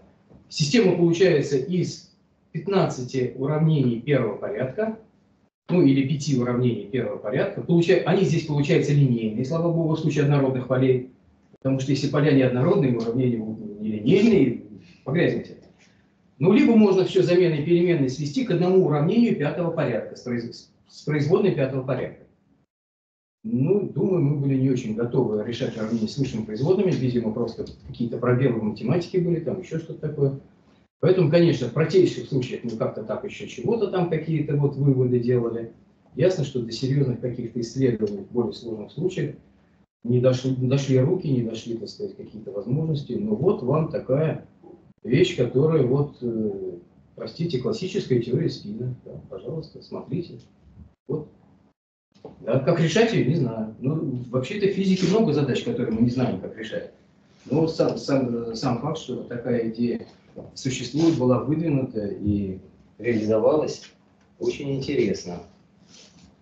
Ну и а, переходя к последней сущности, хочу сказать о том, что... А, Извините, комментарий. Это он рассказывает только то, чем он сам занимался. Не-не, не только. Мы со Светланой договорились. Значит, э, мы договорились, что я расскажу, чем еще она занималась. Правда, придется на пальцах. Еще одно было очень одно интересное направление, которое называется миоалгебра или промежуточной квантовой статистики. Мы все привыкли к тому, что у нас есть статистика фермионов с числами заполнения 0 и 1, есть статистика бозонов, там постулят бесконечности. А вот Василий Васильевич поставил такой вопрос, а может ли быть промежуточная статистика, где не 0 и 1, а 0, 1, 2, и все. Не бесконечность, а вот 0, 1, 2. Или там 0, 1, 2, 3. И все. А вот 4 не может быть. Ну, представьте себе, у вас есть бензольное кольцо, бензольное кольцо, 6 атомов.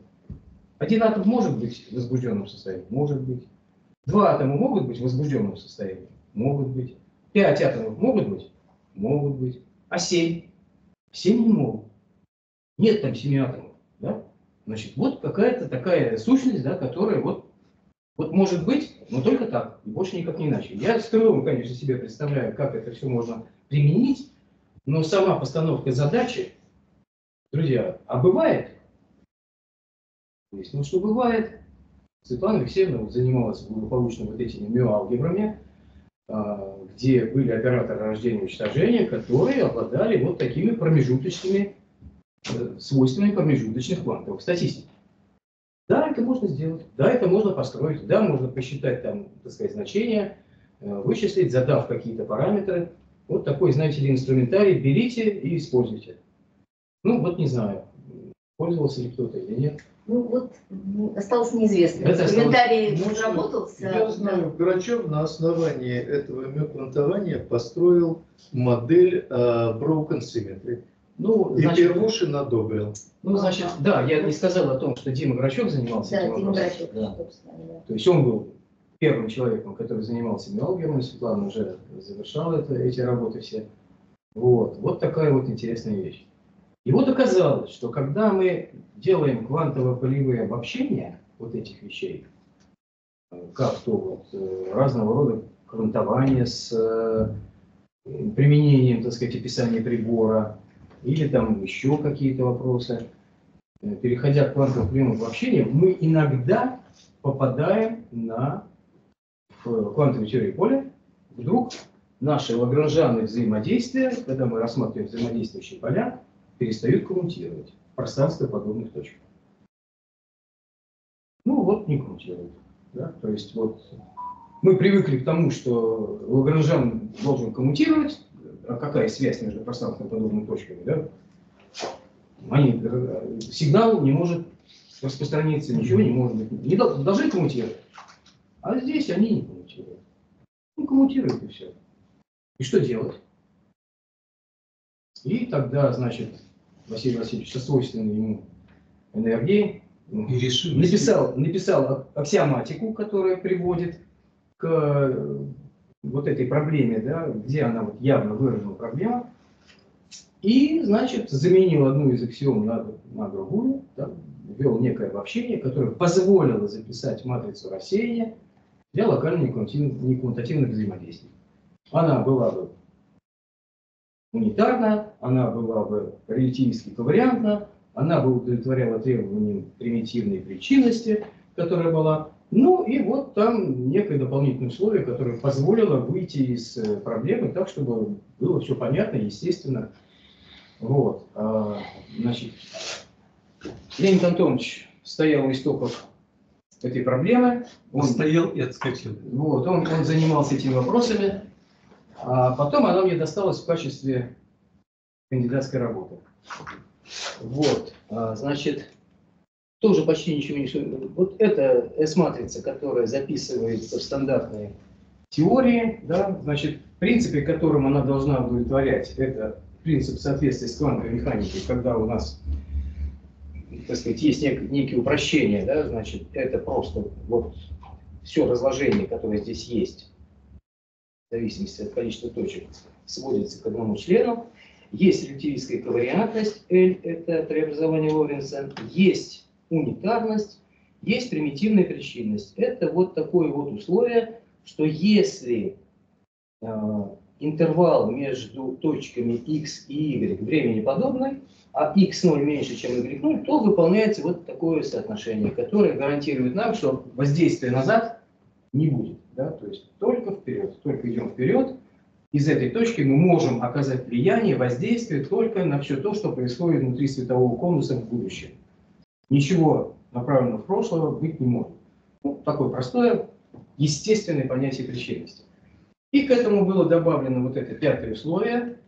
Оно называлось э, требование эволюционной симметрии, о том, что если у вас значит, вот э, есть набор пространственно разделенных точек, то тогда вот это вот а конструкция должна быть симметричной. Оказалось, что этих условий достаточно для того, чтобы в, теории, что в методе последнего приближения, вообще говоря, построить каким-то образом эту матрицу рассеяния, так, чтобы она ну, была приемлема каким-то образом. Значит, э, Тогда мы ввели некое тау-упорядочение, да, то есть тау-упорядочение точек. Выяснилось, что задача сводится к некой логической задаче, э, в какой последовательности расставить Лагранжаны, так, чтобы всему удовлетворять. Значит, вот эта функция, которая расставляла Лагранжаны, вот эта вот функция тау, э, она удовлетворяет определенной системе требований, да, и оказалось, что ее, эту систему можно решить. И вот эту задачу, эта задача была решена. И, значит, э, вот э, как это примерно выглядит. Значит, да, если у нас есть обычная локальная коммутативная теория, у нас есть ступенчатая функция Хевисайда, в качестве вот этой функции тау используется функция Хевисайда.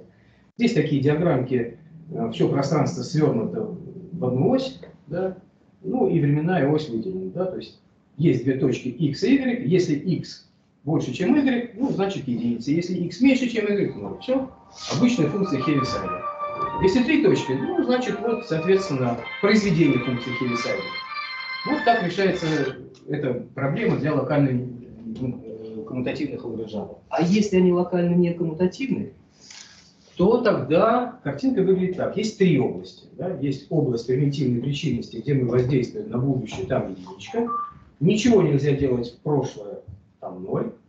А область, область пространства подобных точек, да, это на самом деле световой конус, да, вот все, что за рамками светового конуса, там, э, значит, L1, L2 плюс L2, L1 пополам, антикоммутатор, да.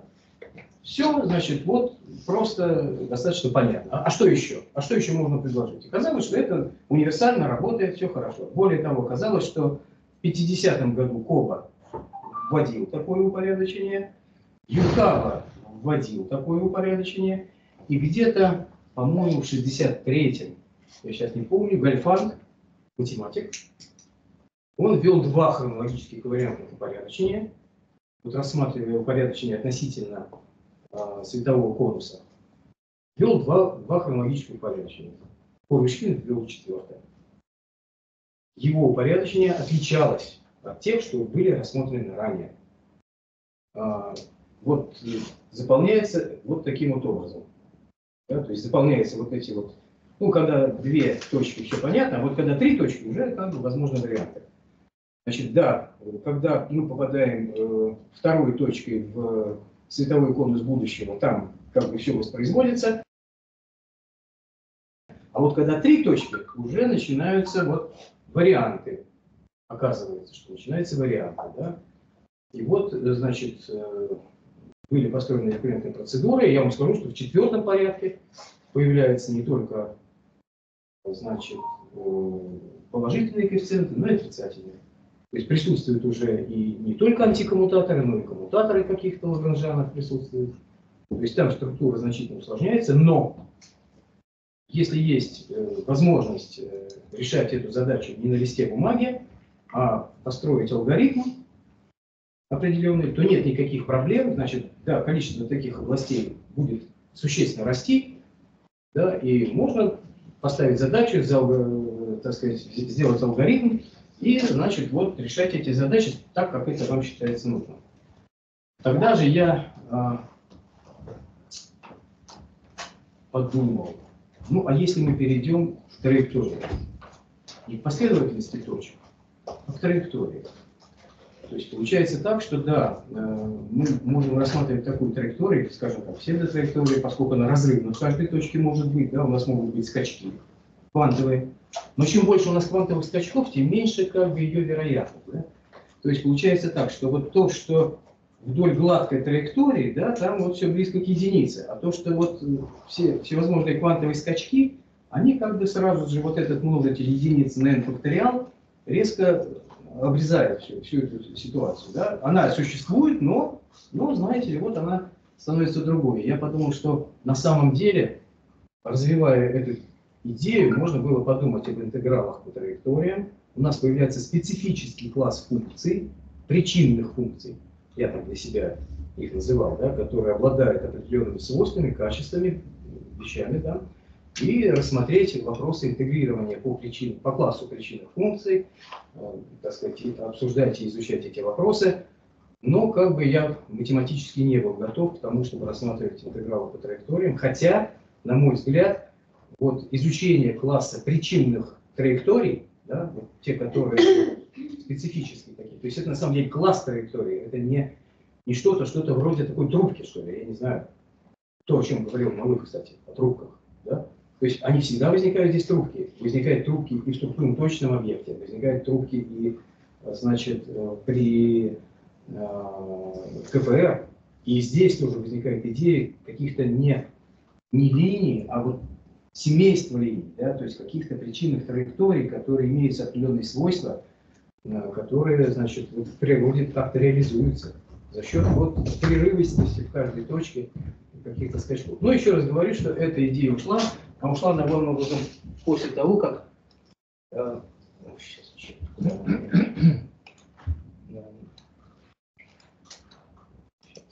верну назад. А, Значит, э, меня Василий Васильевич попросил написать э, вот это условие эволюционной симметрии в дифференциальной форме. Чтобы как-то вот все написано в дифференциальной форме через S от G, а здесь как-то вот оно вот... Напиши. Я что-то покрутил, повертел, это уже был самый конец диссертационного исследования, аспирантура уже как бы заканчивалась, но написал. Значит, оказалось, что оно выглядит примерно вот так. Вот, вот такой же множитель э, с G1, G2, две области. G1, я говорю, это область первая, да, а G2 область вторая. И эти области, они разделены пространственно-подобным интервалом. Вот есть у меня вариационные производные в пространственно-подобных интервалах, то вот если интегри... дифференцировать в разном порядке, они должны как бы давать в целом ноль. Да, вот эти две вариационные производные. Вот эта вот э, конструкция, э, которая здесь в скобках с вариационной производной, называется обобщенной силой. Она имеет размерность силы и называется обобщенной силой. И я понял, что это требование называется третьим законом Ньютона. Меня это как-то как немного, немного то ли удивило, то ли испугало. Я, конечно, написал статью об этом куда-то, понятно, что, чтобы там она где-то была. Но вот как бы даже, даже на защите об этом не заявлял. Да? Потому что ну, защита это не то место, где нужно сотрясать основы мироздания. Да? Ну, получили, получили формулы, формулы. Да. О том, что это имеет смысл третьего закона Ньютона, мысль это постоянно сверлила меня, то ли чушь какая-то, то ли глупость, то ли это, простите, сильные взаимодействия, то ли это пружинки в кварках, так уже потом заглядывая на это, да, когда у вас пружинки в кварках, да, которые не дают им разойтись, и чем больше они удаляются, тем быстрее они сближаются, а может быть это вот что-то из этой области? Не знаю. Вопрос остался нерешенным. Как это интерпретировать, что с этим можно сделать? Значит, но вот какой-то такой вот проброс в эту сторону явно был. То есть, если у вас случается так, что вы признаете сверхсветовые взаимодействия, и у вас какая-то частица летит быстрее скорости света и куда-то что-то сообщает, то что мешает этой частице точно так же сверх скорости света вернуться и сообщить ту же информацию назад? И требование состоит в том, что информация, отправленная в одну сторону, должна равняться информации, отправленной в другую. Ну уж если вы признаете сверхсветовой характер. Да? Если у вас локальный вот эти лажа, ну извините, сделайте так, чтобы обмен информацией был вот устроен определенным образом. Вот. Ну вот э, такие странные какие-то выводы, странные дела. И, наверное, по этой причине, ну, может быть, мы как-то вот и не двигаемся никуда. Если честно, я так не нашел для себя пояснений вот этой всей области. Ну, а вообще, так обобщая, э, я хочу сказать, что Василий Васильевич – это человек, который видел то, где десятки исследователей прошли мимо и не заглянули. Есть какой-то вот угол такой плохо освещенный, прошли мимо, быстрее к цели, быстрее там получить Z-бозон, там все.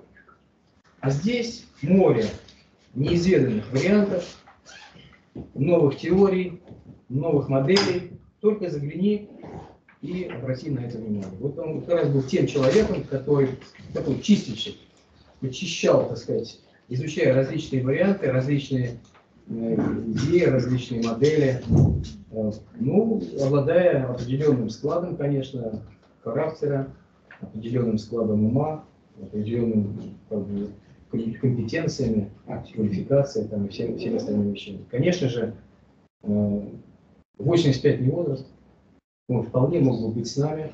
И, конечно, это большая-большая трагедия для нас со Светланой. Ну, я про Татьяну не говорю, вот, а для нас, да, ну, так случилось, что мы фактически вот ушли из этой области науки, хотя она, конечно же, очень нравится. Я иногда пытаюсь вернуться, там что-то что-то там сделать, да, вот. А вообще, конечно, много интересных вещей, которые остались не доработанными, недоведенными, недоисследованными. Вот. На современном уровне, безусловно, мы там были где-то, может быть, э, еще там наивны, просты. Сейчас как бы наука ушла дальше, и проработанность гораздо больше, да и даже вычислительные методы уже совсем другие. Так что, конечно, конечно, да, если бы нам удалось сподвигнуть студентов, аспирантов на то, чтобы вот включиться и вспомнить об этих идеях, которые, парадоксальных идеях, таких неожиданных, которые, в принципе, были высказаны, я думаю, что это было бы интересно. Самое главное, это сильно упорядочивает мозги, потому что ты начинаешь понимать аксиоматику, начинаешь понимать, почему это так. Не просто, что это так, а ты начинаешь понимать, почему это так устроено. Почему у нас нет, э, так сказать, не отрицательной КФР, а вот потому что потребовали избыточные вещи, да? чтобы квадрат оператора был равен оператору от квадрата. Все. И получили, что, извините, вот только так, и никак не иначе.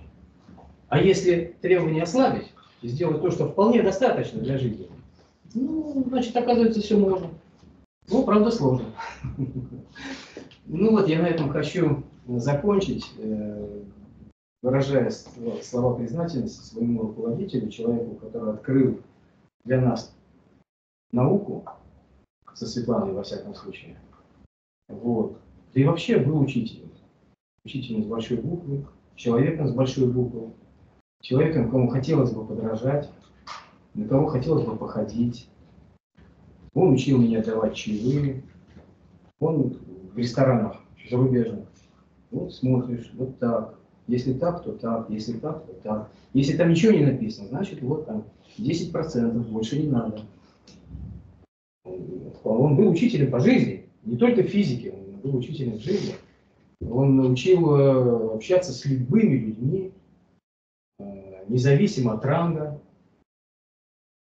Я вспоминаю, как однажды я сидел, писал какую-то статью в Новом Челенко как раз, в гостинице в Дуне. Звонок. Пойдем поужинаем. Я говорю, куда, Васильевич? Дом ученых. Ну, все знают, где дом ученых. Да. Скажи, что это нет. Я прихожу, стоит толпа людей. Это ресторан. В рестораны в Советском Союзе было попасть тяжело. Стоят люди, пытаются прорваться. Там такая чопорная девушка, которая это самое. Я от Василия Васильевича. А, ну давай, проходи. Значит, стоило сказать, что от Василия Васильевича, значит, все двери открывались. Задымленное помещение, забитые столики, сидят люди. Прохожу, сажусь рядом. Говорит, вот это Порошенков, вот это Кадышевский, вот это тот, вот это, это тот. У меня просто, значит, вылезли глаза, потому что я фамилии эти слышал и видел только на э, статьях журналов, и на, на статьях и на, на, на журнальных страницах, а вот они здесь все сидят. И я говорю, о, а вот этот парень был со мной на летней школе, аспирант. Ну, аспиранты тогда ездили в разные школы, там где-то чего-то там докладывали, свои доклады. Он говорит, а что ты здесь сидишь? Встал, подошел, напомнил о себе, ты что думаешь, я вечно буду тебя за руку водить? Иди и поддерживай контакты. Вот так меня учил учитель. Понимаете, это не просто научный руководитель, это учитель. Да? Это тот человек, который там первый после Бога. Ну ладно, я, наверное, закончу на этом. Да, я, Саша, тут поддержу. Единственное, э, мы себя называли какими-то детьми Курышкина. Хотя, потому что мы были самые младшие из э, аспирантов. Грачев, да. Нет, мы были самые младшие вот из аспирантов. Света девятая, я десятая. Мы с Сашей, ну, так сказать, последний, да. Саша последним защищался, я предпоследним. На неделю. На неделю, на неделю как бы разница. И э, для меня попадание вот э, в ауру Василия Васильевича, это было, я просто попала в понедельник, начинается в субботу. Просто ничего, и не надо ждать понедельника, это ужас, надо скорее так сказать, вот что-то делать, работать, сидеть там, что-то придумывать. А, это было, конечно, счастье какое-то вот такое. Да. Э, это счастье, к сожалению, вот так оборвалось и кончилось. Но это было счастье, прям период такой, прям отличный. Все, спасибо. Если позволите, мы Татьяну Дмитриевну послушаем, посмотрим. Ой. Ну, я принесла семейные фотографии. А, они, конечно, тут будет все это далеко будет от вашей научной Александр деятельности, серьезных образование. рассуждений, размышлений и формул. Просто домашние семейные фотографии. Нам будет Я очень немножко приятно. расскажу, Нам да. будет очень приятно. Они на бумаге, да, сейчас сейчас Нет, посмотрим. нет, да, да, да. Сейчас на флешке. Да, да, да, да. Выступление делает. А? Все нормально, все Да, да, хорошо. да, сейчас всё. Я уже все пробовала. А, ты пробовал? Ты знаешь, что у нас там? Да.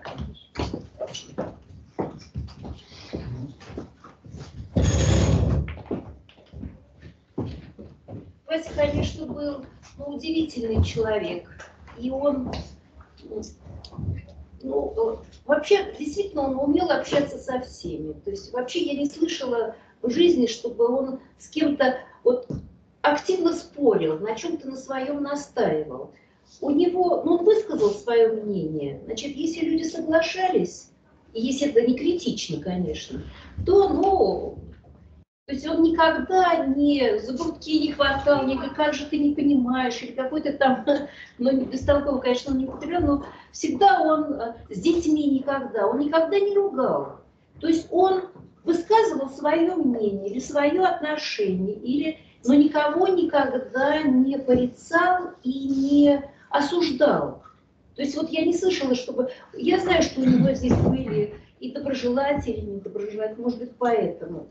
Но он никогда не говорил ни о ком ни одного плохого слова. Никогда, ни о ком. Хотя вот, да, там кто-то любил, кто-то не любил. То есть вообще удивительно э, коммуникабельный человек был. Его к нему все, ну, вообще-то вот ну, практически все хорошо к нему относились. И он был, конечно, очень интересный человек.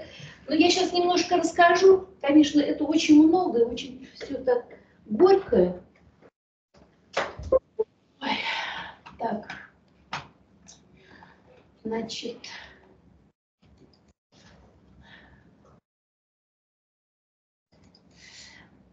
Так.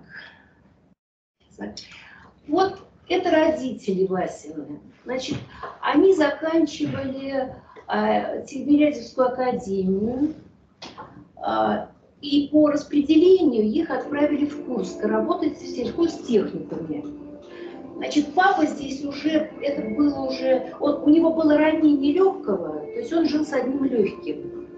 И он рано умер. То есть он умер, Вася еще не поступил в университет, вот, я, уже я его не застала, не видела.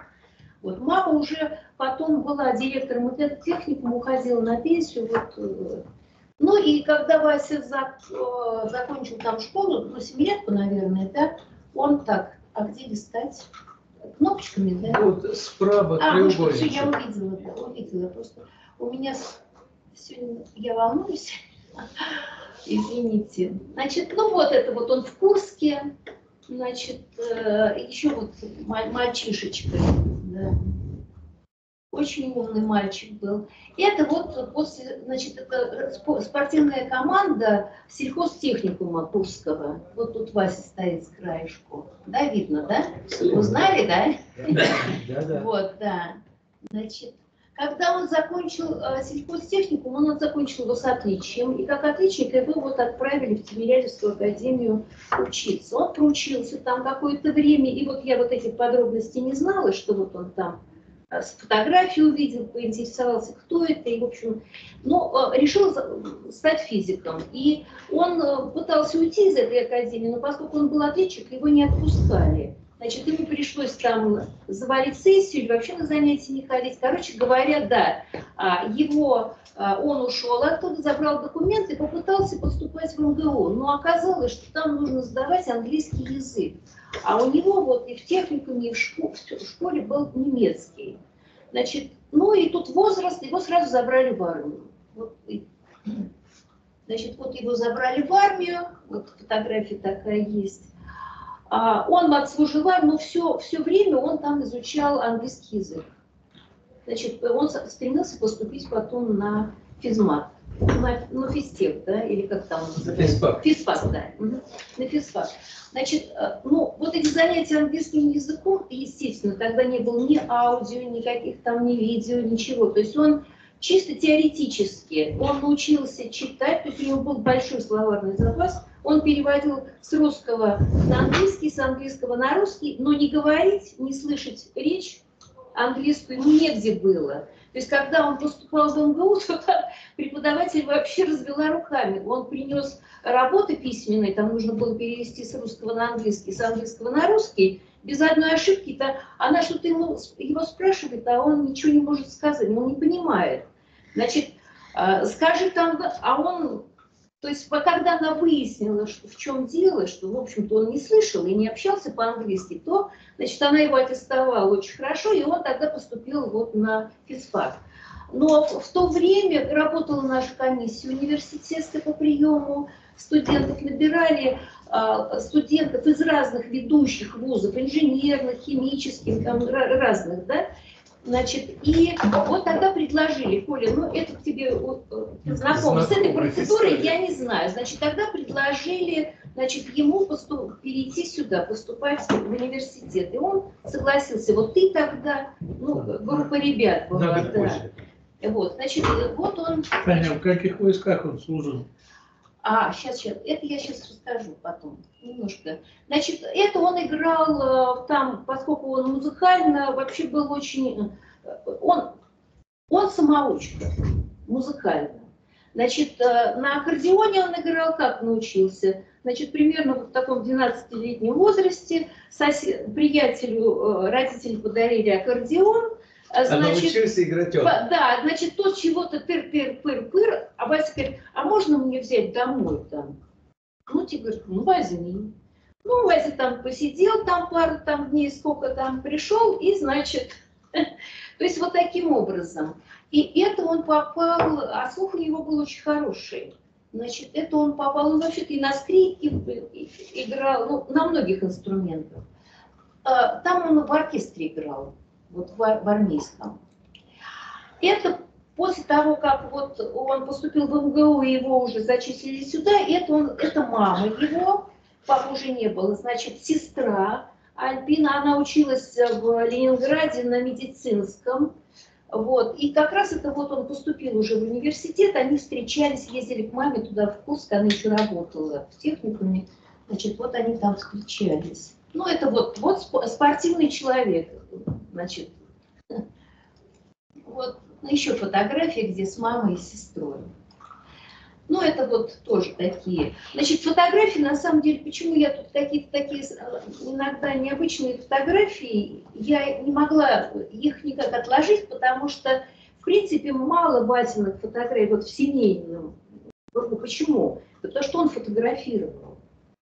Я еще всем своим потом друзьям говорила, вы, вы когда вы там фотографируете друг друга, на память не останется. То есть получается, что фотографировал у нас либо Вася фотографировал, либо мой папа. И, значит, либо... И потом вот, ну, вот такая вещь, да. То есть поэтому я сюда включила фотографии, какие у нас... Это под факт. Это Аникин Виталий. Узнаете? Это Вася. Вот Если бы не сказала, это... не узнали бы. Не узнали бы, да. Ну, это Виталик, вот Виталик, да, Никин Виталик, и это э, Вася на 42-м квартале, это на, на лыжах, наверное, или прогулка там. И это после подфака они куда-то ездили отдыхать, я не знаю, возили в университет. Не, не Макапсе это. Ну, это Макапсе. Нет, нет, это не Макапсе. Вот просто вот спорт, да, вот, пожалуйста, да. Так армия сделала. Вот, пожалуйста, подожди. А? В армии. В, в, в, в обычной армии он служил. Ну, в какой пехоте? Че? Он, он был диверсантом. Нет, это... Я смотрю, нет, я с ним нет. просто так задал нет, вопрос. Он... А, а, нет, ну он служил... Не воздушно-десантный? А? Не воздух? Воздушно-десантный. Ну, да, вот я это да, но, Спецназ у него, да. Это, да. Вот это просто, значит, кадры такие. Это вот э, чем занимались подфаковские. Значит, ходили, играли в пинг-понг, это в нескучный сад или в парк культуры. В общем, э, спортом в шахматы, там, знаете, помните, там многостоловая, да, да, да. ну, вот это досуг на гитаре. Значит, это что за фотография? Значит, здесь Вася и Виталий Аникин. Значит, чем они занимаются? Значит, ну, ребята на подфаке, с девушками нужно в кино сходить, мороженое нужно купить. Денег нет. Значит, они пытались подрабатывать. В то время же сложно было. Это не то, что сейчас пошел там официантом или там машину помыть, и тебе денежку. Значит, найти вот такую подработку сложно.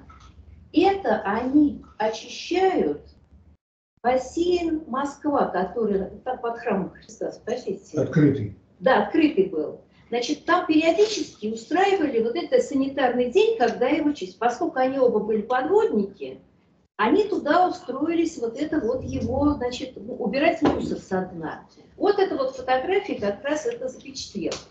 Чем еще подрабатывали? У вас всегда были деньги. Значит, они по воскресеньям ходили натирать полы в школы, в общеобразовательные. Если кто-то помнит, были всегда дубовые паркетные поры, полы везде. Вася ногами, это потом техника появилась, значит, ногами, когда мы поженились, у меня тоже в квартире, вот у нас был паркетный дубовый пол, Вася только лихо, так это раз-раз ногами, мгновенно. Значит, они подрабатывали вот таким образом. Значит, это вот по воскресеньям школ, там никого нет, школа закрыта, им давали ключ, они, значит, вот все эти этажи, значит, вот натирали. Ну вот, либо чистили, вот так. Здесь бы не узнали мы точно. Конечно, да, нет, конечно, ну, да, и я так, вот, нет, ну вот видно, что это Вася, да, да, видно, что нет, Таня, тебе видно. Ну, Таня, ну, да, а, вот это уже группа подфаковская, вот они закончили, видите, это Виталик Аникин, да? Да. Это Вася, это Володя, а, он с химией, тоже здесь у нас. Ну, это вот Малеев тоже, вот это парни совсем не Валентин, вот это, по-моему, посередине. Вот. Вот а, Левее Вася, вот, о, вот это. Вот этот, я не, не, не какой Валентин? Ой, как, забыл фамилию его. Ну, Новожилов? Да нет. Нет, а, не знаю. Коль, ты же знаешь его. Не, вот я не, Валя, помню, я не помню. Я не могу вспомнить, я, я, да. Ты понял, о ком я говорю? Да. да.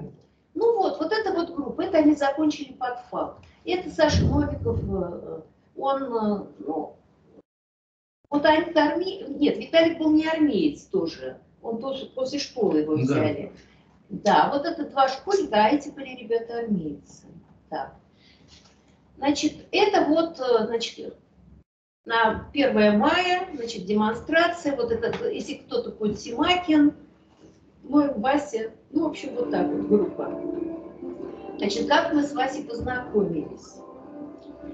Я заканчивала, это впервые ввели 11-летку математическое, значит, с уклоном. У нас в школе был математический класс, э, химический и музыкальный. Чем занимался музыкальный, не знаю.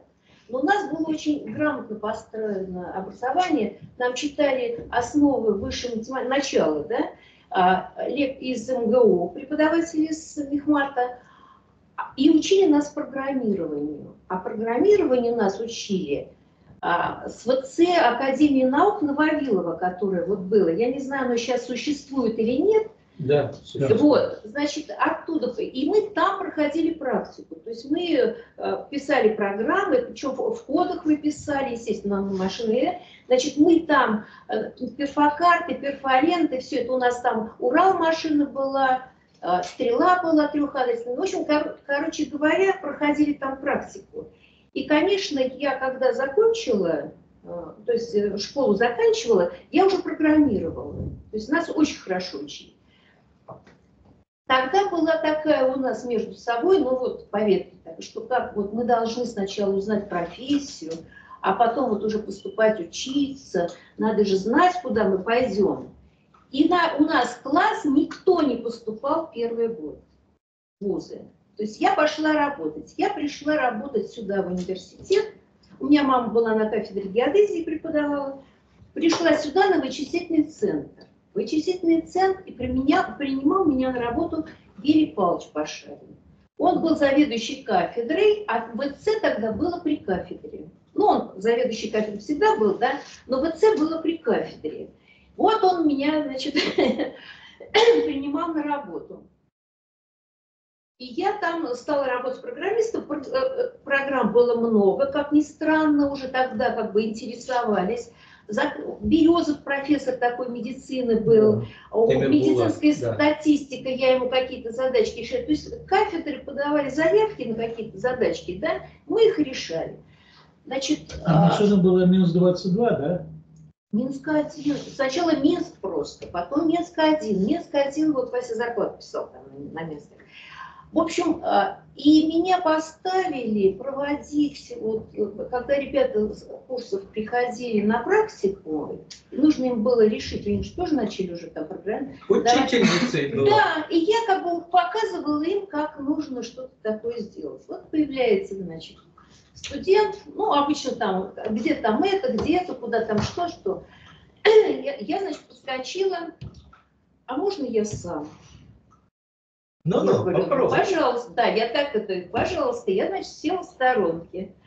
Он та-та-та-та-та-та, затарахтел этот на ленточку, как в магазине, э, кассовый аппарат, на эту ленточку чего-то там напечаталось. Он посмотрел, все, спасибо, и ушел. Вот так мы с ним познакомились. Потом я, мы встретились э, на Новый год вместе, отмечали разные компании. Вот были э, э, эти самые, помните, конкурсы это Джозеф. самодеятельности. Да, да, это Паша Бочаров, Паша Бочаров, да, э, Вася и вот, да. Джозеф Агулиджи. Да, да, да, да, да, да, да. Значит, вот были такие Это конкурсы. Джозеф. А, Джозеф, Да, да, да, да. Джозеф да. Агудин, по-моему. Да, да, и вот мы, значит, э, проводили вместе много времени, естественно. Вообще, вот тоже ансамбль индонезийские студенты, вот тоже на этом самом контрабасе, по-моему, играет тоже индонезийский студент, Паша Вася. Ну, в общем, вот э, полный зал публики, народу было много, в общем, очень было здорово. Ну, вот, собственно, вот к чему все пришло. Значит, это наш первенец. Да, это Дима маленький, вот Вася. Мы поженились. Ди- А сейчас Дима женился? Нет. Ну, вот Диме поломалась жизнь у него, да. Ну вот, в общем, вот это Вася с Димой. Да, вот тоже, это на даче уже. Да, а, значит, прежде чем, вот эм, Дима родился 1 августа. Значит, если, если бы я, а, значит, не поступала, то есть еще там, Ильфа, давай поступать. Ну вот, значит, короче, тес- 1 августа родился Дима, где-то 7 меня выписали, 20 я сдавала вступительные экзамены в этот самый э, текстильный институт, который вот здесь, вот рядышком. Да, да. Вася бегал туда, сдавал экзамены, потому что, видимо, он сказал, жена там кормит, не, не до этого ей, в общем, короче говоря. Сдавал экзамены, и я туда поступила. И я там проучилась год.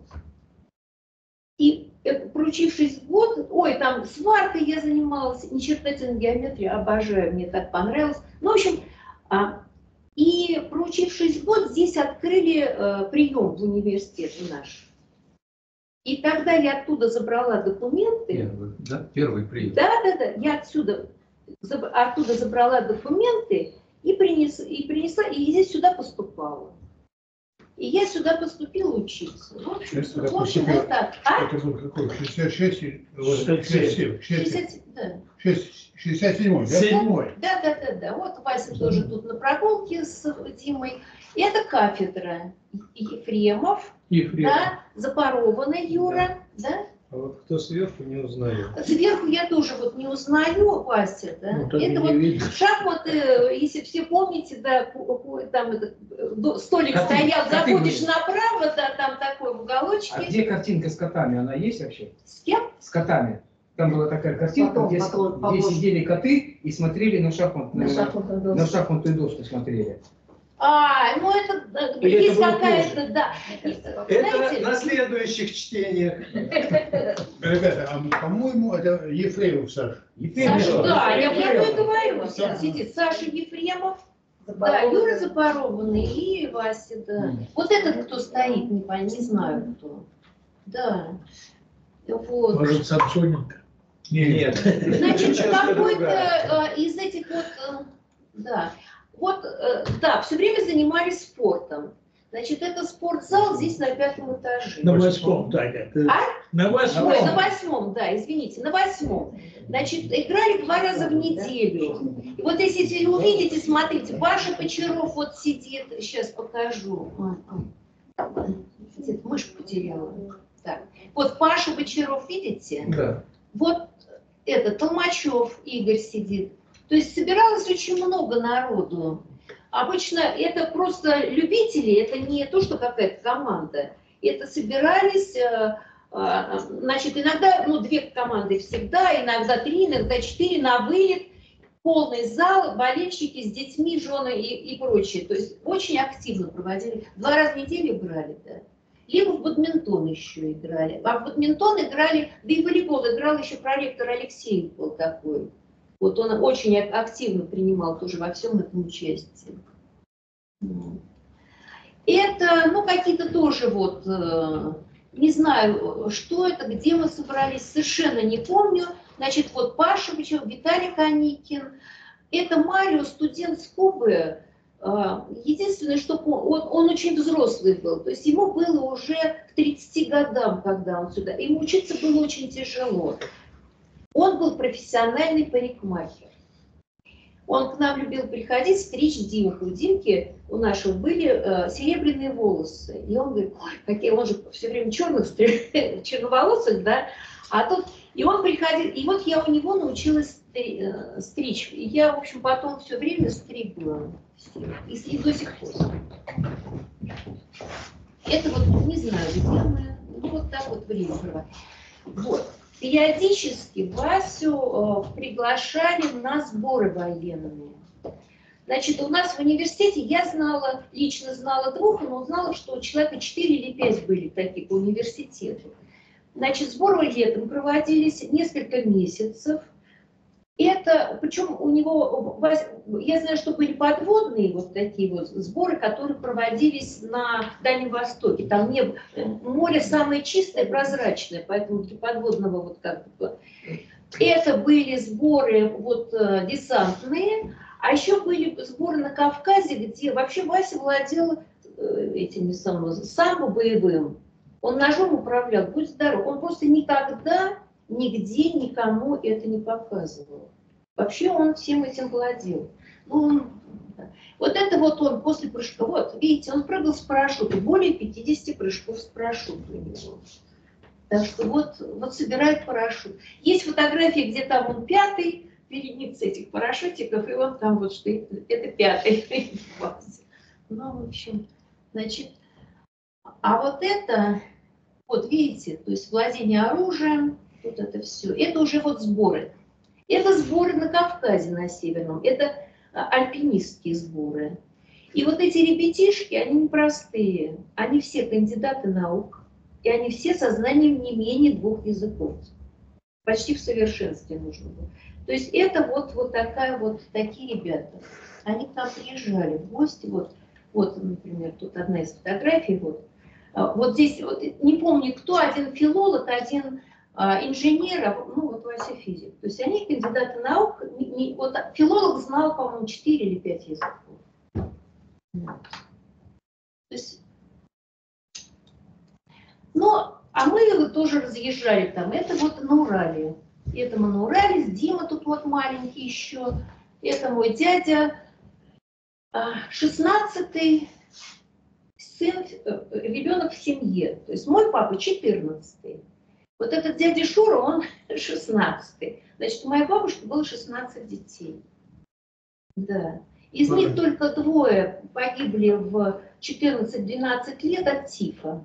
То есть вот был тиф, и они умерли. Остальные, в общем, дожили. Вот а тетушка у меня умерла в 103 года. Вот, при, приехав из Екатеринбурга, вообще в основном бабушка жила в Екатеринбурге, и мы туда ездили вот а, то есть тетушка по линии Васи, да? Нет, по Нет, линии по, Тани. по моей линии. Это я уже просто про себя немножко. Ну вот, вот мы туда тоже ездили, катались на лыжах с ребятами. Да. Это мы в Макапсе. Если кто помнит, Коля Лысач. Это Коля да. Лысач, да. Вот заканчивал наш, и вот, ну вот тут Василий, да. Это Дима тут уже большой, да. Ну это тоже вот мы, мы уезжаем, мы с юга тут мы с мамой, с моей, и это вот Африка. Значит, была потом командировка в Африку. Значит, это уже вот у нас дома, мы сидим тут за столом, как всегда тут какие-то напитки. Это поездка по Африке на микроавтобусе, это вот э, э, эти самые кофейные плантации, вот это вот кустики, это кофе вот тут вот кустики, это кофейные плантации. Вот, это вот тоже там, да. А страна какая? ЦАР, Центральноафриканская А, республика. ЦАР. Это Леонид там тоже был. французским Леонид Антонович. А? С французским? Французским, да. Виталий Коникин здесь же был, да. Луцук был, да. Да, Луцук. Это вот э, один из крупнейших водопадов. Он что-то пятый, что ли, в мире э, по, по мощности. А, Там же. Вот. Ну, это вот такая постановочная картинка. Лодка дырявая, плавать на ней нельзя. Ну, так. Но постоять Ну, можно. постоять и посидеть можно, да, вот тут вот так. Да, вот эти цветные, вот там плохие фотографии, это цветные. Значит, ну, мы снимали, а в какой-то момент решили, что надо на слайды перейти, потому что, ну что же, цвет совершенно нет какой-то невзрачный. Там вот те, которые были, это не мы фотографировали, это нас кто-то фотографировал. А вот наши слайды, это я их отцифровала, вот, и поэтому у нас есть и слайды, и вот, значит, такая вот. И это вот по- покупаем черное дерево здесь где-то, вот, э, э, ездили по стране. И это свадьба Володи Коряк, да? Да, да. Значит, да. да. Просто у нас это наша машина, она такая вроде как представительская, Peugeot 404. Вот, и Вася водителем. Значит, Это Вася- свадьба там была. Там, там, там, да, была. Да, и, Там и была. там же не Не, он женился здесь, Нет, но нет, он женился там, а развелся здесь. Да. Женился он там. Да. Ну. Мгм. Нет, ну это... Ну это вот тоже там где-то мы отдыхаем в Африке. Это не деньги было. Это, да, это, значит, это Volkswagen, значит, там же все машины, как кто-то приобретал, арендовал и прочее. Значит, вот это, это, это, это, Детки-? Дедковский. Дедковский, да, Дедковский, Женя, вот у него сломался, Вася ему помогает ремонтировать. А сейчас с машинами Вася любил возиться. Ну, это тоже вот мы где-то там сидим на дороге, асфальт теплый. Хорошо. Ну, вот это. Обратите внимание, а, ну, вот, э, какие ножки у африканского человека. Он, смотрите, сколько он несет на голове. Вот он сердится, на самом деле, мы ему мешаем. Потому что он не должен делать резких движений, иначе все это у него упадет. Вот он, ему, вот он стоит, ему на голову положили это все, да, и он дальше был, и его чуть-чуть толкают, да, чуть-чуть его подталкивают, и женщина также с такой вот, вот тазы громадные и полный дров. Да, и вот она, или пиво три ящика у нее на голове. Вот такое видели, да. Женщина, три ящика пива на голове. Вот ей это все ставит, она стоит прямо, потом ее чуть-чуть вот так толкает, и она идет. Она идет, но ей нельзя вот э, ритм менять, потому что иначе все это, конечно, упадет и Наверное, три ящика, да? Она идет до того момента, ее уже ждут. Именно Там три ящика, даже не два. Три ящика, да, три ящика пива. Такое возможно? Ну, я видела лично. Поэтому, ну вот, в общем, да, всякая экзотика. То есть посмотрели. Это э, университет, вот там в Царе. Это вот какое-то там было со- собрание, не знаю, что-то такое, в общем, торжественный съезд, вот это преподаватели все. Вот Вася, вот. Да, кто здесь еще знакомый есть? Я не вижу. Виталий где-то должен быть, а не помню. Ну, не вижу я его. Леня, по-моему, ты позже да, приехал. Я, я не помню, на самом деле. Вот, это там вот эта группа физиков. Значит, вот смотрите, здесь Володя, а, это вот Коряк. Коряка, да, это Казачков, Да. Казачков, вот Вася. Вот это, Казачков такой толстенький был. да, его же, его же звали, звали ж как, что вдоль, что поперек, его же называли-то. Он не толстый. Он не толстый, крепкий. он крепкий, да, он просто такой был очень крепкий.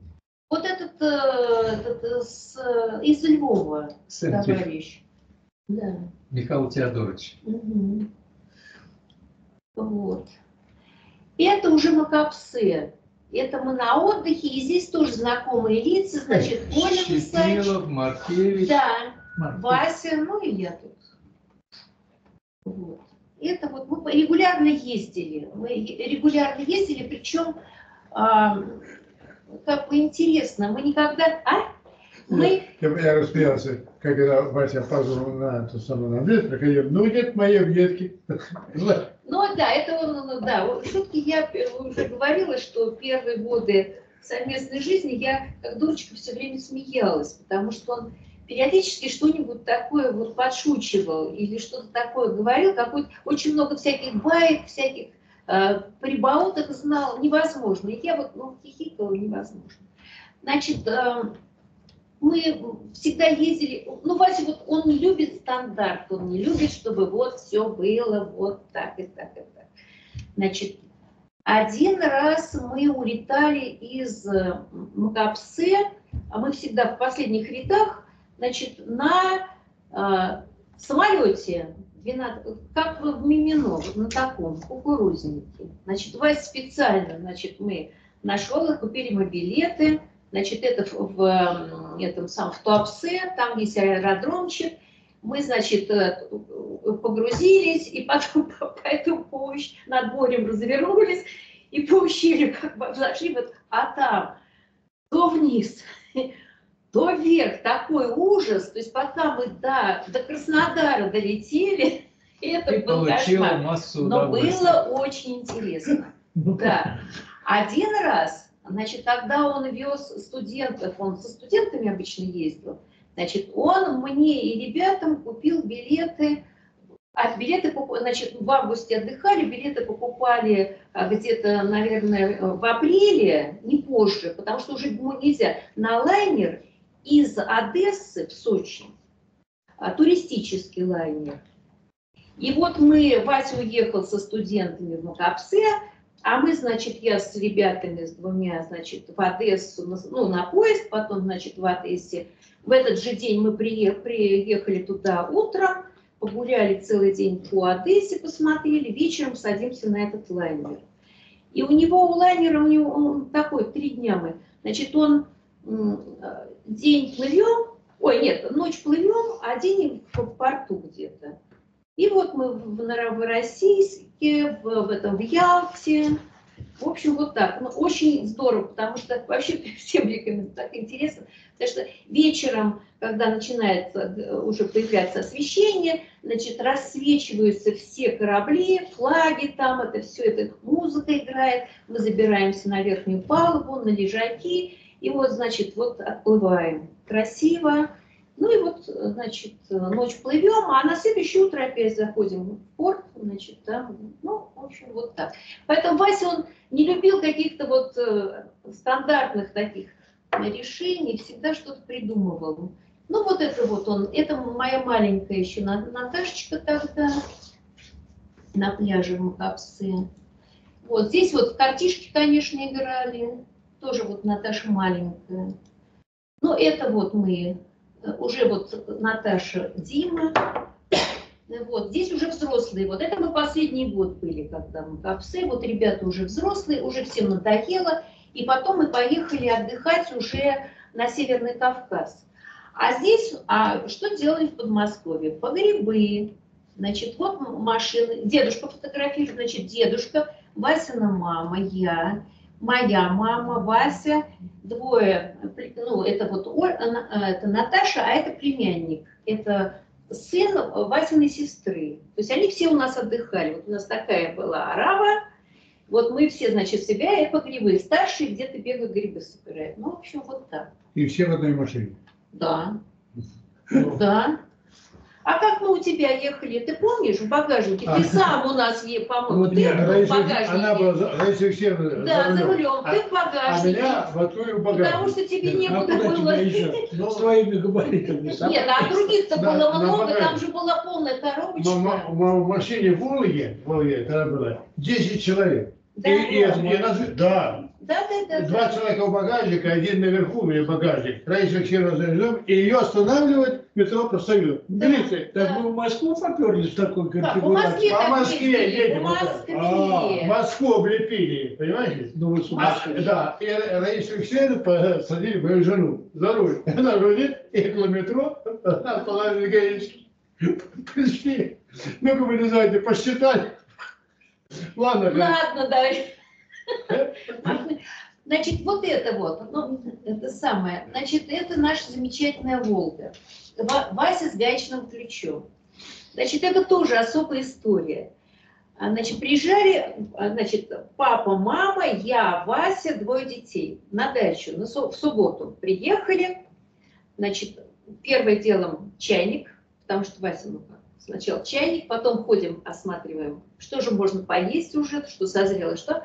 Потом, значит, так, ага, нужно проходить техосмотр. Вася принципиально первые годы, никак, все, я знаю, платили за техосмотр, ну, кому-то там дали, и все. Он нет, сам.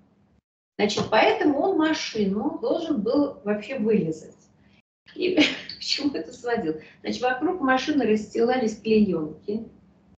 Значит, снимали сначала номера. Значит, номера это рисует моя мама. У нее каллиграфический почерк и все. Значит, она должна краску там ободрать, э, значит, нарисовать эти номера, просушить все. Значит, все эти болты, гайки из, из этого двигателя, все разбиралось. Значит, это самое протирал и смазывал дедушка. Значит, я должна была все царапинки на машине там или еще что-то, мы, значит, специальный состав, который ржавчину снимает, значит, смазывала, потом должна была подобрать краску. У Волги была эта краска «Белая ночь». Значит, такой краски не продавалось. Значит, была белая и была серая. И вот я со своим, значит, замером подбирала цвет, подбирала цвет. Я должна была покрасить это. Значит, ребята должны были помыть все коврики. Значит, все. И Вася, значит, э, разобрал в субботу. Да. Значит, читает свои книжки, пьет кофе и читает эти инструкции значит, по Волге. В воскресенье все встали, все работают, Вася спит, но он любит поспать же. он, да. Значит, на- я там затираю, там это самое, все, мама там номера наверное, все же должно высохнуть к поездке. Значит, уже я крашу, уже все там подсыхает, все, Вася, где же Вася? Папа начинает волноваться, потому что нам же скоро уезжать, уже же время, надо же ехать. Ну, Вася, да, ну да, кофе попьем сейчас, там, все, все, все, значит, потом. Ну, все, что-то как-то замолкает, все. Значит, и потихоньку, раз, раз, раз, раз, машина стоит собранная, готовая. Ну что, вы собрались, говорят? Что вас долго так ждать? Мы просто кидаем, вес, забираемся и поехали. И поехали. То есть, понимаете, вот, вот, все, все в разборах, вот все, ему это было интересно. Он это вот, вот, вот, вот он все, и он, и вот это мы сдавали эти самые техосмотр, сдавали регулярно таким образом, до последних вот нескольких лет, когда уже как бы, ну, уже не до, не до этого совсем. А так вот регулярно, вот такая была история. Тогда, а, еще с машиной связанная, просто вот а, такой у него не то что авантюрный, а вот какой-то все-таки вот он и не рисковый, но вот он любил, а, ну, опять неординарный, что-то вот такое вот. Значит, я получила права. Это 78 год. Я получила права. Училась на двух. Ну, получила, получила. Значит, Вася в командировку уезжает с Киевского вокзала. Значит, ну поехали провожать, поехали. Садимся в машину, поехали. Я говорю, а ты вообще что ты планируешь? Ну там стоянка. Значит, приехали на Киевский вокзал, поставили машину на стоянку. Пошли его провожать. Ну, она же может там стоять место. Значит, он садится в, в этот самый поезд, вручает мне ключи и говорит, на. И до свидания, поезд уходит. Я с этими ключами, с Димкой под мышку. Ну нет, он уже хотел. Вот, значит, иду, беру эту машину. Ну что, завелась и поехала. На следующий день я уже ездила тут. Уже поехала в центр, уже еще куда-то. И с тех пор, как бы, когда Васи не было, я из нее не вылезала. То есть вот, вот Ты так. важная была Захожу вот так вот в квартиру. По-моему, это была новая квартира в в этом Ясене. Посередине квартиры, что вы думаете? Разобранный двигатель Запорожского. А, ну это да. Да, прямо в квартире. А у нас сначала был Прямо в квартире. Когда Вася был на стажировке во Франции, А, он там э, копился стипендии, и как бы, когда вернулся, он привез сертификат на Запорожец, и мы вот ездили сначала на Запорожце, а когда уже после Африки мы купили Волгу, да, то этот Запорожец мы подарили Васиной сестре. Она на нем растекала тоже ездила еще какое-то время, да. То есть это Запорожец, да. Ну, а это вот я вспомнив, что у меня Васиных-то фотографий почти нет, уже тут я взялась хоть что-то сфотографировали как-то. Это в парке культуры, вот здесь моя мама, значит, это маленькая, это Наташа, а это Васенька, это сын Васиной сестры. Ну, это вот так вот. Тут вот еще, да. И это постановочная, конечно, фотография. Это мой папа любил, значит, чтобы было все красиво, чтобы было... Вот тут про кошек говорит, вот здесь есть кошка. Одна. Одна. Вот, это моя мама, да, это у нас на даче. Это у нас на даче. Ну, это то же самое, вот, мы с Васей. Это у костра тоже на даче. Это вот, э, значит, я Вася, моя мама, Васина мама, это племянник. Вот эти два дети сестры, это вот уже Наташа. Ну, и это на строительном рынке. Просто вот, ну так вот. И это на Чигите. Это вот Северный Кавказ, когда я сказала, что мы, значит, путешествовали. Ему, конечно, там уже было тяжело, он уже чувствовал, что вот э, как бы сердцем не очень, да. Вот. И мы после вот Чигета, а, он поехал в Москву, мы там, а, я оста, мы остались, вот, и мы тогда э, съездили еще на Эльбрус, то есть вот тогда же еще на Эльбрус. И это Вася, с- это вот э, встречи с выпускниками сельхозтехникума. Вот уже, это уже вот уже возраст, ну то есть уже это какой-то м, 80 какой-то шестой или седьмой год. Да. Это кафедра. Вот смотрите, да, здесь все молодые такие. Яков Петрович. и- Да, да. Юрий Петрович, вот Да, да, молодой. да, да. Да, да, да, ой, да, вы здесь такой совсем-совсем молодой. Зубов. Зубов, да, да, да. да. Вот, это тоже, это на крыльце университета, вот здесь тоже, это уже здесь выпускники, кафедра уже постарше. Здесь уже Вася, да, здесь уже Вася был, на, по-моему, на кафедре уже. Мгм. Вот, ну это вот уже такие фотографии, это он какие-то таблицы заполняет, вот. Это защита Дерюгин, вот, да, на, на какой-то защите. Это вот на занятиях, или лекции, или занятия, не знаю. Вот это любимая группа, Светочка. А что-то вот я Сашу не вижу. Саша. Я у меня А Саша со мной не заканчивает. А, вот другой, да, все, да, да, да. Вот, значит, вот группа. Вот тоже тут. а, это виноград был, я не, вот Сталин здесь стоит. Я не поняла, вот Саша Громов, он почему здесь? А он был нашим куратором, а мы были лучшей группой. А, А понятно. Саша Громов был нашим куратором на подхвате. Мгм, А Василий. Васильевич был нашим куратором э, потом. ясно. И Сталин стал. Ну да, да. Да, да. Максим Фомин. Максим Фомин. Вот тоже вот э, где-то со студентами. В общежитие Василий Васильевич к нам приходил в Да, общежитие, да, да. да. Ага. Приниматель, да. Вот, это вот Яков Петрович, тоже защита какая-то.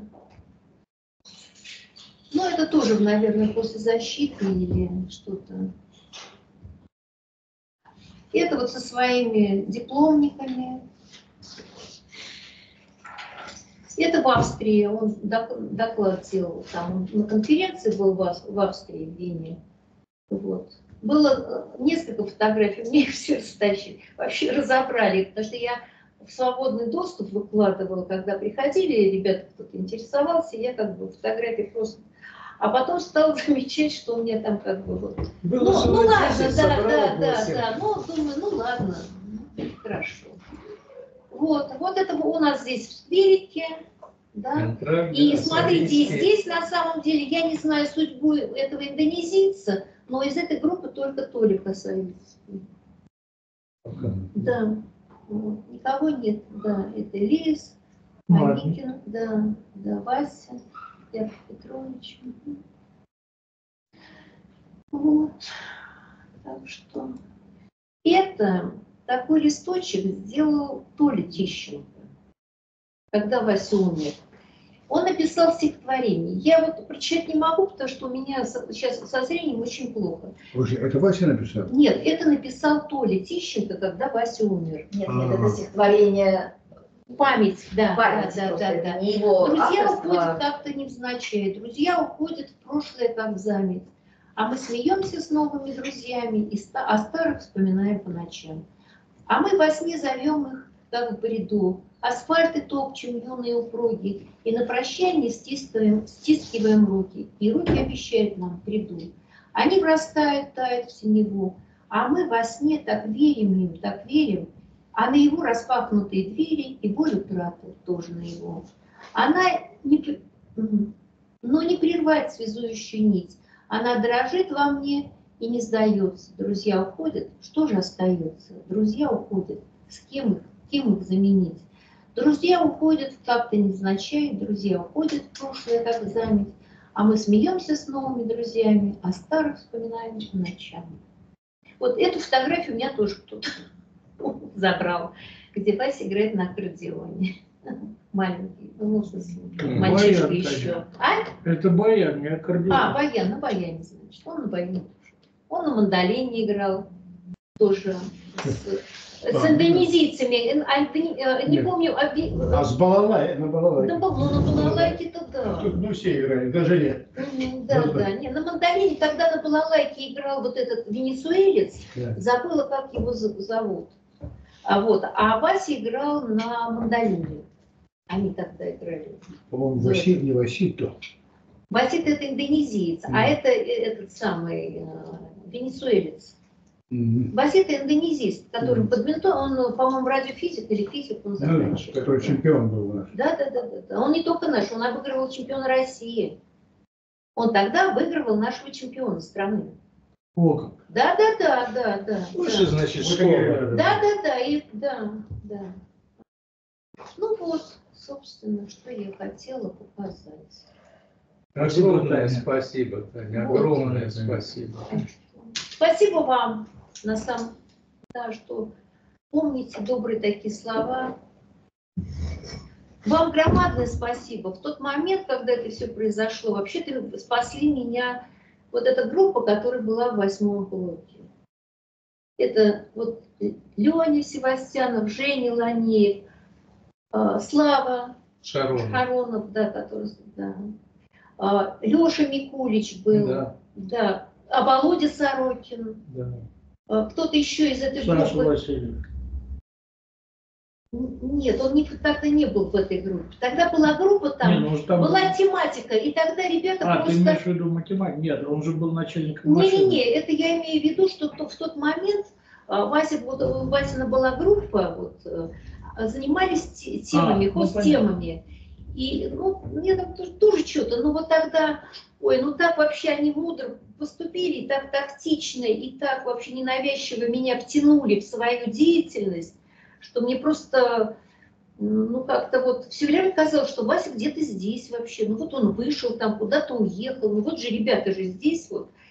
Была атмосфера просто удивительная, и я, конечно, ну, так благодарна, вот, и мои дети знают об этом, и тоже вас всех хорошо знают, и вас, да, спасибо вам, прям родные люди. Ну, Све- Света, Саша, потом вот как бы все, ну просто вот начиналось все вот в этот момент, вот самый такой, да, ужасный. да. Вот так. Да, спасибо большое. Будем помнить. Вася. Да, но уже более 30 лет. Да, более 30 лет уже прошло. Да. Через год будет 35. 35 будет, да.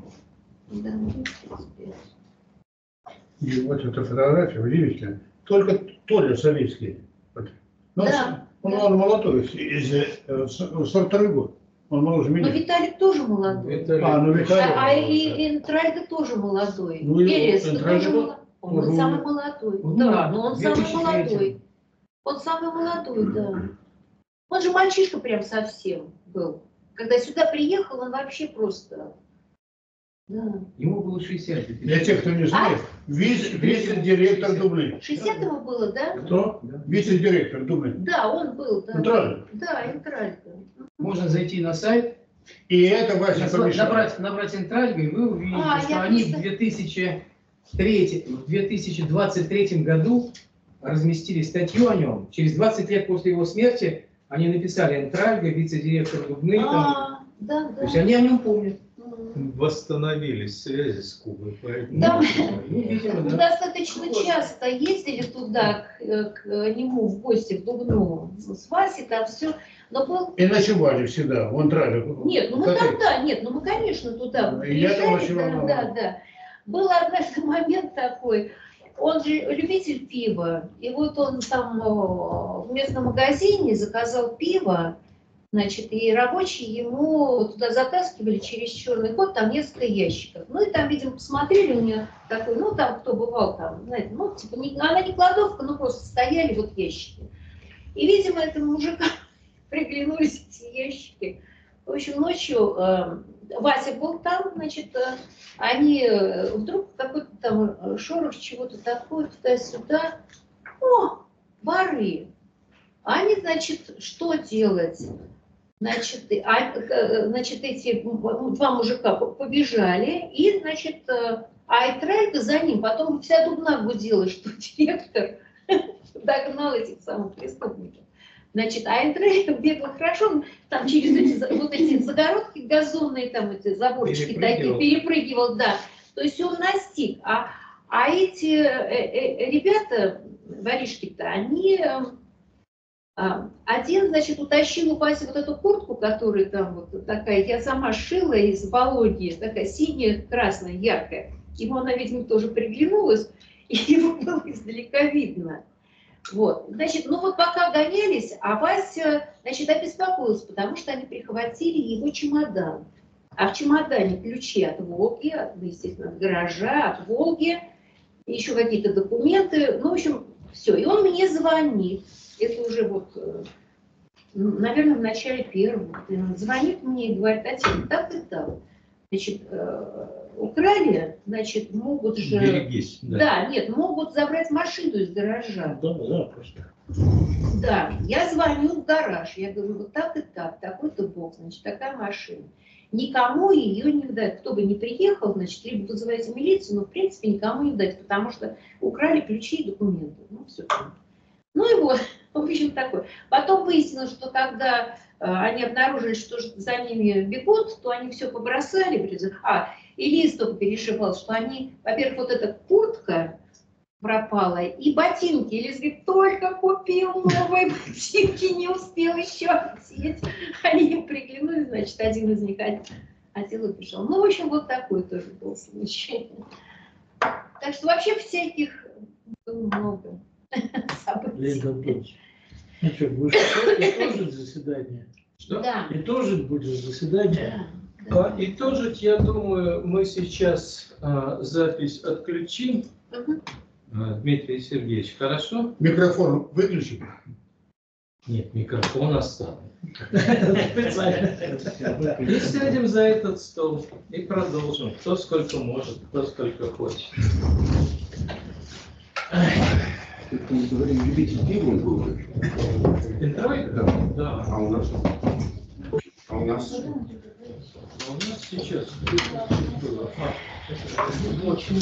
Так, вот там что-то в этом Кристина, там самом... где-то коробочка есть такая. Вот А, в синем да. мешочке, там, да, вот этот цвета, вот там синий где-то мешочек, у тебя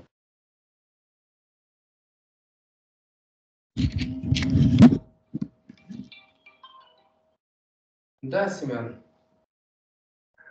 Привет. Нет, скажи.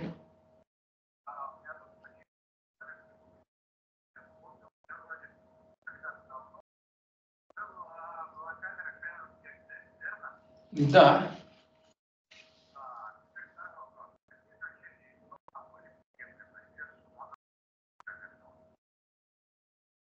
Но э, смотри, я думаю, что э, э, я спокойно снимал, э, ну как спокойно, как- то есть когда мне нужно было, э, я снимал 6400 У меня даже на выставке фотки были.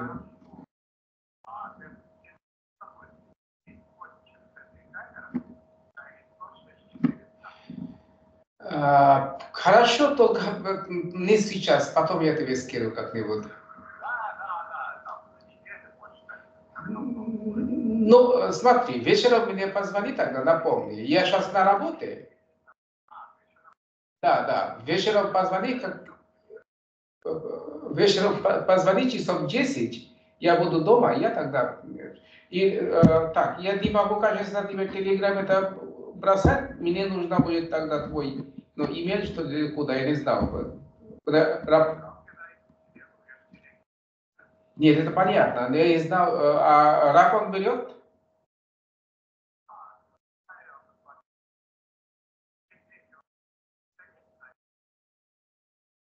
Нет, я не продал, я не собираюсь.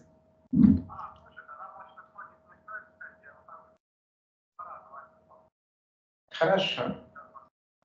Хорошо. Хорошо. Мгм. Хорошо. Ну, давай, давай, пока. Давай. давай.